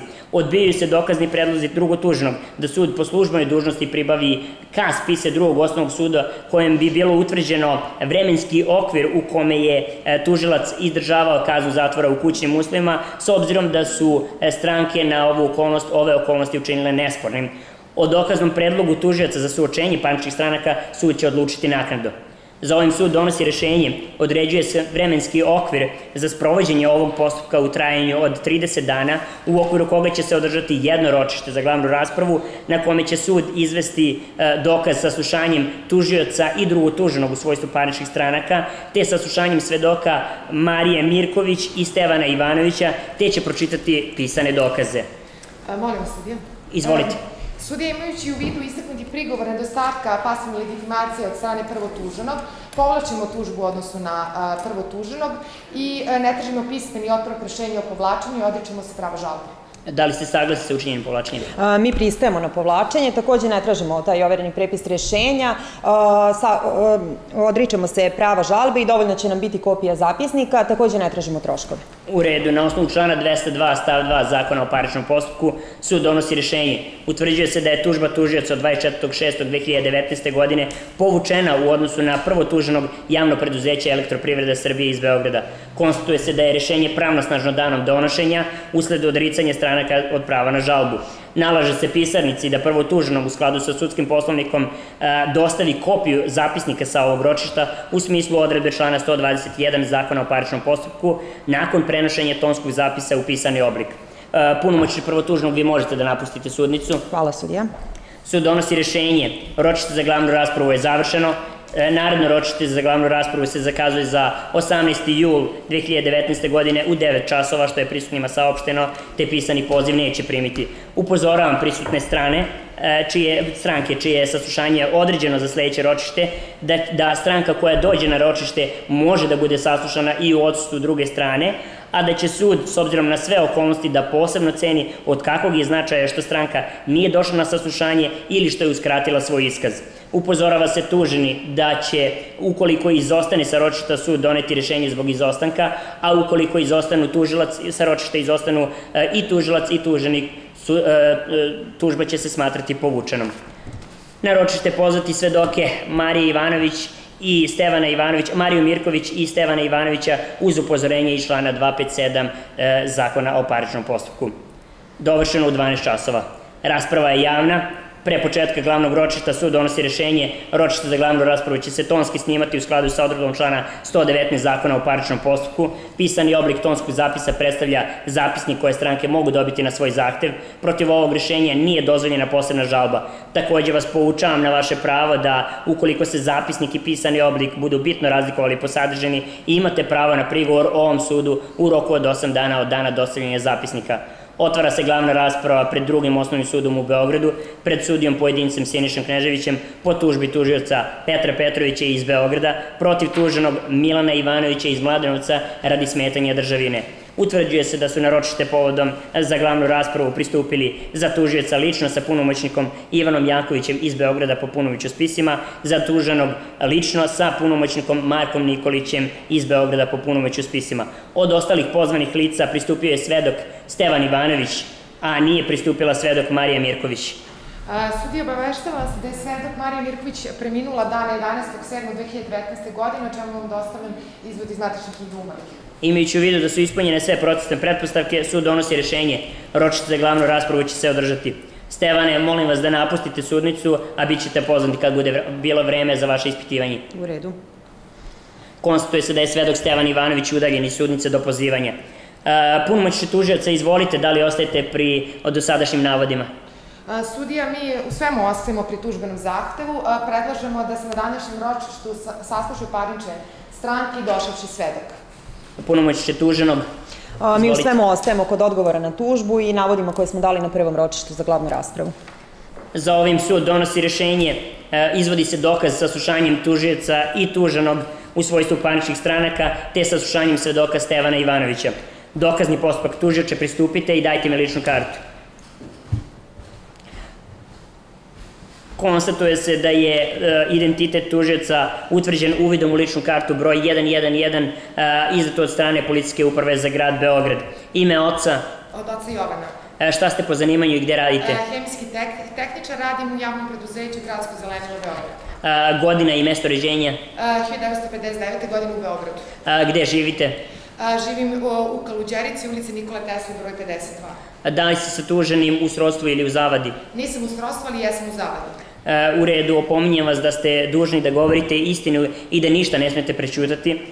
Upozoravam vas da je davanje lažnog iskaza krivično delo za koje je zakonom zaprećena kazna i takođe vas upozoravam da možete uskratiti odgovor na pojedino pitanje ukoliko biste time izložili teškoj sramoti, znatnoj imovinskoj šteti ili krivičnom gonjenju sebe ili svog srodnika po krvi u pravoj liniji do bilo kog stepena, u, pobočnom, u pobočnoj liniji do trećeg stepena vašeg bračnog, bambračnog partnera ili srodnika po tazbini zaključno sa drugim stepenom, kao i vašeg usvojitelja, usvojenika, štićenika e, ili, ili staratelja. Da li ste to razumeli? Jesam.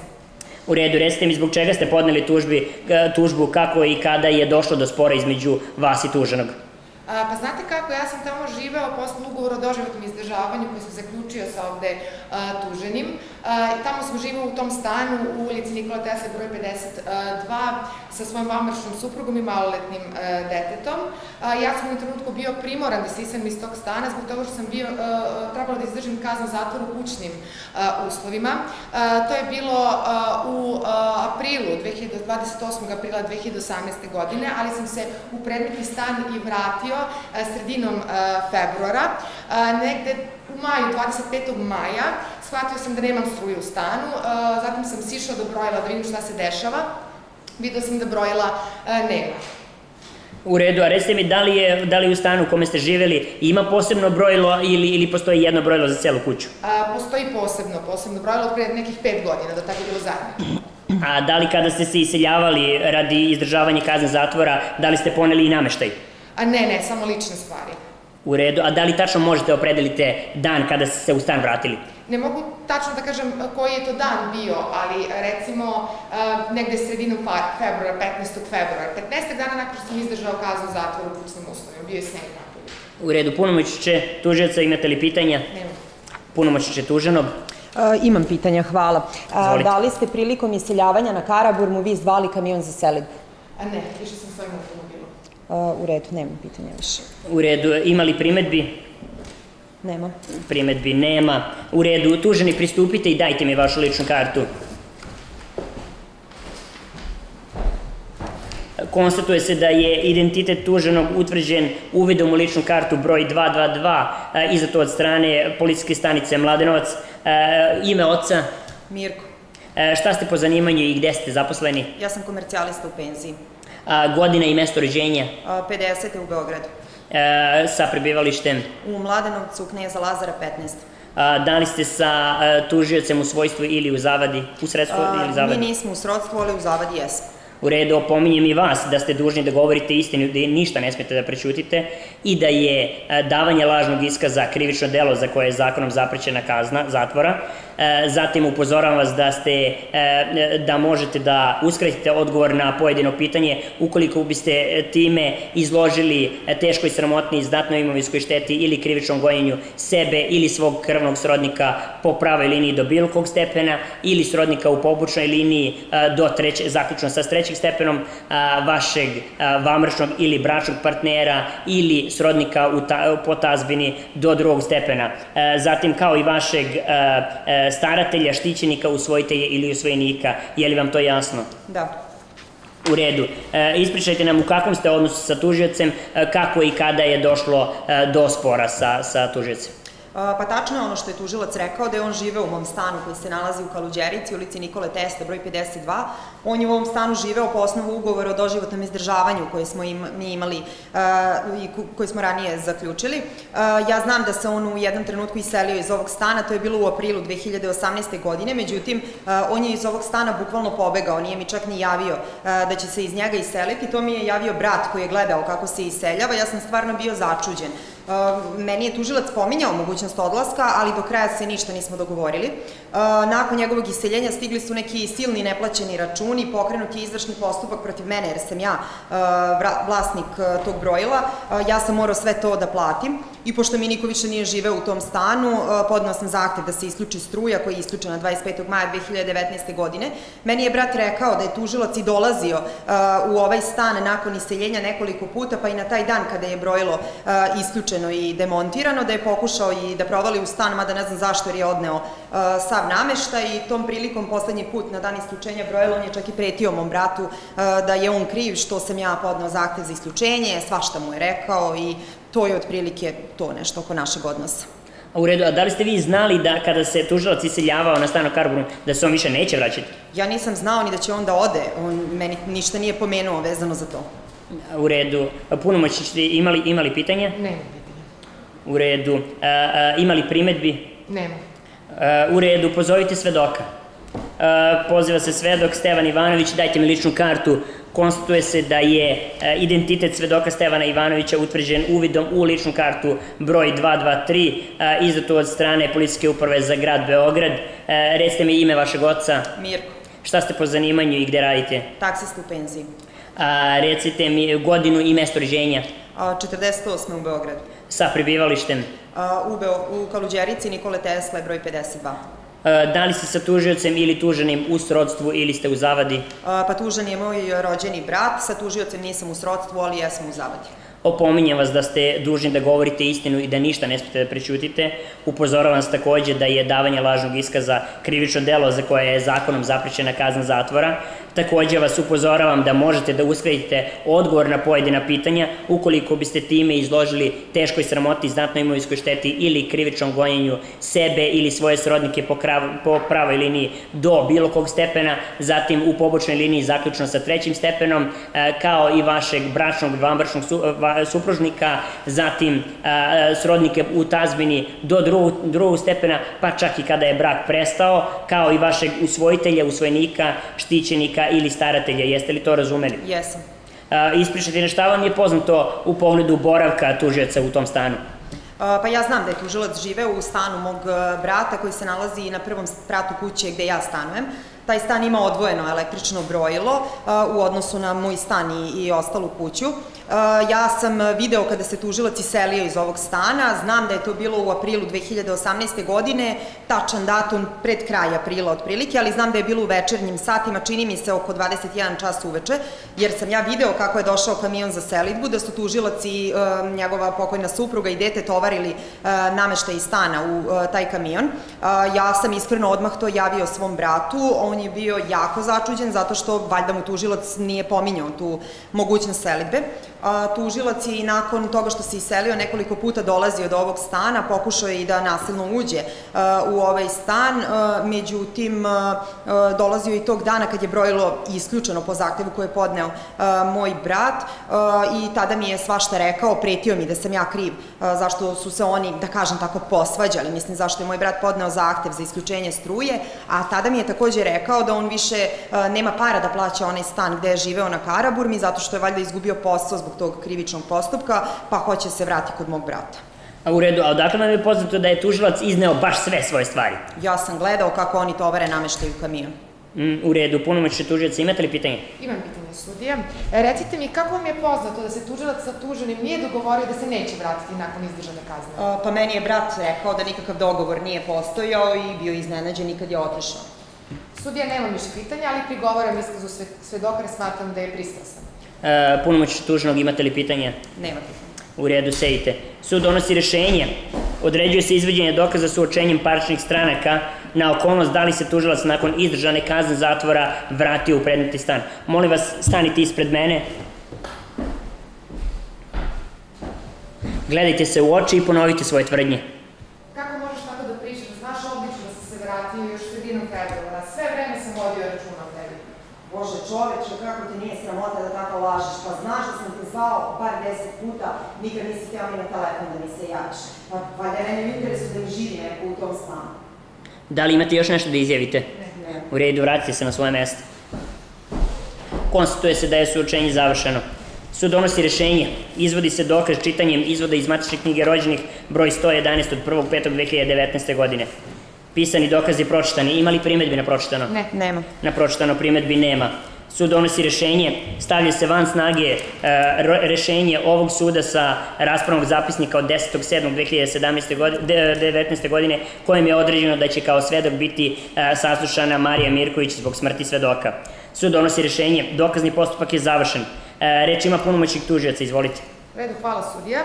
Smatram da na, osnovu sprovedenog dokaznog postupka na nesumnjiv način utvrđeno da je obeskovana zavera između a, tuženog i njegovog, a, njegovog brata, te da je a, tužbeni zahtev tužioca osnovan.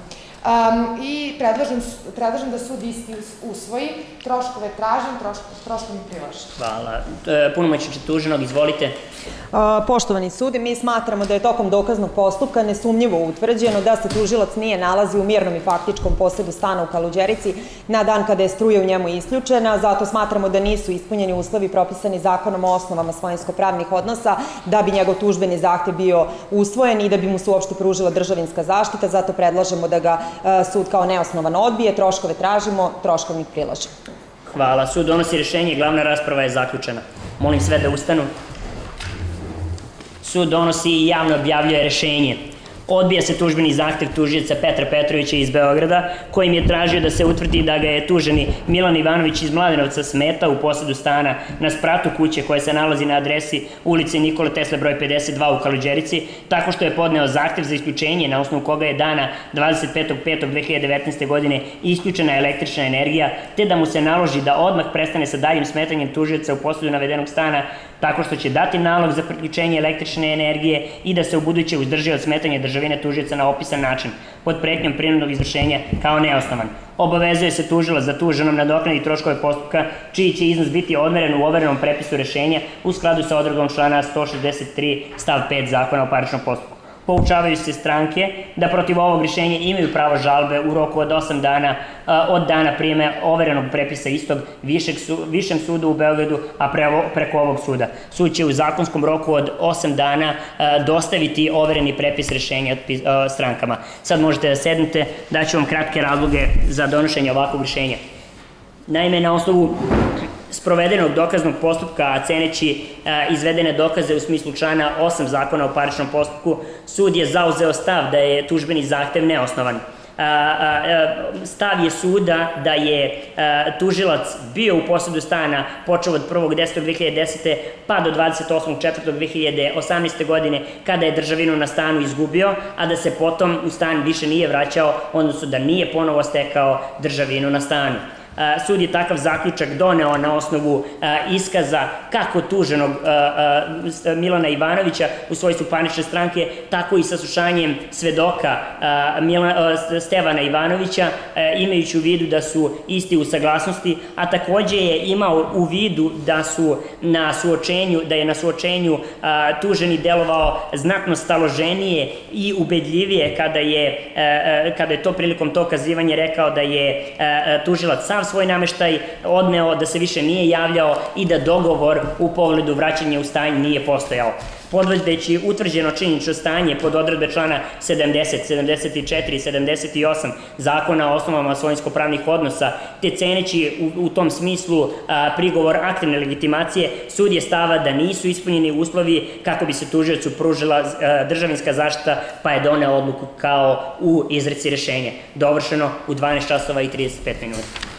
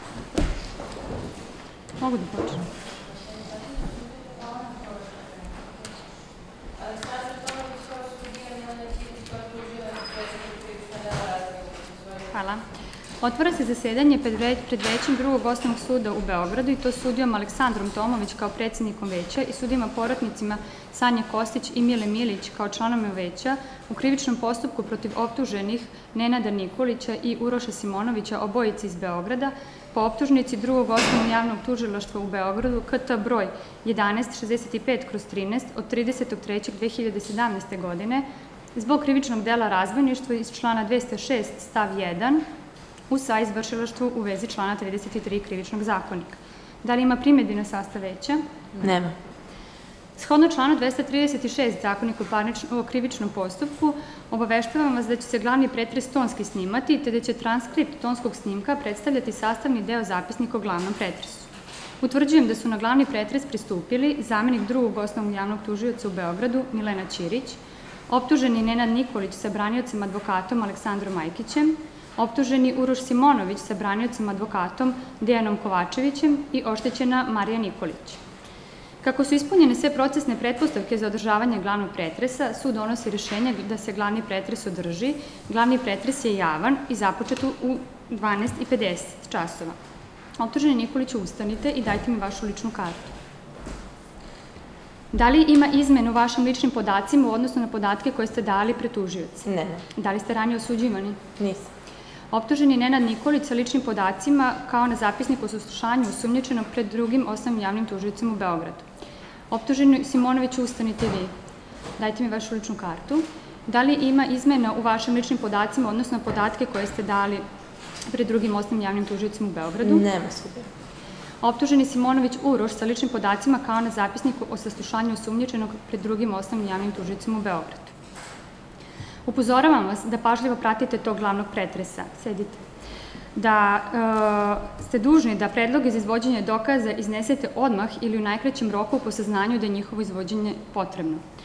Poučavam vas da imate pravo da ništa ne izjavite, da uskratite odgovor na pojedina pitanja, da slobodno iznesete svoju odbranu, da priznate ili ne priznate krivicu.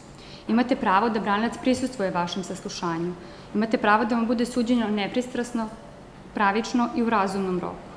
Imate pravo na dovoljno vremena i mogućnost za pripremanje odbrane. Možete razmatrati spise i razgledati predmete koji će služiti kao dokaz. Možete prikupljati dokaze u korist vaše odbrane. Možete se izjasniti o svim činjenicima i dokazima koje vas terete, da ispitujete svedoke optužbe i da zahtevate da se pod istim uslovima u vašem prisustvu ispitaju i svedoci odbrane. Imate pravo na pravne lekove i pravna sredstva. Posebno vas poučavam o pravu da iznesete činjenice i predlažete dokaze u prilog vaše odbrane, da postavljate pitanja svedoku, veštaku, saoptuženom ili stručnom savjetniku, kao i da stavljate primetbe na izvedene dokaze. S druge strane, dužni ste da se odazivate na pozive suda, kao i da svakoj promeni ili u nameri da promenite adresu prebivališta ili boravišta obavestite sud. Optuženi Nikoliću, da li ste razumeli predočenu pouku? Razumela sam sudija. U redu. Optuženi Simoniću, da li ste vi razumeli predočenu pouku? Razumela sam. U redu. S obzirom na visinu zaprećene kazne za krivično delo koje se vama stavlja na teret, odbrana je obavezna, međutim imajući u vidu da ste vi angažovali branioce po sobstvenom izboru, time se smatra da je vaše pravo na odbranu obezbeđeno. Oštećena Marija Nikolić, ustanite vi.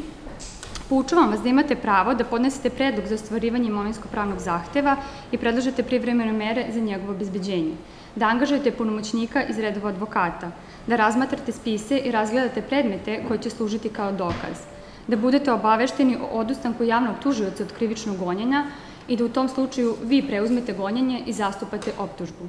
Imate pravo da prisustvujete glavnom pretresu, da predlažete dokaze i da učestvujete u izvođenju dokaza. Možete izjaviti žalbu protiv odluke o troškovima krivičnog postupka i o dosuđenom imovinsko-pravnom zahtevu. Takođe imate pravo da budete obavešteni o ishodu postupka i da vam presuda bude dostavljena. Da li ste razumeli pouke, da li postavljate imovinsko-pravni zahtev? Razumela sam na ističem imovinsko-pravni zahtev. Oštećena Marija Nikolić upućuje se izvan sudnice na mesto na kome će sačekati dok ne bude pozvana radi ispitivanja. Sačekat ćete ispred dok ne budete pozvani. Čita se optužnica KT broj 1165 kroz 15 od 11.3.2017. godine. Tužioč, izvolite. Drugo osnovno tužilaštvo, javno tužilaštvo u Beogradu podiglo optužnicu protiv ovde optuženog Nikolić Nenada i Simonović Uroša zbog postojanja opravdane sumnje da su izvršili krivično delo razbojništvo iz člana 206 stav 1 u izvršilaštvu u vezi člana 33 krivičnog zakonika. Naime, okrivljenima se stavlja na teret da su dana 29.12.2017. godine oko 21 čas u Beogradu u ulici Nikolaja Gogolja ispred broja 90 po prethodnom dogovoru u stanju uračunljivosti, svesni svog dela i njegove zabranjenosti, pri čemu su htjeli njegovo izvršenje. Pretnjom da će neposredno napasti na život i telo i primjenom sile prema oštećenju Nikolić Mariju. Oduzeli tuđu pokretnu stvar i to ranac crne boje u kojem su se nalazili Sony PlayStation 4 sa pratećim kablovima i četiri originalna bežična džojstika sve ukupne vrednosti 58.000 dinara u nameri da njihovim prisvajanjem pribave sebi protivpravnu imovinsku korist tako što su došli na navedenu adresu radi prethodno dogovorenog iznajmljivanja Sony Playstationa, te kada je oštećena, zatražila od okrivljenog Simonovića Uroša da joj prede svoju ličnu kartu i novac za iznajmljivanje, isti joj je rekao da novac nema, te da sačekaju, jer će doći drugar koji će mu doneti novac. Da bi u momentu kada je oštećena rekla da ne želi više da čeka i da odlazi, okrivljen je Nikolić Nenad, koji je do tada stajao na udaljenosti od, oko 3 metra leđima okrenut prišao oštećenoj, držeći u jednoj ruci nož u pracu tela oštećene, a drugom rukom je uhvatio ranac sa pripadajućim predmetima, koji je oštećena držala u ruci i krenuo je da ga vuče ka sebi. Te pošto oštećena nije želela da pusti ranac, isti je oštećenu odgurnuo rukama, usled čega je oštećena izgubila ravnotežu i pala. U kom momentu je okrivljen Uroš Simonović rekao istoj daj ranac, nakon čega iz ruke oštećene uzeo ranac sa predmetnim stvarima i potom zajedno sa okrivljenim Nikolić Nenadom trčećim korakom napustio lice mesta, čime su izvršili krivično delo razbojništvo iz člana 206 stav 1 u se izvršilaštvu u vezi člana 33 krivičnog zakona. Hvala tužioče. Optužen Nikoliću, da li ste razumeli optužbu? Razumela sam optužbu. Da li želite da se izjasnite o optužbi, odnosno da li priznajete da ste učinili krivično delo uh, za koje ste optuženi? Želim da se izjasnim, ne priznam da sam izvršila krivično delo. Red, optuženi Simonoviću, da li ste vi razumeli optužbu? Razumela sam. Da li želite da se izjasnite o optužbi, odnosno da li priznajete da ste učinili krivično delo za koje se teretite? Želim, ne priznam da sam izvršila krivično delo. U redu, upozoravam stranke da, će, da uvodne izlaganja moraju biti sažeta i odnositi se samo na činjenice koje će biti predmet dokazivanja, na izlaganje dokaza koji će se izvesti i na pravna pitanja o kojima će se raspravljati. Takođe vas upozoravam da će sud odbiti naknadni dokazni predlog ukoliko je reč o predlogu za koji su stranke znale, ali ga bez opravdanog razloga ranije nisu predložile. Tužič, izvolite i budne izlaganje. Tokom postupka tužilac će dokazati da su optuženi izvršili krivično delo razbojništvo onako kako im je optužnim aktom stavljeno na teret. Naime, činjenica da je postojao prethodni dogovor između optuženog za izvršenje krivičnog dela za koje se terete utvrdit će se na osnovu same odbrane optuženog Simonovića koju je dao prilikom saslušanja u tužilaštvu, te predlažem da se u toku dokaznog postupka izvrši uvid zapisnik u njegovom saslušanju pred drugim osnovnim javnim tužilacom u Beogradu. Činjenica da je optuženi Nenad Nikolić prema oštećenoj primjenio pretnje nože, a potom primenio i silu tako što isto odgurno sa je prava, utvrdit će se pre svega iz iskaza oštećene kao iskaza svedoka Marka Perića, te predlažem da sud u dokaznom postupku izvede dokaz neposrednim ispitivanjem oštećene Marije Nikolić, kao i da izvrši uvid u zapisnik o ispitivanju svedoka Marka Perića pred.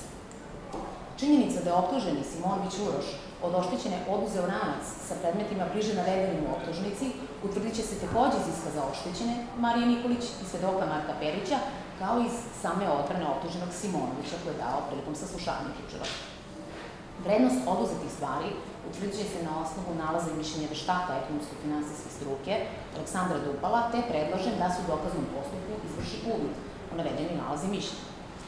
Na kraju predlažem da se izvrši uvid u izvešti iz kazne evidencije za optužene, iz kojeg će se utvrditi da je optuženi Nenad Nikolić neosuđivan, a da je optuženi Simonović Uroš ranije osuđivan to za ista i istovrsna krivična dela, što će sudu biti od značaja u pomeravanju krivične sankcije. Hvala. Branjač optuženog Nikolić, izvolite vi. Osporavamo činjenični opis naveden u optužnici i u potpunosti osporavamo pravnu kvalifikaciju krivičnog dela. Ono što se zaista desilo jeste da je moj branjenik po pozivu ovde optuženog Simonovića bio na mestu spornog događaja, ali mu nije bio poznat plan optuženog Simonovića. Moj branjenik nije preduzeo ni jednu radnju izvršenja dela koje mu se stavlja na teret. On je za vreme spornog događaja pričao telefonom sa devojkom Milom Todorović, pa predlažemo da se isto u dokaznom postupku ispita u svojstvu svedoka. Dobro, da li ste saglasni sa dokaznim predlozima tužioca? Saglasan sam. U redu. Tužiče, izjasnite se o dokaznom predlogu u branicu optuženog Nikolića. Protivim se ovakvom dokaznom predlogu i smatram da vodi u dugovlačenju postupka, jer se radi o radnji koja je prethodila radi izvršenja krivičnog dela. U redu. Branič optuženog Simonovića, izvolite.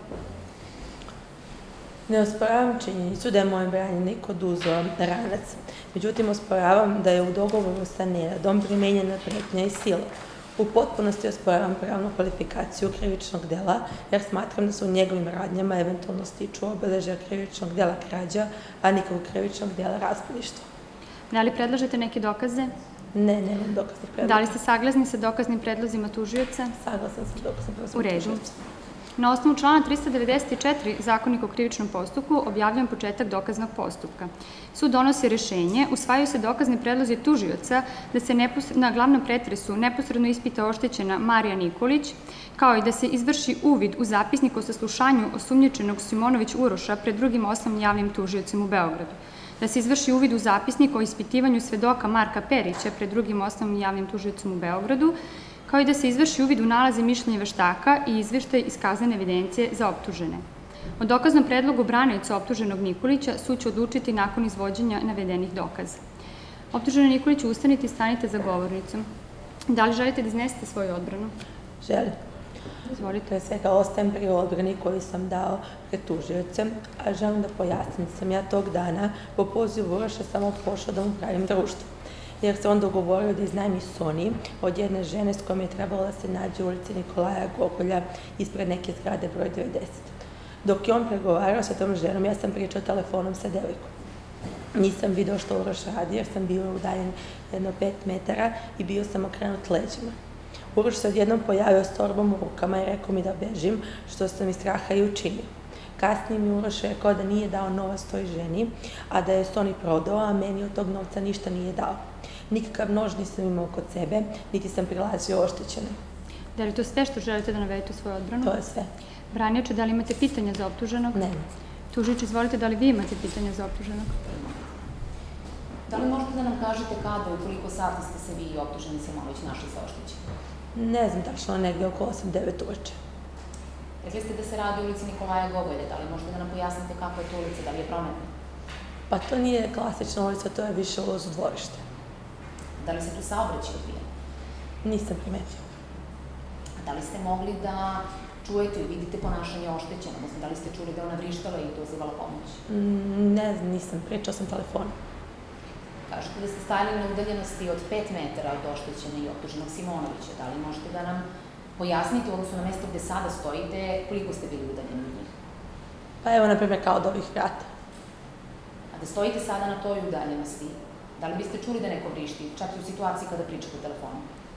Pa ne znam, možda, možda ne bih čuo, jer ja kad pričam telefonom ne registrujem ništa oko sebe. Malo pre ste naveli da ste bežali, da li možete da nam navedete razlog zbog čega ste bežali? Bežao sam jer sam se uplašio. Zbog čega ste se uplašili? Uplašio sam se jer mi Uroš rekao da bežim, pa sam onda ja impulsivno krenula da bežim. Ne više. Hvala. Upozorit ću vas na razliku u vašem kazivanju. Naime, na zapisniku pred drugim osnovnim javnim tužicem naveli ste da ste čuli da oštećena vrišti doziva pomoć, a sada tvrdite da to niste čuli. Pa nam recite šta je od toga tačno? Možda sam bio zbunjen kad sam to rekao, ali tačno ovo što sam rekao danas. Ja nisam čuo da ona vrišti doziva pomoć. U redu, članovi veća nemaju pitanja. Optuženi Simonoviću, da li imate vi pitanja? Nemam. Branioč optuženog Simonovića, da li Ne, imate ne. pitanja? U redu. Optuženi Simonoviću, ustanite i stanite za govornicu. Da li želite da iznesete svoju odbranu? Ne želim. Izvolite. Pre svega ostajem pri odbrani koju sam već dao tužiocem. Koliko se sećam, to je bilo pre dva, tri dana pred Novu godinu. Nenad i ja smo zajedno pošli na foru da iznajmimo Sony. Ja sam se telefonom dogovorio sa likom od koga sam ranije iznajmljivao Sony da pokupim mm, Sony u ulici Nikolaja Gogulja broj 90.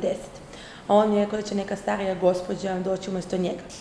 Kad smo se našli, ona mi je tražila ličnu kartu i novac za iznajmljivanje i istovremeno mi je predalo ruke ranac crne boje sa Sonijem i e, sa ostalim predmetima.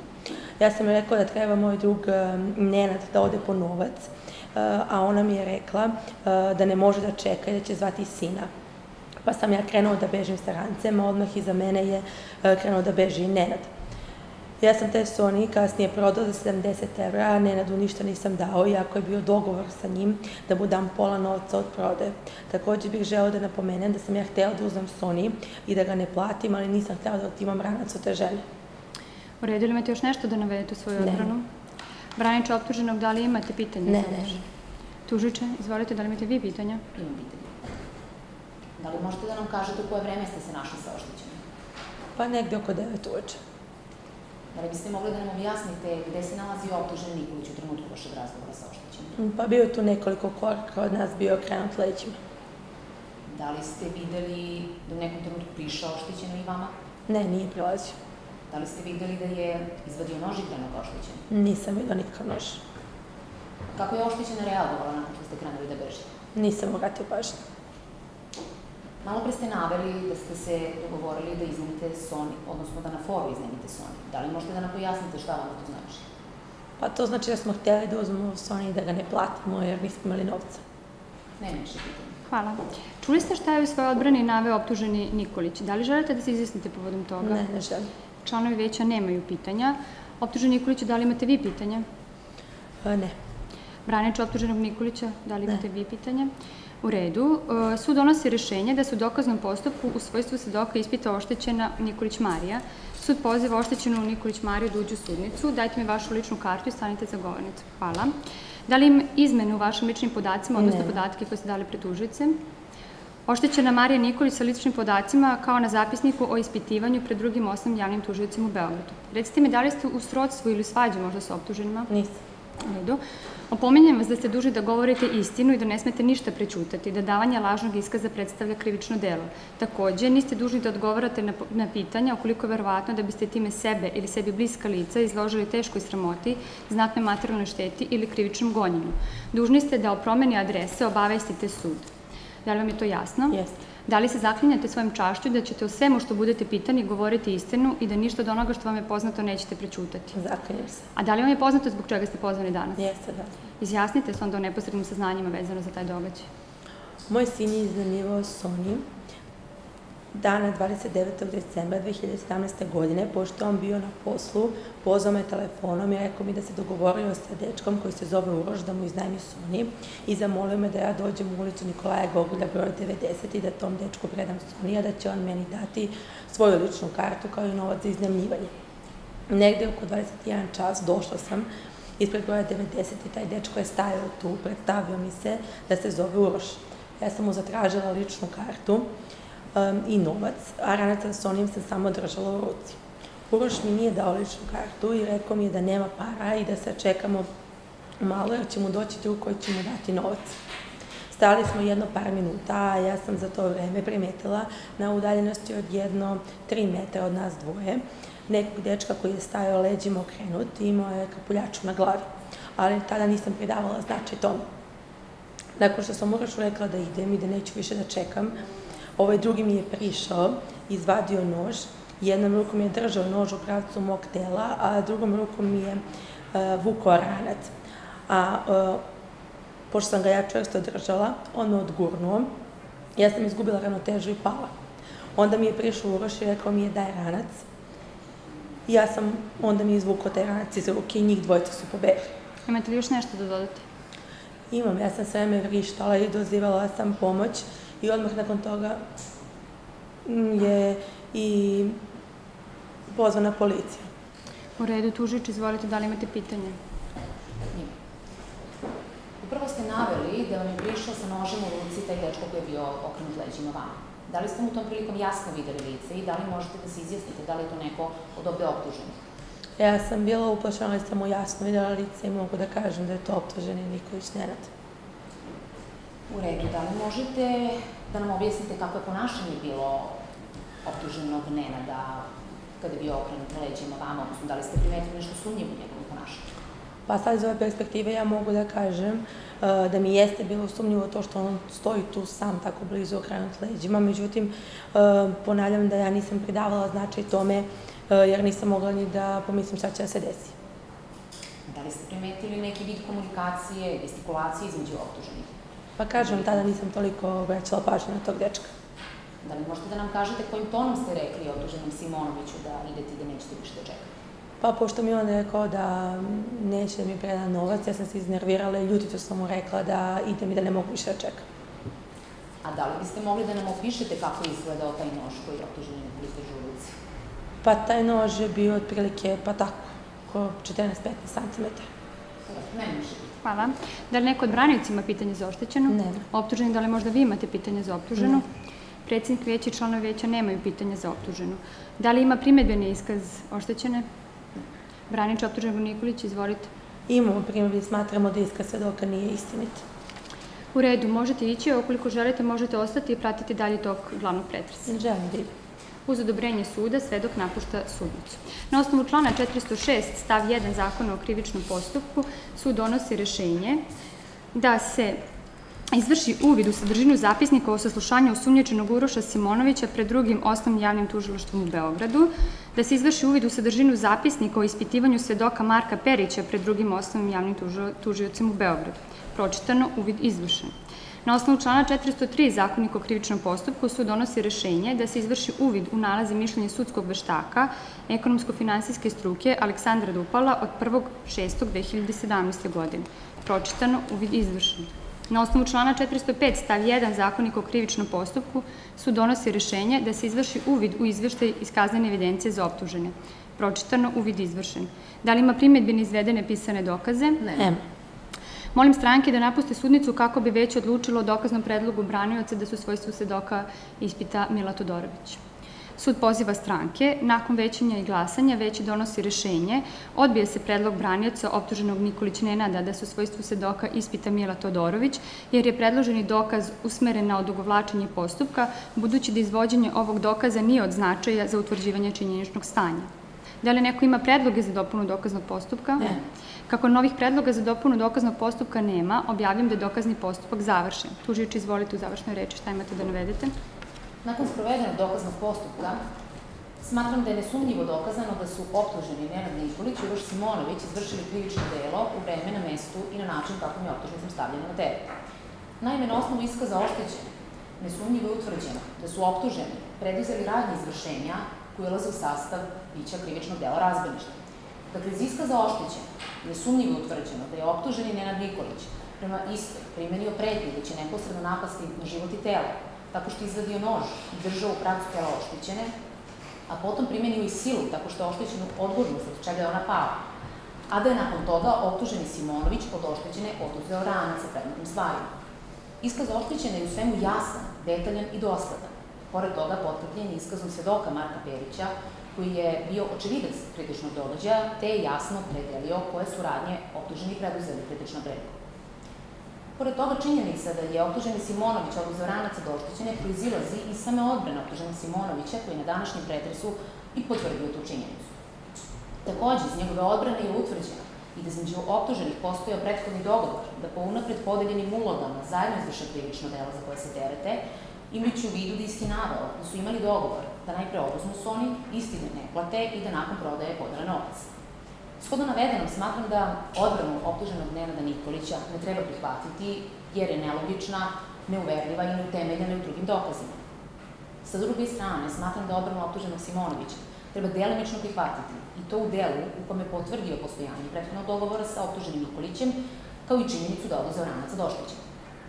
Međutim, navodi odbrana optuženog Simonovića da isti nije izvršio krivično delo razbojništva, već da su njegovim radnjama eventualno stiču obeležja krivičnog dela krađe, ne mogu se nikako prihvatiti, jer je s obzirom na postojanje prethodnog dogovora znao da će optužen Nikolić u cilju oduzimanja stvari primeniti pretnju i silu prema. Kako tokom postupka računljivost optuženih nije dovedeno pitanje, isti su vreme izvršenja dela bili sposobni da značaj dela i da upravljaju svojim postupcima.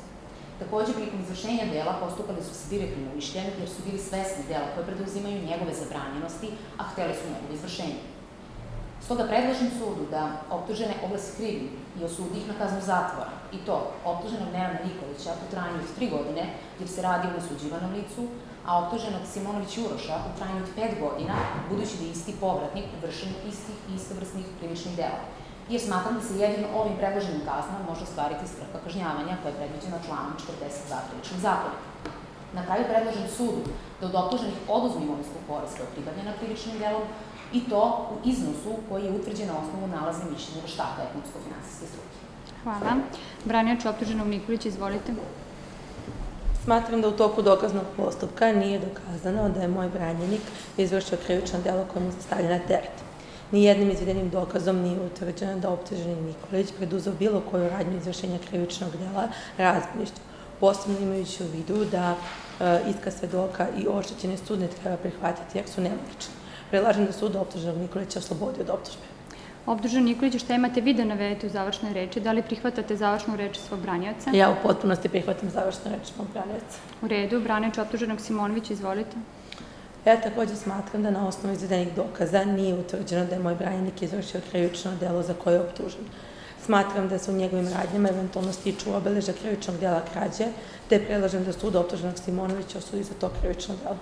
Optuženi Simonoviću, šta imate vi da navedete u završnoj reči? Da li prihvatate završnu reč svog branioca? Nemam ništa da dodam, ja u potpunosti prihvatam završnu reč mog branioca. U redu. Da li neko u završnoj, želi, završnoj reči želi još nešto da doda? Ne. Kako niko od prisutnih ne želi bilo šta da doda u završnoj reči, sud objavljuje da je glavni pretres završen. Glavni pretres je završen u 12.30 časova. Shodno članu 415 zakonika o krivičnom postupku, veće se povlači radi većanja i glasanja radi donošenja odluke. Molim sve prisutne da ustanu kako bi sud objavio presudu. Nakon većanja glasanja veće je jednoglasno donelo, a predsednik veća u ime naroda javno objavljuje presudu. Optuženi Nenad Nikolić iz Beograda sa ličnim podacima kao spisima predmeta i optuženi Uroš Simonović iz Beograda sa ličnim podacima kao spisima predmeta na osnovu člana 421 stav 1 tačka 3 zakonika o krivičnom postupku krivi su što su dana 29.12.2000 Mhm, u redu. Čime su izvršili krivično delo razvojništva iz člana 206 stav 1 u sa izvršiloštvu u vezi člana 33, pa ih sud primjenom navedenog zakonskog propisa i primjenom člana 2, 4, 22, 42, 45 i 54 krivičnog zakonika osuđuje i to optuženog Nenada Nikolića na kaznu zatvora u trajanju od dve godine i šest meseci, a u odnosu na optuženog Uroša Simonovića i primjenom člana 55 krivičnog zakonika na kaznu zatvora u trajanju od 4 godine i 6 meseci. Obavezuju se optuženi u smislu člana 91 i 92 krivičnog zakonika da na ime imovinske koristi pribavljene krivičnim delom solidarno uplati iznos od 58.000 dinara u budžet Republike Srbije. Obavezuju se optuženi u skladu sa članom 261 i 264 zakonika o krivičnom postupku da drugom osnovnom sudu u Beogradu nadoknade troškove krivičnog postupka, a u čijoj visini će sud odlučiti posebnim rešenjem u smislu člana 262 zakonika o krivičnom postupku. Možete da sednete kako bih vam ukratko iznela razlogi presude. Naime, izvedenim dokazima na današnjem glavnom pretresu e, sud je utvrdio da su ovde optuženi Nenad Nikolić i Uroš Simonović izvršili krivično delo u vreme, na mestu i na način onako kako je to navedeno u izreci presude i da su za isto krivi. Tokom postupka nije bilo sporno da su e, optuženi bili u vreme i na mestu kritičnog događaja. Takođe nije bilo sporno ni to da je optuženi Uroš Simonović od oštećene oduzeo ranac sa predmetnim stvarima bliže navedenim u izreci presude. Ono što je tokom postupka bilo sporno jeste to da li je optuženi Nenad Nikolić prema oštećenoj primenio pretnju silu, kao i to da li je za izvršenje krivičnog dela između optuženih postojao prethodni dogovor. Takođe, sporna je bila i činjenica da li su optuženi navedene radnje preduzeli u nameri da prisvanjem tuđe stvari sebi pribave protivpravnu imovinsku korist. Utvrđujući sporne činjenice, sud je pošao od iskaza oštećene, koja je jasno, logično i uverljivo opisala kada i na koji način je optuženi e, Nenad Nikolić primenio pretnju tako što izvadio nož držeći ga u pravcu njenog tela, a potom primenio prema istoj i silu tako što je oštećeno odgurno usled čega je ona izgubila ravnotežu i pala, odnosno kad i na koji način joj je optuženi Simonović oduzeo ranac. Pored toga, oštećena je bila dosledna u svom kazivanju tokom celokupnog postupka, te je sud iz navedenih razloga njen iskaz prihvatio u celosti. Navodi oštećene potkrepljeni su iskazom svedoka Marka Perića, koji je bio neposredni očevidac kritičnog događaja, koji sam događaj posmatrao sa svoje terase na maloj udaljenosti od mesta događaja i koji je jasno opredelio koje su radnje svako od optuženih preduzeli, imajući u vidu da je optužene razlikovao na osnovu odeće koje su nosili. Sud je u celosti prihvatio iskaz uh, svedoka Marka Perića, imajući u vidu, nalazeći da se radi o nepristrasnom svedoku, uh, jer svedok ne poznaje ni optužene, ni oštećenu, pa po oceni suda svedok nema razloga da govori drugačije. Da za izvršenje krivičnog dela postoje prethodni dogovor između optuženih, sud je utvrdio na osnovu odbrane Simonović Uroša, koji je na današnjem glavnom pretresu potvrdio da su planirali da se oni uzmu, da ga ne plate i da od prodaje podele novac, što samim tim ukazuje na njihovu nameru pribavljanja protivpravne imovinske koristi. Dakle, sud e, je cenio odbranu optuženog Nenada Nikolića i istu nije prihvatio, nalazeći da je ista nelogična, neuverljiva, neutemeljena ostalim izvedenim dokazima i da je ista usmerena na izbegavanje krivice. S druge strane, sud je cenio odbranu optuženog Simonović Uroša i isto je delimično prihvatio i to u delu u kome se optuženi Simonović izjašnjavao o postojanju prethodnog dogovora sa optuženim Nikolićem, kao i u delu u kome je potvrdio da je oduzeo ranac od oštećene. Navodi stručne odbrane optuženog Simonović Uroša da se u njegovim radnjama eventualno stiču obeleže krivičnog dela krađe, sud nije prihvatio, nalazeći da je u ovom delu njegova odbrana usmerena na umanjenje krivice. Pre svega imajući u vidu da je optuženi Simonović znao u skladu sa prethodnim dogovorom da će u cilju oduzimanja tuđe stvari optuženi Nenad Nikolić primeniti pretnju i silu. Tokom postupka uračunljivost optuženih nije bila dovedena u pitanje, jer su i u pogledu vinosti sud je našao da su optuženi postupali sa direktnim umišljajem, jer su bili svesni da po unapred podeljenim ulogama i prema, i prema prethodnom dogovoru zajednički vrše krivično delo i to optuženi Nenad Nikolić primjenom pretnje i sile, a optuženi Uroš Simonović oduzimanjem tuđe stvari u nameri da njenim prisvajanjem sebi pribave protivpravnu imovinsku korist i izvršenje ovog dela su ipak hteli, iako su bili svesni da je ono zabranjeno. Na osnovu svega navedenog utvrđeno je da, su, da se u radnjama optuženih stiču sva subjektivna i objektivna obeležija krivičnog dela razbojništva iz člana 206 u sa izvršilaštvu u vezi člana 33 krivičnog zakonika. Smatram da je u konkretnom slučaju opravdana osuda i to optuženog Nenada Nikolića na kaznu zatvoru u trajanju od dve godine i šest meseci, a optuženog uh, Uroša Simonovića u trajanju od četiri godine i šest meseci, imajući u vidu sve okolnosti iz člana 54 krivičnog zakonika, a koje će okolnosti biti detaljnije obrazložene u pisanom otpravku presude. Ono što bih sada htjela da istaknem je uh, to da je sud prilikom odmeravanja kazne optuženom Simonoviću naročito imao u vidu to da se radi u višestrukom povratniku. Takođe, imajući u vidu činjenicu da oštećena nije istakla imovinsko-pravni zahtev, i činjenicu da niko ne može zadržati imovinsku korist pribavljenu e, krivičnim delom, sud je optužene obavezao da solidarno uplati iznos od 58.000 dinara u budžet Republike Srbije. Vrednost pribavljene imovinske koristi sud je utvrdio na osnovu nalaze mišljenja veštaka ekonomsko-finansijske struke. E, naravno, ova odluka nije konačna. Poučavam vas da protiv ove odluke možete izjaviti žalbu u roku od 15 dana od dana od prijema overenog prepisa presude apelacijonom sudu u Beogradu, a preko ovog suda. I detaljni razlozi za, iznošenje, e, za donošenje ovakve odluke biće izneti u overenom prepisu pisano izrađene presude koje će vam biti dostavljene u roku od 15 dana. Upozoravam vas da o svakoj promeni adrese obavestite sud do pravosnažnog okončanja ovog postupka.